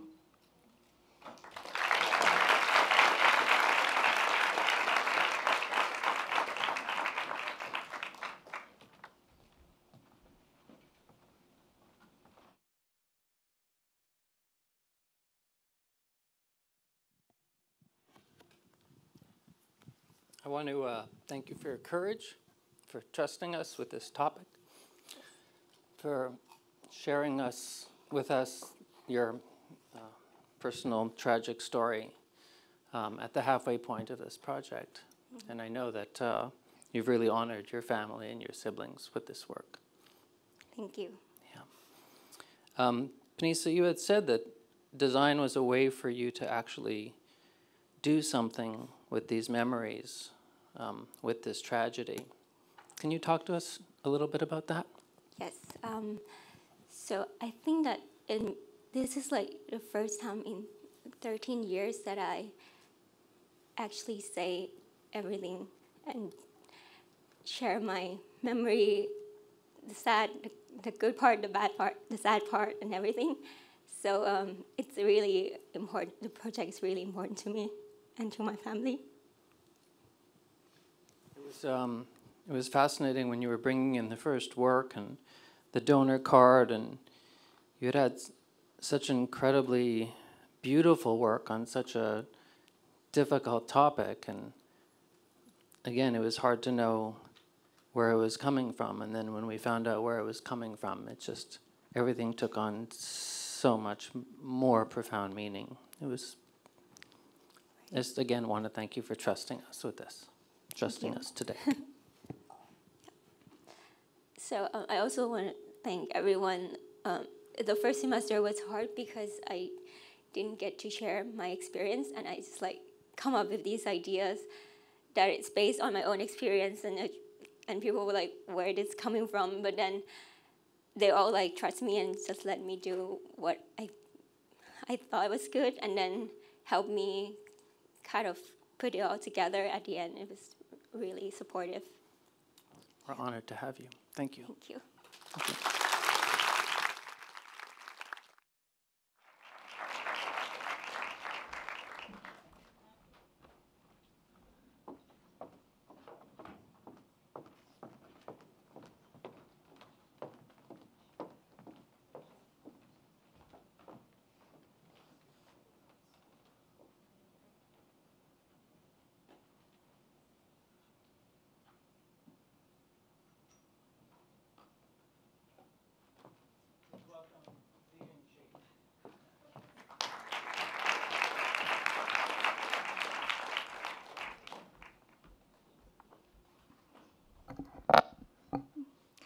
everyone, my name is Ziyun Qi, Today, I'm excited to present my thesis, Animate, Bring Charm and Magic to Everyday Life. My thesis is a celebration of everyday life. When I was four years old, my father made a horror story to get me to bed. He pointed to the jumping shadows of the light uh, on my bedroom walls and told me, the shadow is always watching you. Unfortunately, the story didn't work on me. However, it opened another world for me. Things began to talk to me. I have treated the past eight months as a process of achieving a childhood dream. This is to bring the magic and happiness to of experience from fairy tales and stories into our daily life. I started my thesis with the exploration of. Thank you. I started my thesis uh, with the exploration of the magic and the power of stories, especially horror stories. I found it really interesting when I collected different versions of Bloody Mary. Bloody Mary is a scary game that teenagers play for, in, for experience ghost adventure through mirror. The visions that appear in the mirror change during different periods of time, but they all have one thing in common. Bloody Mary represented fear. Originally, Bloody Mary is a woman who takes over young women's faces to keep herself young. It represents the fear of getting old. When cars become popular, Bloody Mary was a woman who died in a car accident. It reflected people's concerns about cars. The story of Bloody Mary warns us, uh, warns, warns us of danger. The danger changes, but the story remains the same. I interviewed Katie Earn, a strategist that creates exhibitions. I asked her how she picked up strong stories for the exhibit she creates. She told me, there's something we want people to learn. That's my first filter. The second filter is looking for elements that the story is going to pull somebody in. I realized stories influence us and shape our behavior. Design also shape our behavior. I started to explore how to transform story into design. So meet Baku. Baku is a mythical creature in Japanese culture. Baku is a dream eater that eats people's nightmare. But for all of you, what is the real life nightmare? It's Mondays. If you type Monday blues in Twitter, you will, you will find countless people feel low spirit, annoyed, anxious, and even fearful about facing Mondays. So how could I help people fight against the, this real-life nightmare of Monday blues? I created Baku. Baku is a campaign and public intervention that offers complaint booth for people to articulate their feelings about Mondays out loud. So every word outlet will help to inflate a huge Baku balloon. At the end of the day, the huge balloon will be set free into the sky, indicating that the Dream Eater monster had taken your nightmare away. In order to help more people deal with blue mood in everyday life, I developed the app Baku. Baku is your blue mood. It invites people to complain and enable individuals to transfer negative emotions into something fun and uplifting. So you press on complain, and then hold down the button and activate the microphone to start your complaint. The longer you complain, the larger Baku becomes.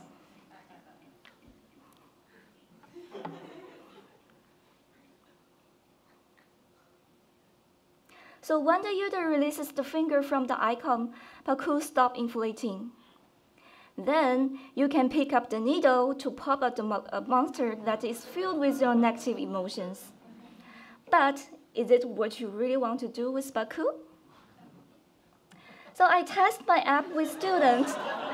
I had her write down her frustration on the balloon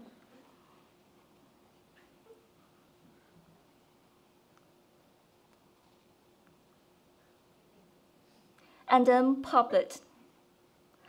She was sad. In fact, she told me, There's a moment I want to save the balloon and keep my complaint. I don't want to kill them. So this inspired me to look for new ways to deal with the complaints.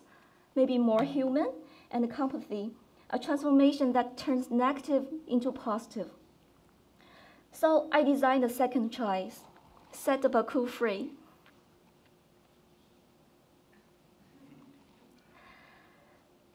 As people keep releasing their complaint monster to the real world, Baku enables users to check the monster around them in augmented reality.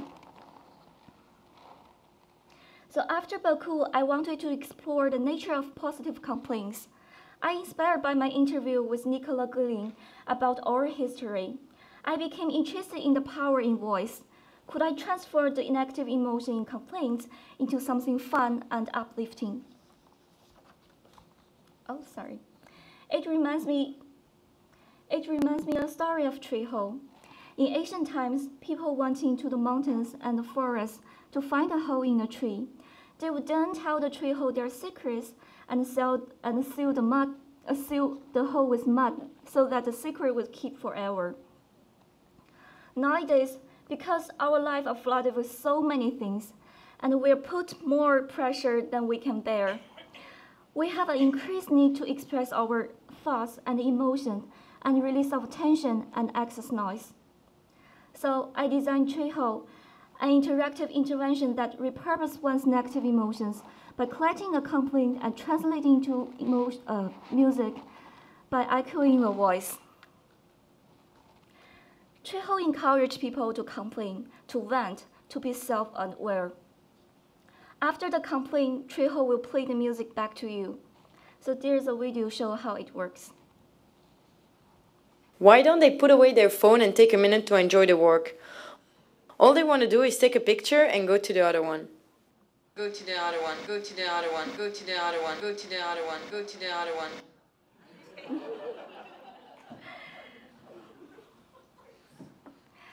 Um, my product was inspired by Diana Deutsch research. We could turn our voice into music by repeating what we say. After prototyping, I found this simple way could filter negative emotions and reduce our pressure. Then I was wondering, why do we have so many complaints? Because people are so easy to get into routines today. I'm thinking for ways to break the routine. I came up with the service Reanimate. Reanimate is a food service that redesigns uh, the repetitive eating behaviors you do every day into a new experience that brings you surprise and delight. Reanimate freezes the most elegant moment of the ballet dance and transforms the movement to eating experience. I designed the tableware with a track for a spoon. Whenever one reaches for a spoon, user must to slowly slide along the curvy track in the ballet move. Then I want to take a reanimate further. What if the experience can actually be so around you? I started to focus on the ordinary objects around our life and rethink the communication and relationship between human and objects. I held the experience petting zoo of animated chairs. It shows a chair coming to life. To better show my idea, I imagined a story between an animated chair and its master. Then I transfer the story to my painting zoo, an imaginary space for my audience to image and wonder about their chairs and other objects around their living circle. Here's the video.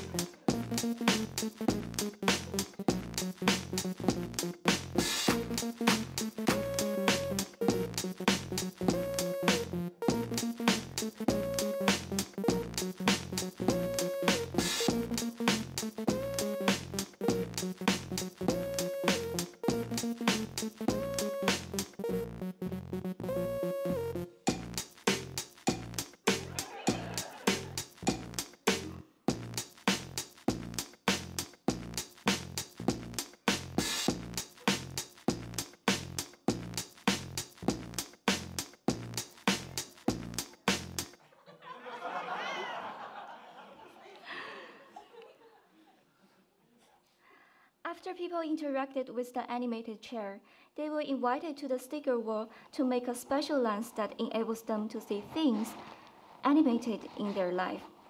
I hope animate as a positive perspective, perspective to quotidian will inspire them to find happiness in the most ordinary details of life. In the end, I want to thank all these people who animate my life in the past two years. Thank. You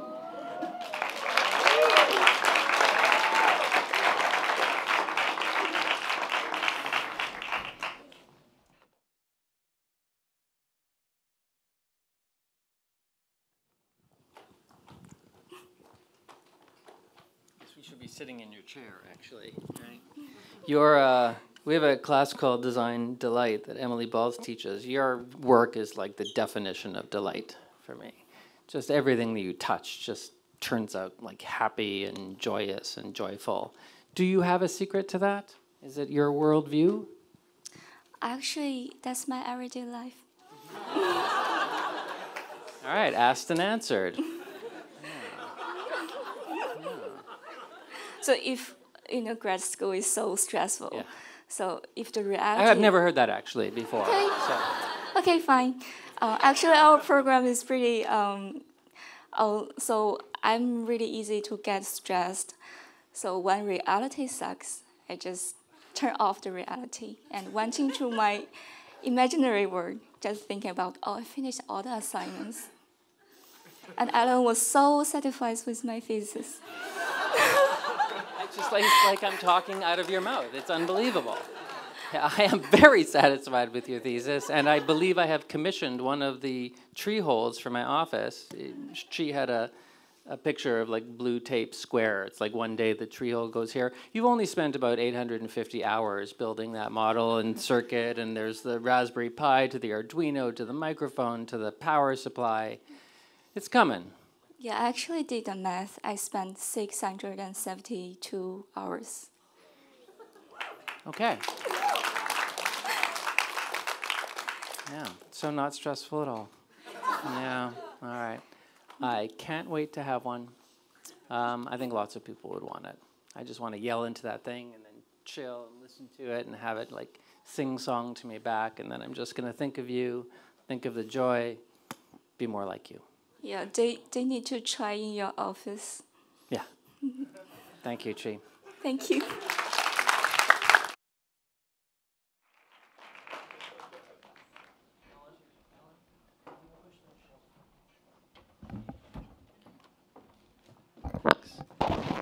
Please welcome our next speaker, Adam Fujita.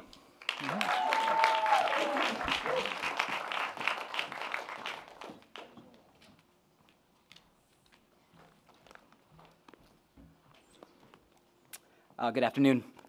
Uh, my name is Adam Fujita, and I'm so honored to present my thesis work to you today entitled Xeno An Exploration Using Design to Navigate from the Foreign to the Familiar.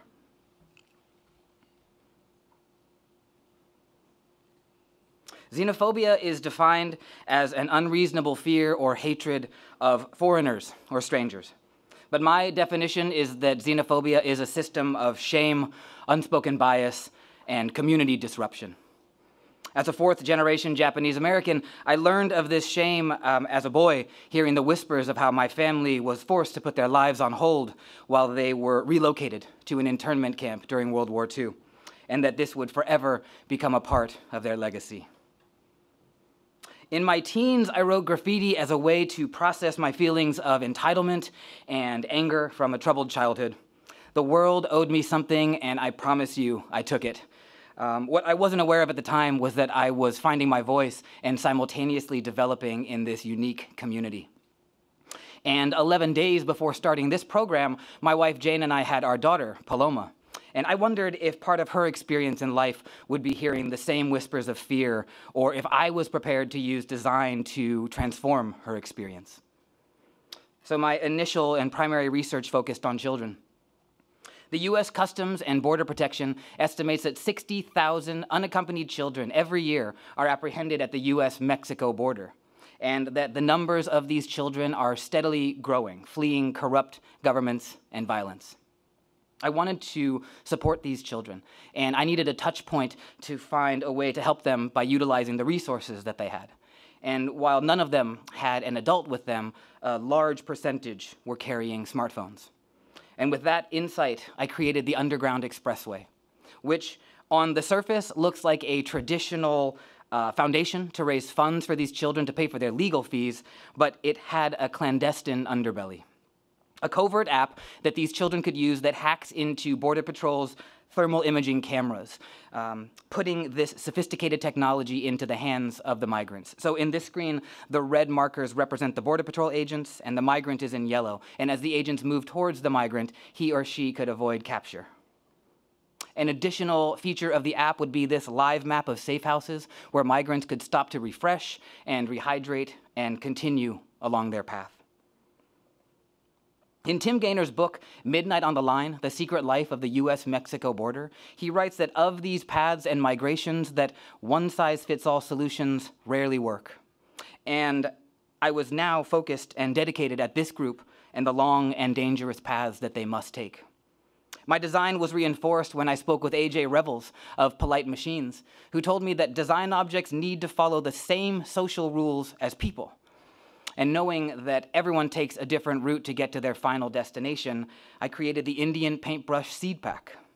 Like Zelinsky's tale of Hansel and Gretel, the migrants carrying these packs would sprinkle seeds behind them to highlight their route for others to follow, instead of covering it up in fear. Inspired by this Emerson quote Do not go where the path may lead, go instead where there is no path and leave a trail. My own path was becoming more intricate at this point, and I too needed some direction. So I went back to my research as I was concerned that I might take a wrong turn in my systems thinking. And as I slowly began to gather my thoughts, my thesis concept map gained some clarity. I chose to focus on this area around fear and exclusion.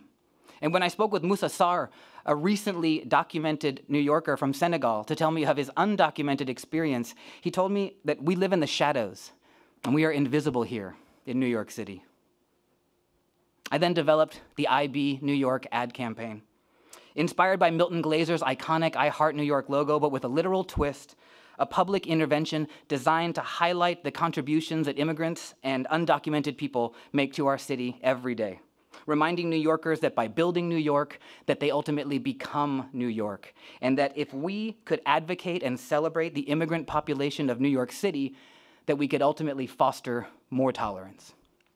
But I think we could all agree that advocacy is more assertive sometimes. In Alyssa Quart's book, Republic of Outsiders, she says that technology is not a form of resistance unto itself. It can often be a tool for passivity as much as anything. And in order to push back on that passivity, I mocked up Civil Dis. Civil Dis is an app that encourages civil disobedience online and will get your ideology of resistance hacked onto digital billboards. Once logged on, you can see what topics are trending, like immigration, uh, the economy, or jobs. Uh, you can see what people in your social circle are discussing. Uh, you can also look at what the opposition is talking about. But again, the point of civil dis would be to take your words and messages and hack them onto digital billboards with the help of some form of nefarious hacktivist group. And if you were walking through Times Square and noticed this, uh, you might know that a civil disser was responsible. Civil dis was about spreading information but getting clear information to the undocumented community is increasingly difficult. The Pew Charitable Trust released a study stating that over 5 million undocumented, excuse me, 5 million US born children were born to an undocumented parent, and that 95% of these kids ages 5 and over speak English better than those parents. Knowing that these children could be the gatekeepers of information that pertains to their community and parents, I created the Theory Coloring Book Service a coloring book service, monthly editions would come out uh, covering critical topics that outline undocumented people's rights. The inaugural issue would partner with the ID NYC program and would show all of the steps needed to acquire the municipal ID. Additional issues could cover signing up for the Affordable Care Act or how to properly file your income taxes. My design thinking changed completely when I spoke with Gaspar. Uh, Gaspar is an undocumented Mexican man who lives in New York City, who told me that in his 11 years in the United States, that no one had ever shown him kindness. I thought about the other 600,000 undocumented New Yorkers like Gaspar, who have contributed so much to our city with very little thanks. And further research led me to Micah White, one of the organizers of Occupy Wall Street. In his new book, um, the end of protest, he says that protest is broken and that activism is at a crossroads innovation or irrelevance. Which led me to organize kind of a protest. A compassionate protest intended to send messages of support out to the undocumented community, using the typology of a birthday party as the universally understood experience of when we celebrate individuals. We offered cards with a blank space on the back for people to write these messages of support, and then we let them fly.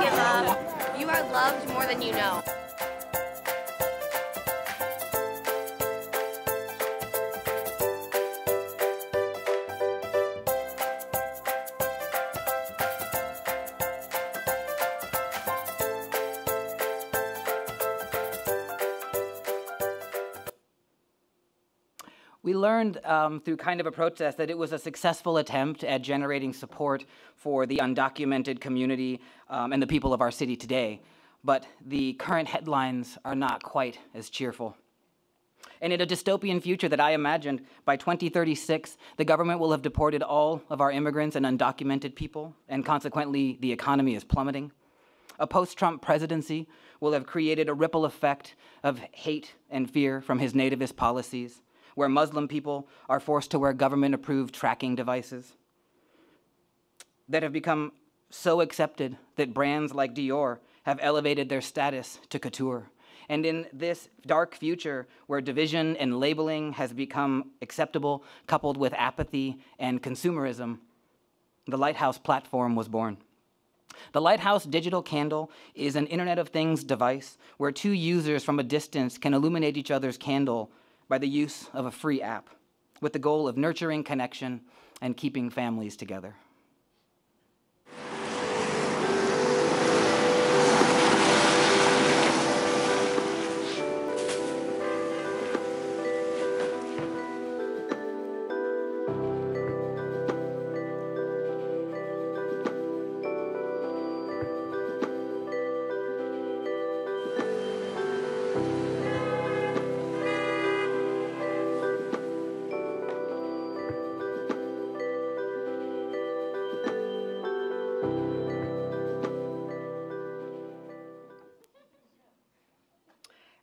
The Supreme Court hears arguments in the United States versus Texas, a case involving a challenge to President Obama's order deferring deportation to some 4 million undocumented people, breaking families apart. I hope that all of you can leave this theater today inspired to make a difference in our collective legacy by breaking down unspoken bias and fear, by being a little more kind and a little more disruptive. Thank you. And I would be, uh, it goes without saying, 2016, 17, people from 15 class, like such great support. If I didn't thank my wife, Jane, I would be an idiot. She has been an unbelievable um, supporter. I think in the history of wives supporting husbands in grad school, she wins. Sorry, Steve Hamilton, if you're here. Um, but thank you, Jane.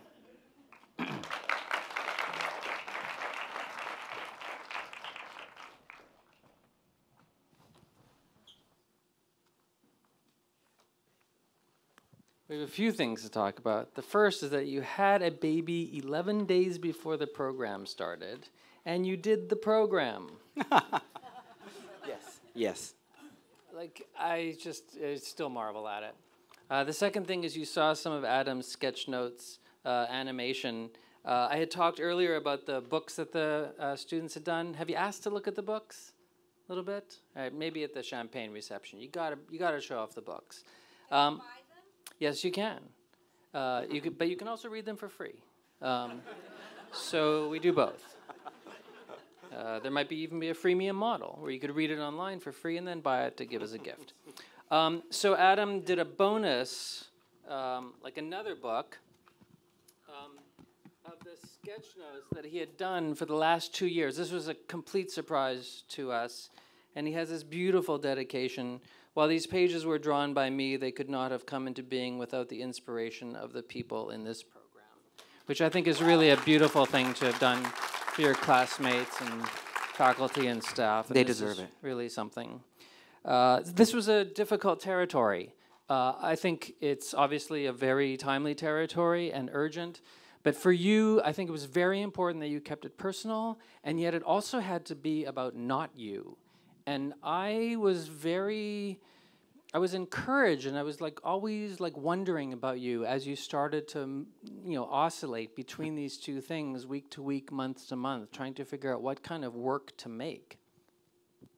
Go. Ah, so yes, uh, it and it got. Uh, it was very it was difficult, and it was I think I mentioned about getting sort of lost in systems thinking uh, for a point there, and I guess trusting my research. Going back to that.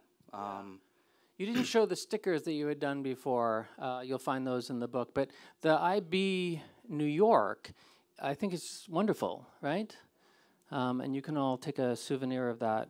Um, so I think that there were there were such simple things that you did, and then such like outrageously, not outrageously, but very ambitious um, projects that were would be so difficult to pull off. And so I really liked again the latitude between doing things that were just very doable and reaching for things that were like maybe not so doable. Well, I think that is a credit to you, um, encouraging us all, like you said, to be brave and to be audacious. Yeah, um, I appreciate those kind words. Thank you so much, Adam. Thank, Thank you. you.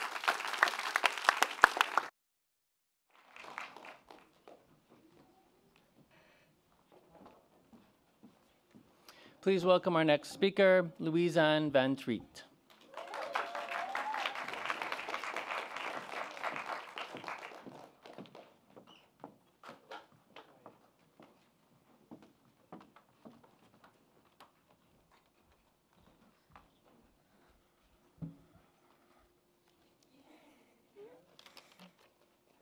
Okay. Hello, everyone. I'm Louise-Anne van 't Riet, and today I'm very excited to present you my thesis, Sidestep, a momentary escape from the real world. Since third, I have spent my spare time in uh, galleries and museums. When I'm surrounded by art, my mind, uh, my mind flies, time is suspended, and nothing else matters except recharging my energy. I'm a designer who is very often influenced by art. Art always inspires me and helps me to meditate and escape. But my thesis is not about creating art. Many people ask me, what do you like about art? What does art means to you? And all answering these questions is never very easy if art is not one of their interests. So I want to change the relationship between people and works of art by using design to enhance the experience and environment in which we view them. So my products and services are an attempt to make art accessible, enjoyable, and understandable to people who don't appreciate art. So I have read a lot of books and and interviewed many experts, and these are some of the most rewarding quotes. The key for um, that helped me during my work this year. So the key for exhibition is to astonish and surprise and awake visitor senses with diversity. So this is a quote from Christophe Guérin in regards to his exhibition goals. And Philippe Decelle, an artist and plastic furniture collector, told me every generation has a new way of looking at things. So everyone experiences art in a different way. With all this research, I began designing new ways to interact and experience art. So I divided my work in early explorations, a co-creative workshop, an app, and an experience. So people don't really look at art anymore. They wander from one artwork to the other one. And instead of really engaging with the art. So I wanted to take art out of the context of a traditional gallery, and I created a gallery called ACT. So um, ACT is a gallery where the user cannot be passive anymore. I took an absurdist approach in an attempt to make people look again at works of art in an irrational way in response to Stephanie Rosenbaum observations that the average visitor spends 15 to 30 seconds in front of a work of art. So, for example, in the art gallery, people would look at all the every paintings will be turned backwards uh, to the visitors, but in front of mirrors, so that they have to get close to it and turn around to see what it, exactly it is about.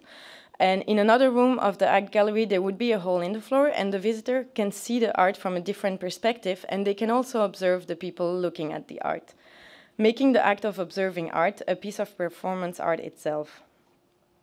So I challenge the unwritten rules that you cannot touch, talk, get close, or take an active role in your relationship with the gallery. Developing on this theme, I realized that while we look at art with our eyes, we are not allowed to touch it. So this is why I created Sense. Sense is a book containing pictures of paintings and black on black reliefs. So on one page there would be two um, similar paintings, and on the one, the other one, a black on black relief, and um, User has to touch it and guess which one they feel. The sensory approach allows us to experience art on a completely new level. For the last exploration that I will show you today is shades. So it's a set of different lenses that have different benefits and emphasize different elements of paintings so that we can see color, form, and lines in various ways, which allow us to analyze an artwork in more detail. So there are um, all those are different lenses. They increase color contrast, they improve the depth perception, and reduce the brightness, almost, almost like an analog version of Instagram. For example, with this painting, I use color lenses, and I also created pixelated one with another painting that I will ask you to guess. Does anyone recognize this painting in the room? Let me help you a little bit. Anyone? No? Sorry? Yeah, I heard.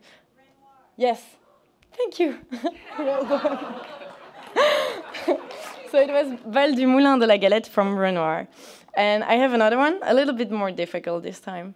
Even more difficult. I don't know. Yes? Guernica from Picasso. Um, you passed. Okay.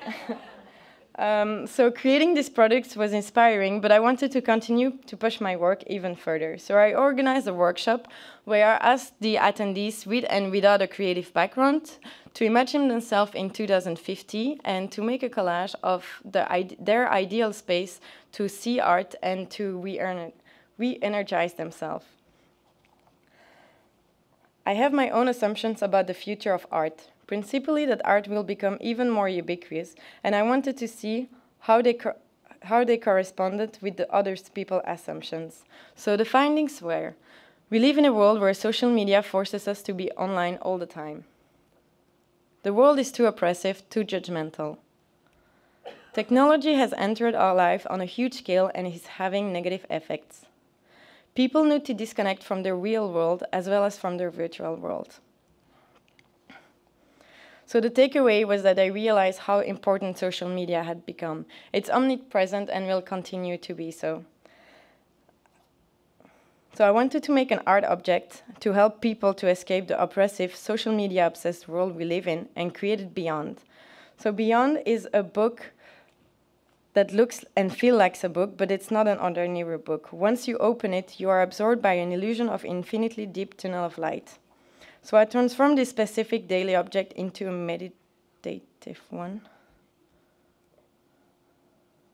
Yeah. Um, because books have the capacity to um, transport us anywhere and at any time, and I wanted to do the same, but with lights and not with words. So I did many different iterations to, uh, of Beyond to find the perfect shape, circuit, uh, materials, and texture.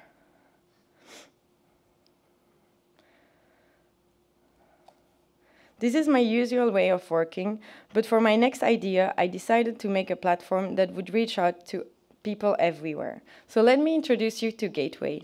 Gateway is a virtual reality app to, that allows people to experience the latest art installation anywhere and at any time.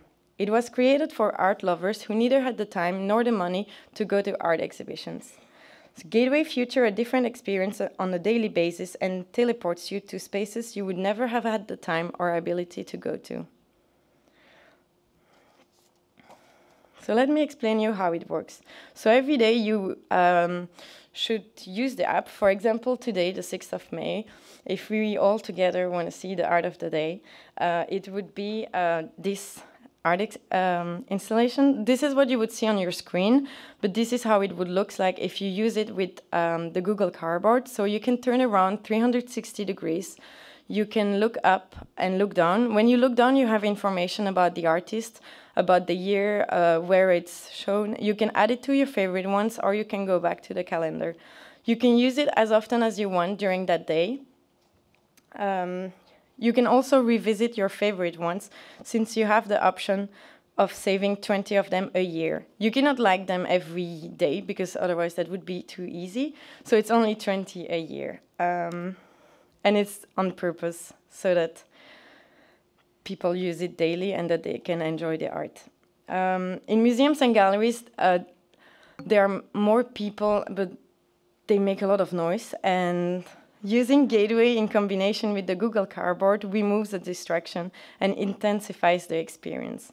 So I wanted to test it out and I created Wondersphere, um, an event where I used my app to teleport people into the virtual real art worlds.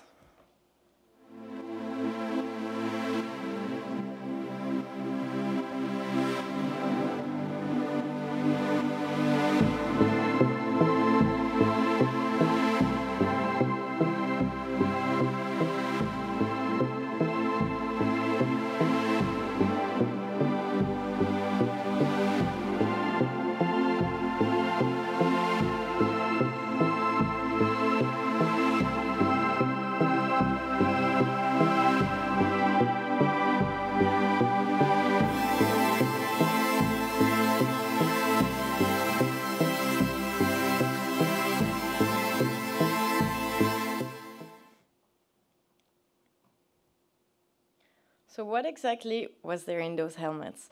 So each contains a Google Cardboard, an iPhone, and some sound. Um, for the design of the helmet, I was inspired mainly by Walter van Beirendonck, Ingeborg Morath, and Saul Steinberg.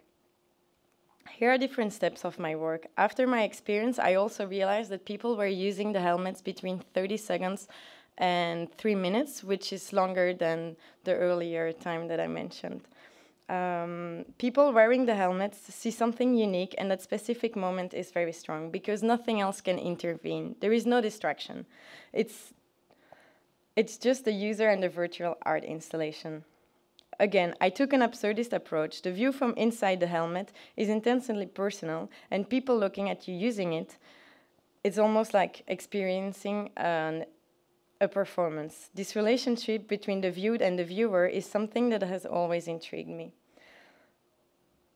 The observed experience can be shared on social media, but the virtual reality experience is unique and not possible to share. And not possible to share with pictures, only words and memories. Which just about sums up my two last years in this program, many, many words and lots of memories. So I would like, I would like to thank all my classmates, um, the faculty, VFL, everyone who is here today, uh, my mom and sister, and Lara, Eva, and Alicia who are looking at me right now. Thank you.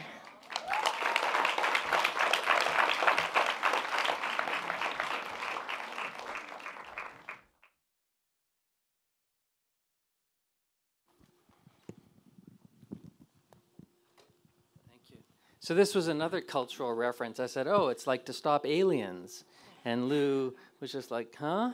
And I said, "Oh, it's a thing. You put on a tinfoil helmet to stop the aliens from like you know taking over your mind." And she's like, "Okay."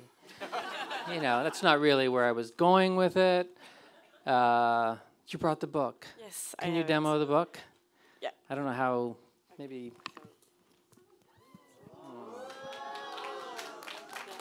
Can you see the infinity? Can you experience it?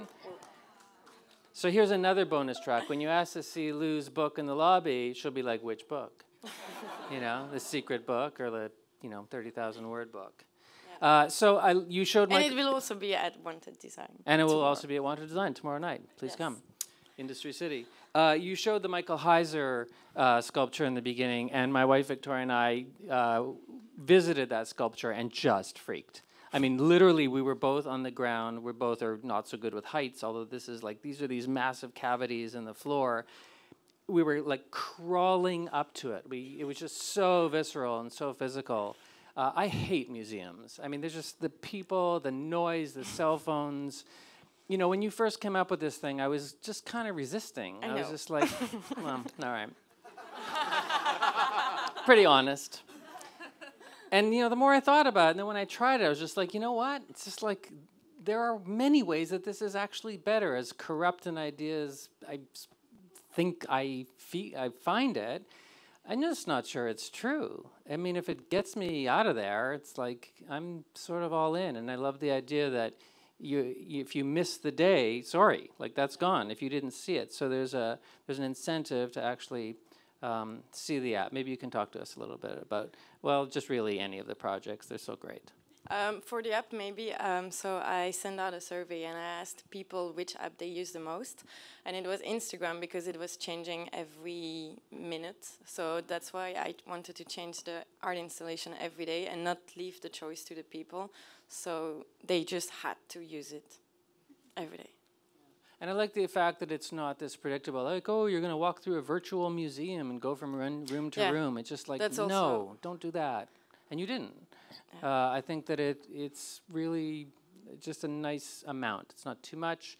Uh, it has wonder, but it has constraints and limits as well. Yeah. What was your? Do you have a favorite like museum or gallery moment in your past that inspires you, or? Um, in my past, maybe related to New York, when I was when I was here on holiday like six years ago, um, a friend of mine was like, "Oh, we are going to museums. Uh, it's a little bit far away, but just trust me." I was like, "Okay, sure." And then we had to take the train, and it was like one hour and thirty minutes, and I was like, "Why are we going? Where are we going?"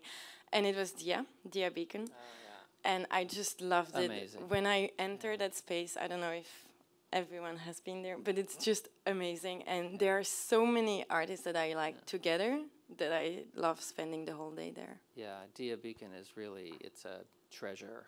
Yeah. Can you just like flash the book one more time for the audience? I think. All right. Thank you, Lou. And you can see it live in the lobby.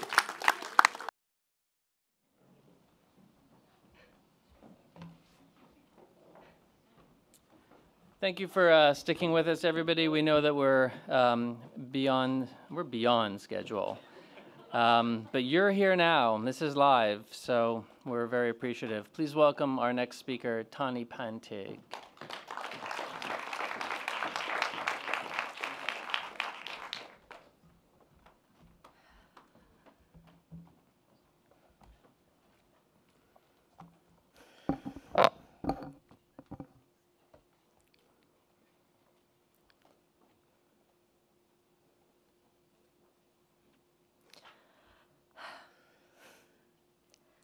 The evening of March 2nd, 2012, will forever be ingrained in my memory as one of the most violent and intimate evenings of my life. On that evening, four years ago, I was physically assaulted in front of my home. This person dragged me out into the street, tried to steal my bag, and only after a lengthy struggle did he relent. I felt guilty.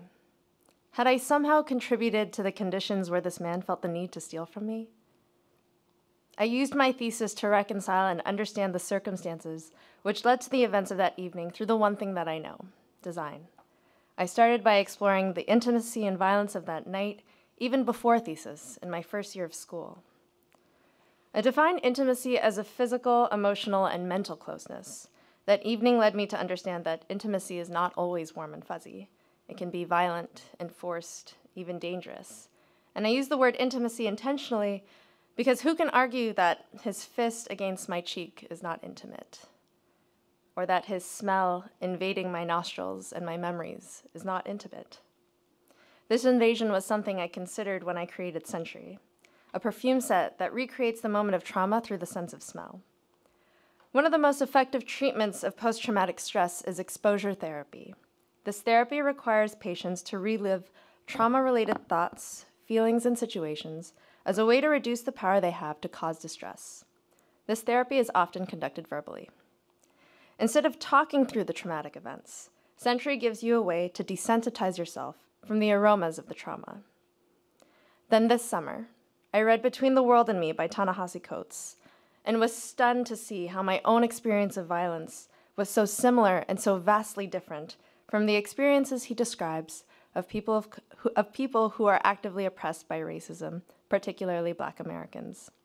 In his book, Coates talks about how racism is a visceral experience that dislodges brains, blocks airways, rips muscle, extracts organs, cracks bones, breaks teeth. How was it that Coates' descriptions felt so much like my own experience, but was so vastly different? What these experiences share is that violence is intimate. Today, it's my pleasure to present to you the results of my thesis, This Great Violence. In 2015, 8 out of 10 stopped and frisked New Yorkers were innocent, and an overwhelming majority of those who were innocent were black. Stop and frisk has never been proven to reduce crime, and in fact, it has been found to corrode trust between the police and local communities. Being stopped and frisked is an intimate and uncomfortable experience. Will E., a 20 year old black and Dominican man from Hamilton Heights, describes his experience. Checking other people's private areas and people's rectal area to see if they have drugs in them, it's just too much outside. It's embarrassing. Officers are given the right to stop and frisk a civilian under the following grounds shown here. They're required to give this receipt after conducting a stop and frisk. However, this exchange is one sided. The receipt is given to the civilian, but nothing is kept by the officer. I saw this as an opportunity for design and conceived a simple intervention called Stop the Frisk. This intervention made the receipt a two part procedure one which is given to the civilian, the other kept by the police. The form for the officer to keep makes note of the civilian's name, age, factors contributing their, to their suspicion, gender, race, and ultimately the outcome of the procedure. After filling out numerous forms like these, the stack forms a visualization of the tendencies of the officer, allowing leadership and the precinct to make changes to policy. One of the more compelling interviews I conducted was with Peter. Peter had the experience of being a young black man questioned by the police. His experience escalated to the point where a gun was held to his head. He told me that it was in that moment he was dehumanized. He realized how dispensable his life was. This dispensability disturbed me. We live in a time where body parts of celebrities can be insured for millions of dollars. How is it that Heidi Klum can insure her legs for 2 million while the lives of young black men are considered dispensable? I wanted to question this imbalance through the lens of a speculative business called assurance. Assurance is an insurance company that provides body part insurance, also known as surplus line insurance, at a low premium. This is in contrast to the current practice of insurance companies like Lloyds of London, who charge high premiums to people of influence for the same insurance. Our low premium body part insurance would allow people in low income neighborhoods, and particularly young black men, to insure body parts, particularly the parts of their body used to provide their income. This is the same practice used by celebrities. For example, David Beckham, who insured his legs for $195 million when he was a soccer player. Conventionally, body part insurance has been most effectively used as a publicity stunt to raise the profile of a celebrity. Assurance is rolling out an extensive ad campaign, bringing attention to this imbalance between celebrities and young black men. We're rolling out billboards, websites,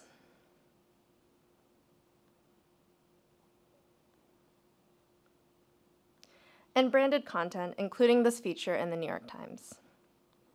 Now, assurance is a design of commentary. This is a business that is disturbing to me. And I don't believe this business should exist. But what I think is more disturbing is that we live in a time where I've been prompted to conceive of such a thing. Assurance in the context which gave rise to it sheds light on the statement, all lives matter, because I think it's evident that our, through our culture that this is not true. Talking about my thesis has made many people uncomfortable. When I talk about racism, violence, and then follow that up with intimacy, it's like stepping into a minefield.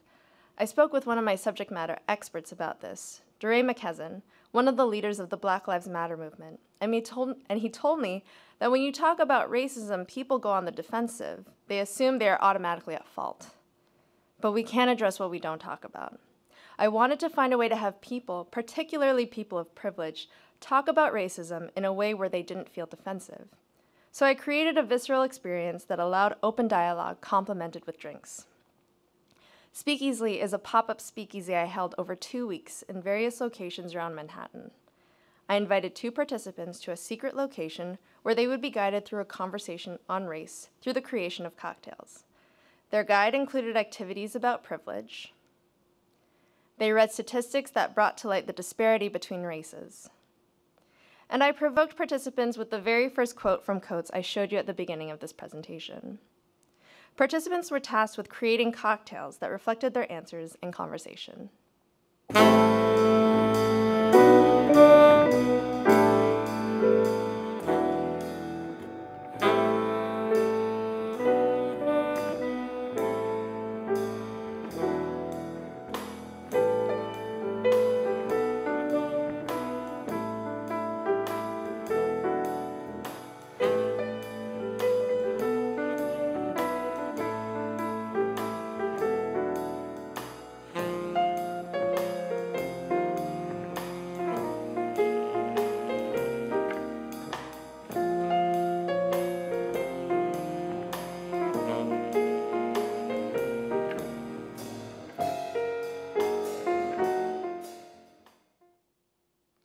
The feedback from my users was encouraging.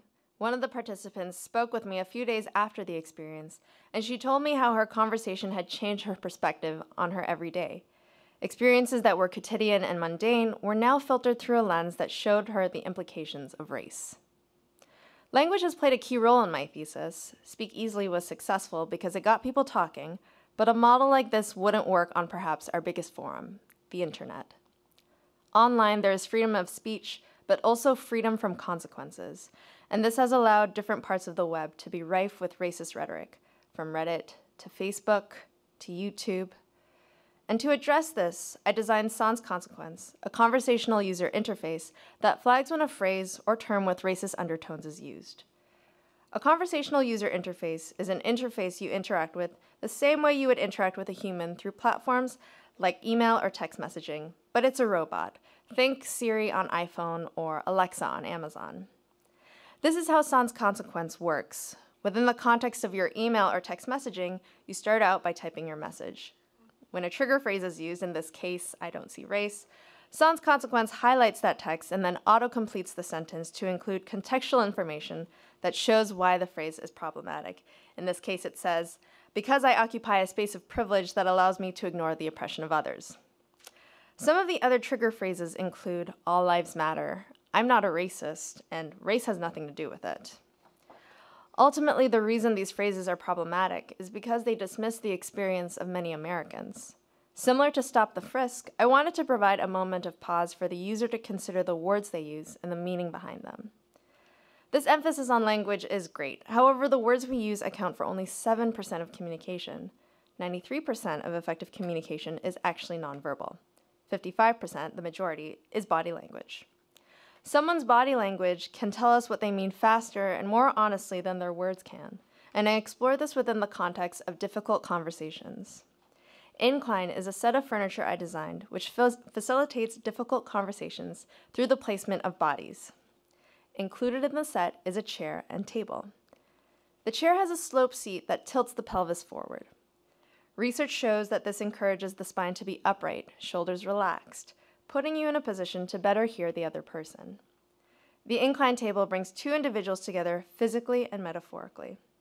Through the movement of the two sides coming together and the choreography of the bodies moving their seats forward, The incline table brings people to a place of common ground.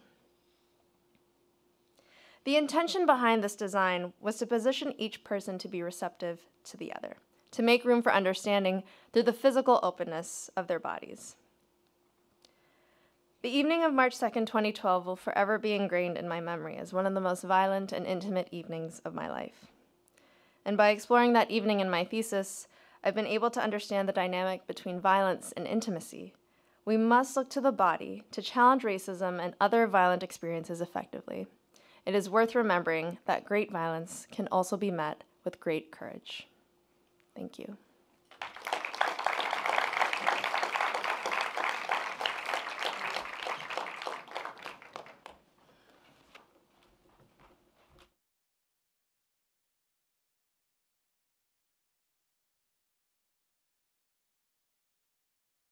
Thank you. Uh, just such an articulate presentation. I have to tell you publicly, I participated in one of these Speak Easilies, and um, in the last few weeks, I've had a couple different discussions with people uh, of a different race than than I, and I actually felt very different about it. Uh, and In I want to thank you. I was more comfortable. I felt a kind of permission and license that I will absolutely attribute to that workshop. That's awesome. Yeah, That's like so one of the best testimonials to really, speak easily. It was really something. Thank you. You're welcome. Um, thank you. Uh, your work, you know, it's interesting. You talk about Ta-Nehisi Coates. You know, when I was when I was reading that book, I mean, just the the paradox between the there's the brutal information and communication in that book, and the fact that it's like a poem is just very hard to reconcile. I mean, it was it was almost distracting. I couldn't believe what I was reading was so beautifully written, but what I was reading was just so unbelievably uh, difficult and disturbing. Your work from the very beginning has always struck me as a kind of poem that you are able to take this difficult work and somehow make something beautiful out of it. It's a it's a handy thing to be able to do. Thank you. Uh, is it conscious? Like, are you, like, how do you, how do you do that? Big question. Uh, that's a really great question. Um, I think for me in my own creative process, I there is a level of nuance that I like to integrate into my work, and there's a level of poetry that I like to integrate into my work. And I think a lot of that actually comes from um, listening to myself. So I know that you know my colleagues can attest to it. There's a lot of research. There's a lot of things that we're doing. There's a lot of noise, and at some point, you kind of just have to step out of that and be quiet and just listen to yourself. And I think that's really where it comes from. Um, also, a lot of hard work. Yeah, also a, ho- a lot of hard Also work, but somehow work. amongst all of that, you got to find like five, ten minutes if you can, just to be by yourself and let it let the work come out of you. You know, I know you wanted to, s- you wanted more scale, and I think that the app is is smart. I would be very um, pleased to know that Speak Easilies were were continuing to happen and it happen in other cities around the world. I think it would be well worth it, and I think that that the workbook that that is the methodology for the workshop is only going to get better and smarter and more effective. Yeah, definitely. I'm definitely hoping to um, Kickstarter another version of Speak Easily sometime this summer. So if anyone is interested, please let me know. Because it was probably one of the most successful out of all of the designs that I created and t- very, very enjoyable for everyone involved. Yeah, and the booze helped. The booze definitely helped. It that was a lot of fun. Definitely loosened the lips. There's no question. Coming up with those I cocktail think I, s- I think I looked to you at one point. I said, like, the booze is very clever. it's like I can't believe what's coming out of my mouth. Uh, it was good. Thank you, Tahnee. You're welcome. Thank you.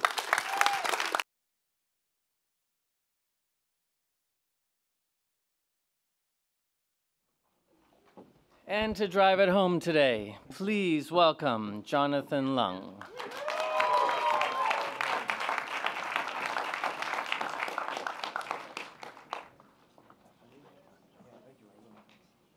That's nice. This must be what it feels like when they call your name on the price is right. You run down, like, yeah, I'm gonna win a boat. I'm gonna win a boat. But uh, I guess no, no boats today. But uh, I'd like to take uh, 30 seconds to just congratulate my fellow peers. Have you joined me in a round of applause? You did it! You're done! That's right. Fantastic. There you go. And uh, I'll be joining you in uh, 11 minutes and 30 seconds. So let's, let's, let's do it right. Um, so my name is Jonathan Lung, and I am a second generation Chinese American. So what that means is my parents came over from Hong Kong, uh, and with uh, coming over to America, they bought that dream of starting a new life, and they also bought over a sense of traditional uh, cultural distrust of their surroundings. Right? If you, you know, Judy, with your, you know, you can attest to this. Uh, yeah, thank you. Uh, and, and so, you know, as I was growing up, they lovingly passed this kind of distrust on to me. Thank you very much. Uh, and, and so what that's become as I grew older is a sense, this, this constant sense of needing to be prepared, right? Needing to be ready for anything that could happen in, in the unpredictable world. So today I'm extremely proud and excited and nervous to present At the Ready, preparation for just about anything. And so when I say preparedness, I mean it's a state of readiness to counter uh, or react to situations that may cause physical or psychological harm. And so on my thesis journey, that's me in the, the hair, see? Um, you know, I started, you know, looking in and seeing how could I prepare myself? Like, what could I do to prepare myself? And then taking those skills and continuing the journey, how could I prepare the people that I cared about? Like, how could I take care of them? And then I realized, you know, you can't be there all the time as much as you'd want to be. So what can I do to help them prepare themselves? And so, you know, starting this thesis, I did what I do best. I uh, just started building things. And starting with a speculative project called The Hive, really inspired by Harvard School of Engineering's uh, RoboBee project. Watch it. A micro robot capable of sustaining flight. I created the Hive. And what that is is a series of probes, or rather, I envisioned the Hive, sorry. Uh, it's a series of probes that are completely open source and they collect data. So you can kind of type in and program what you want them to collect, and they transfer that information back to you via these haptic stickers. So what this does is it completely lets you feel your environment uh, more so than you could ever, you know, like you know, smell, touch, or do anything to your environment around you. And next, I looked at doomsday preppers. And so, for those of you who don't know what doomsday preppers are, they are people who've left the modern society to kind of prepare for the end of the world that they think is coming. So, whether that's like a nuclear holocaust or financial collapse, they kind of hide out in the forest and, and just prepare. Now, I don't want you to be like that, but I do want to kind of take that fervor for preparedness and, and, and turn into a product to give it to the general population. And so I created three products based on the elements to sustain survival, sustain life, air, water, and fire. Focusing on air, I uh, built many, many prototypes. This one's a modular one that allowed me to test the, uh, you know, like breathing tubes, filter sizes, mouthpieces, all this stuff, and just looking at how I could shrink this down to pocket-sized preparedness, something you carry around every day. And finally, getting to the last one, I created this, which is a pocket-sized respirator, as I just said. That features what I believe to be a simple design, Allan, if you'd back me up on that one, uh, that is easy to clean and easy to maintain. And so it features a silicone mouthpiece that really gives you a nice seal between the device and your mouth. And it also features removable filters that can be upgraded or changed depending on the situation. Next, I look at water. And just similarly to the pocket-sized respirator, the brother, the water pump, is also pocket-sized, can be thrown in your bag and forgotten about. So when you need it, you can take it out, use the handle and pump water through a series of filters, giving, turning any water into clean, drinkable water. Moving on to fire, took inspiration from, uh, if you know the strike steel, you know you, take, uh, you typically take a piece of steel and you scrape it and it produces sparks hot enough to some, uh, ignite tinder. And so I've turned this scraping gesture into a stamping gesture that can help you create fire very quickly. And so here we have all three together. Next, I wanted to take these skills and just protect the people that I love, the people that I care about, right? And all these people right here. And so I focused my lens first onto uh, bullying, uh, something that happens uh, more and more prevalently nowadays, which is unfortunate, and created the Flex Vest. Really building off the, the research that Amy Cuddy has done. She's a social psychologist who believes in the outside-in approach, which is using uh, the body to affect the mind. Uh, I found out that this, if you'd all join me in doing this, you know, this, this pose, this power pose, uh, is scientifically proven, if you want to keep your hands up there for another like two to four minutes, is scientifically proven to increase uh, testosterone and decrease cortisol, which is like a, a, a hormonal uh, response for stress.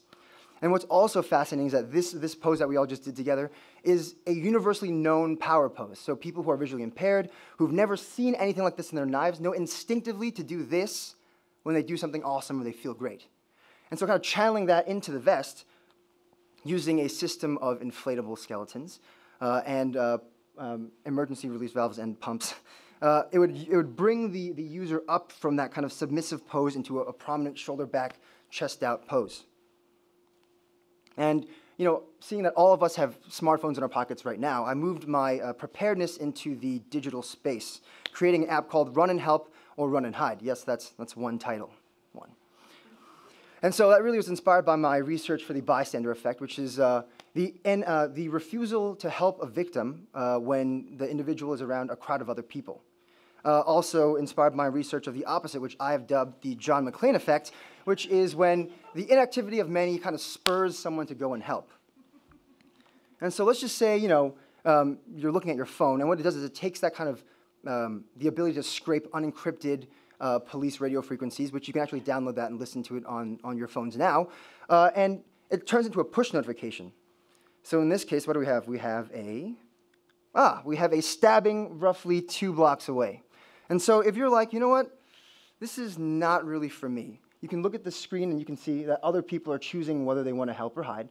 And so the counter kind of builds off of my research for the, you know, John McClane effect or the bystander effect. And if you're like, you know what, mm, not today, right? Then you can swipe, hide, and it'll give you locations on bookstores, uh, you know, restaurants, things like that for you to, to, to take shelter, right? So there you are, there's the stabbing, those are the yellow places that you can go and hide. But you know, if you see this notification, like, goddamn, I am in, well, then you swipe to help. And what that does is it kind of gives you the immediate GPS location and also using Google Maps, the best, fastest route to that thing. And so now after all this, you can actually look at the statistics of how many crimes you've attended. Uh, it keeps a log of the things that you've done, gives you the ratio of help to hide, and it has this kind of conversion rate for seeing like, you know, whether you're participating more or less in society. But you know, this, this, this could never happen. Can you imagine if someone went to go help and they got stabbed, like the liability, it'd be, it'd be a disaster. It could never happen.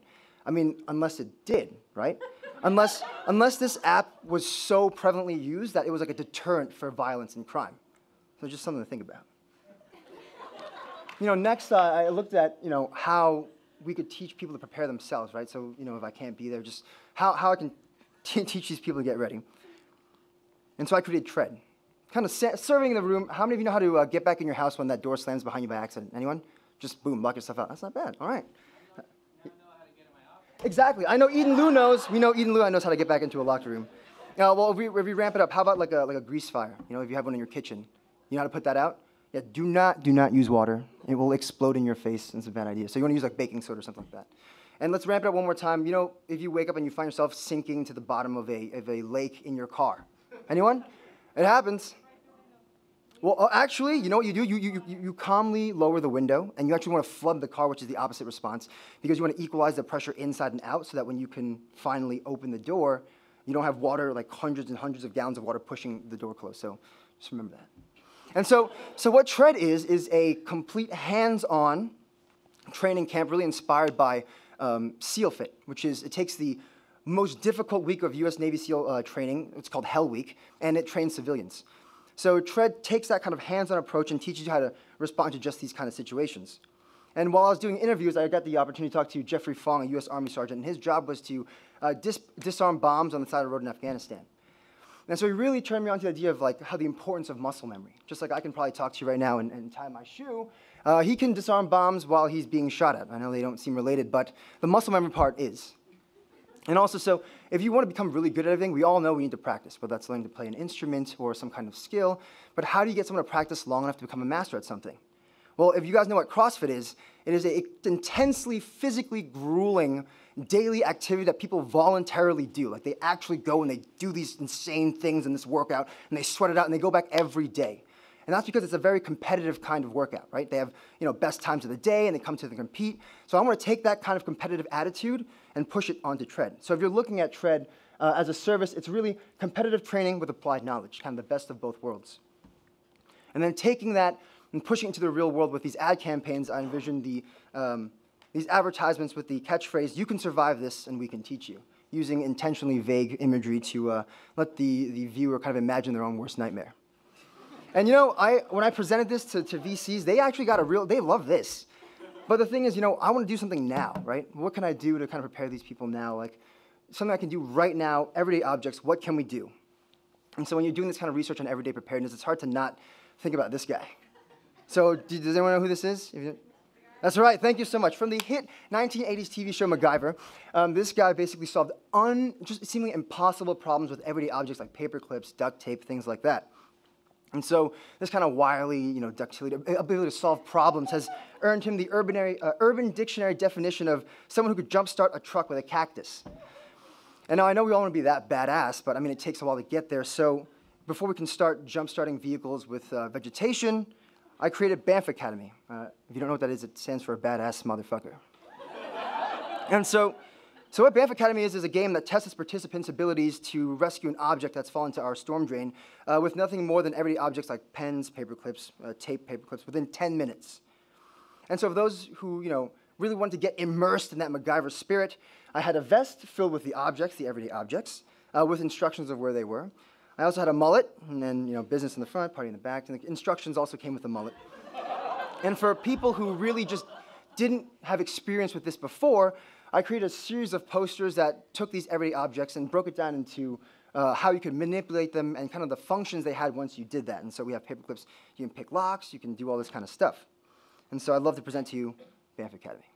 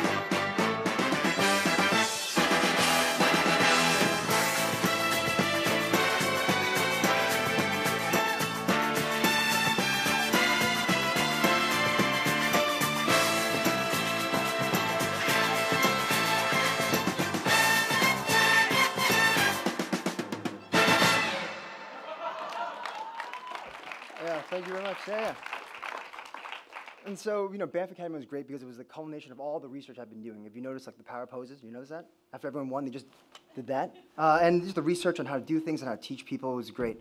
And so from BAMF Academy, I learned two very important things. One, everyone looks good in a mullet. I mean, that was like, that was a full one, 60 seconds of people in mullets, and they look amazing. And the second thing is, you know, when it comes to preparedness, you know, you have, you have tools, you have gears, gadgets, and, and you have, you know, muscle memory and learning things like that. But I really think when it comes down to it, preparedness is a state of mind, right? It's being ready to respond to any kind of situation. And so whether you're going to apply a second layer of suntan, uh, sun lo suntan lotion or you're going to pick up Krav Maga, I hope that my thesis has one way or inspired you to be uh, at the ready.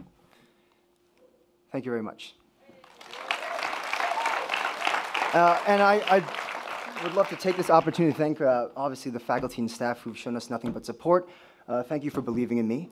And thanking uh, all the friends and family who've come. My mom's back there. Hi, Mom. Woo! There she is. There you go. And all the people watching on the live stream, thank you so much for your support and understanding why I dropped off the face of the earth for two years. So there you go. Thank you very much.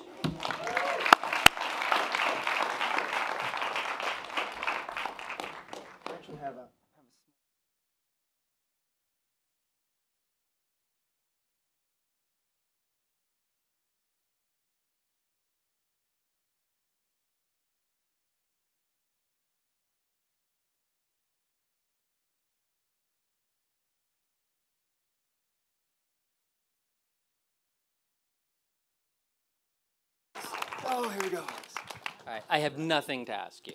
I would like to know, like, what it was like to, you know, I want to meet the mom who raised Jonathan Lung, basically. so we're going to talk after. I want to thank you for, like, being John for these last two years. I mean, just your energy and just the commitment. The number of all-nighters, I think, is what we really need to talk about. Five per week, roughly? Uh, you know, on, on a good day, maybe. Maybe it's just uh, you know you're like you're like a wonder of the world. That, well, that's fine. Thank yes. you very much. Well, it's not, it's not just me though, because you know when I stay late, everyone else is working there too. So it's just like a it's kind of like a family See, event. You know, and deferring the credit. Like, look at this guy. No. All right, you know what? We haven't taken questions. Does anyone have a question for Jonathan Lung? Where's the confetti cannon? Oh, I, I, I have it. Oh, no, no, no, I have it. I have it. Maybe tomorrow night at Industry City. Oh, no, when we take pictures later, I'm just going to fire it in the air and we can all bask in the glory of confetti. Anybody else? Uh, these were actually these were actually my father's shoes, and he got them handmade in Italy, and that was kind of the thing he passed on. So. Oh, honoring him tonight. That's beautiful. They're fancy. Yeah. they match your hair. Yes, this is the whole the whole get up. And the tie, actually. I look like an idiot. No. Yeah, you're like, you know, put together here. Graduated from design school. Yeah, thank you. Comment of the night. Thank you, John Lung. Thank you so much. Yeah. Thanks.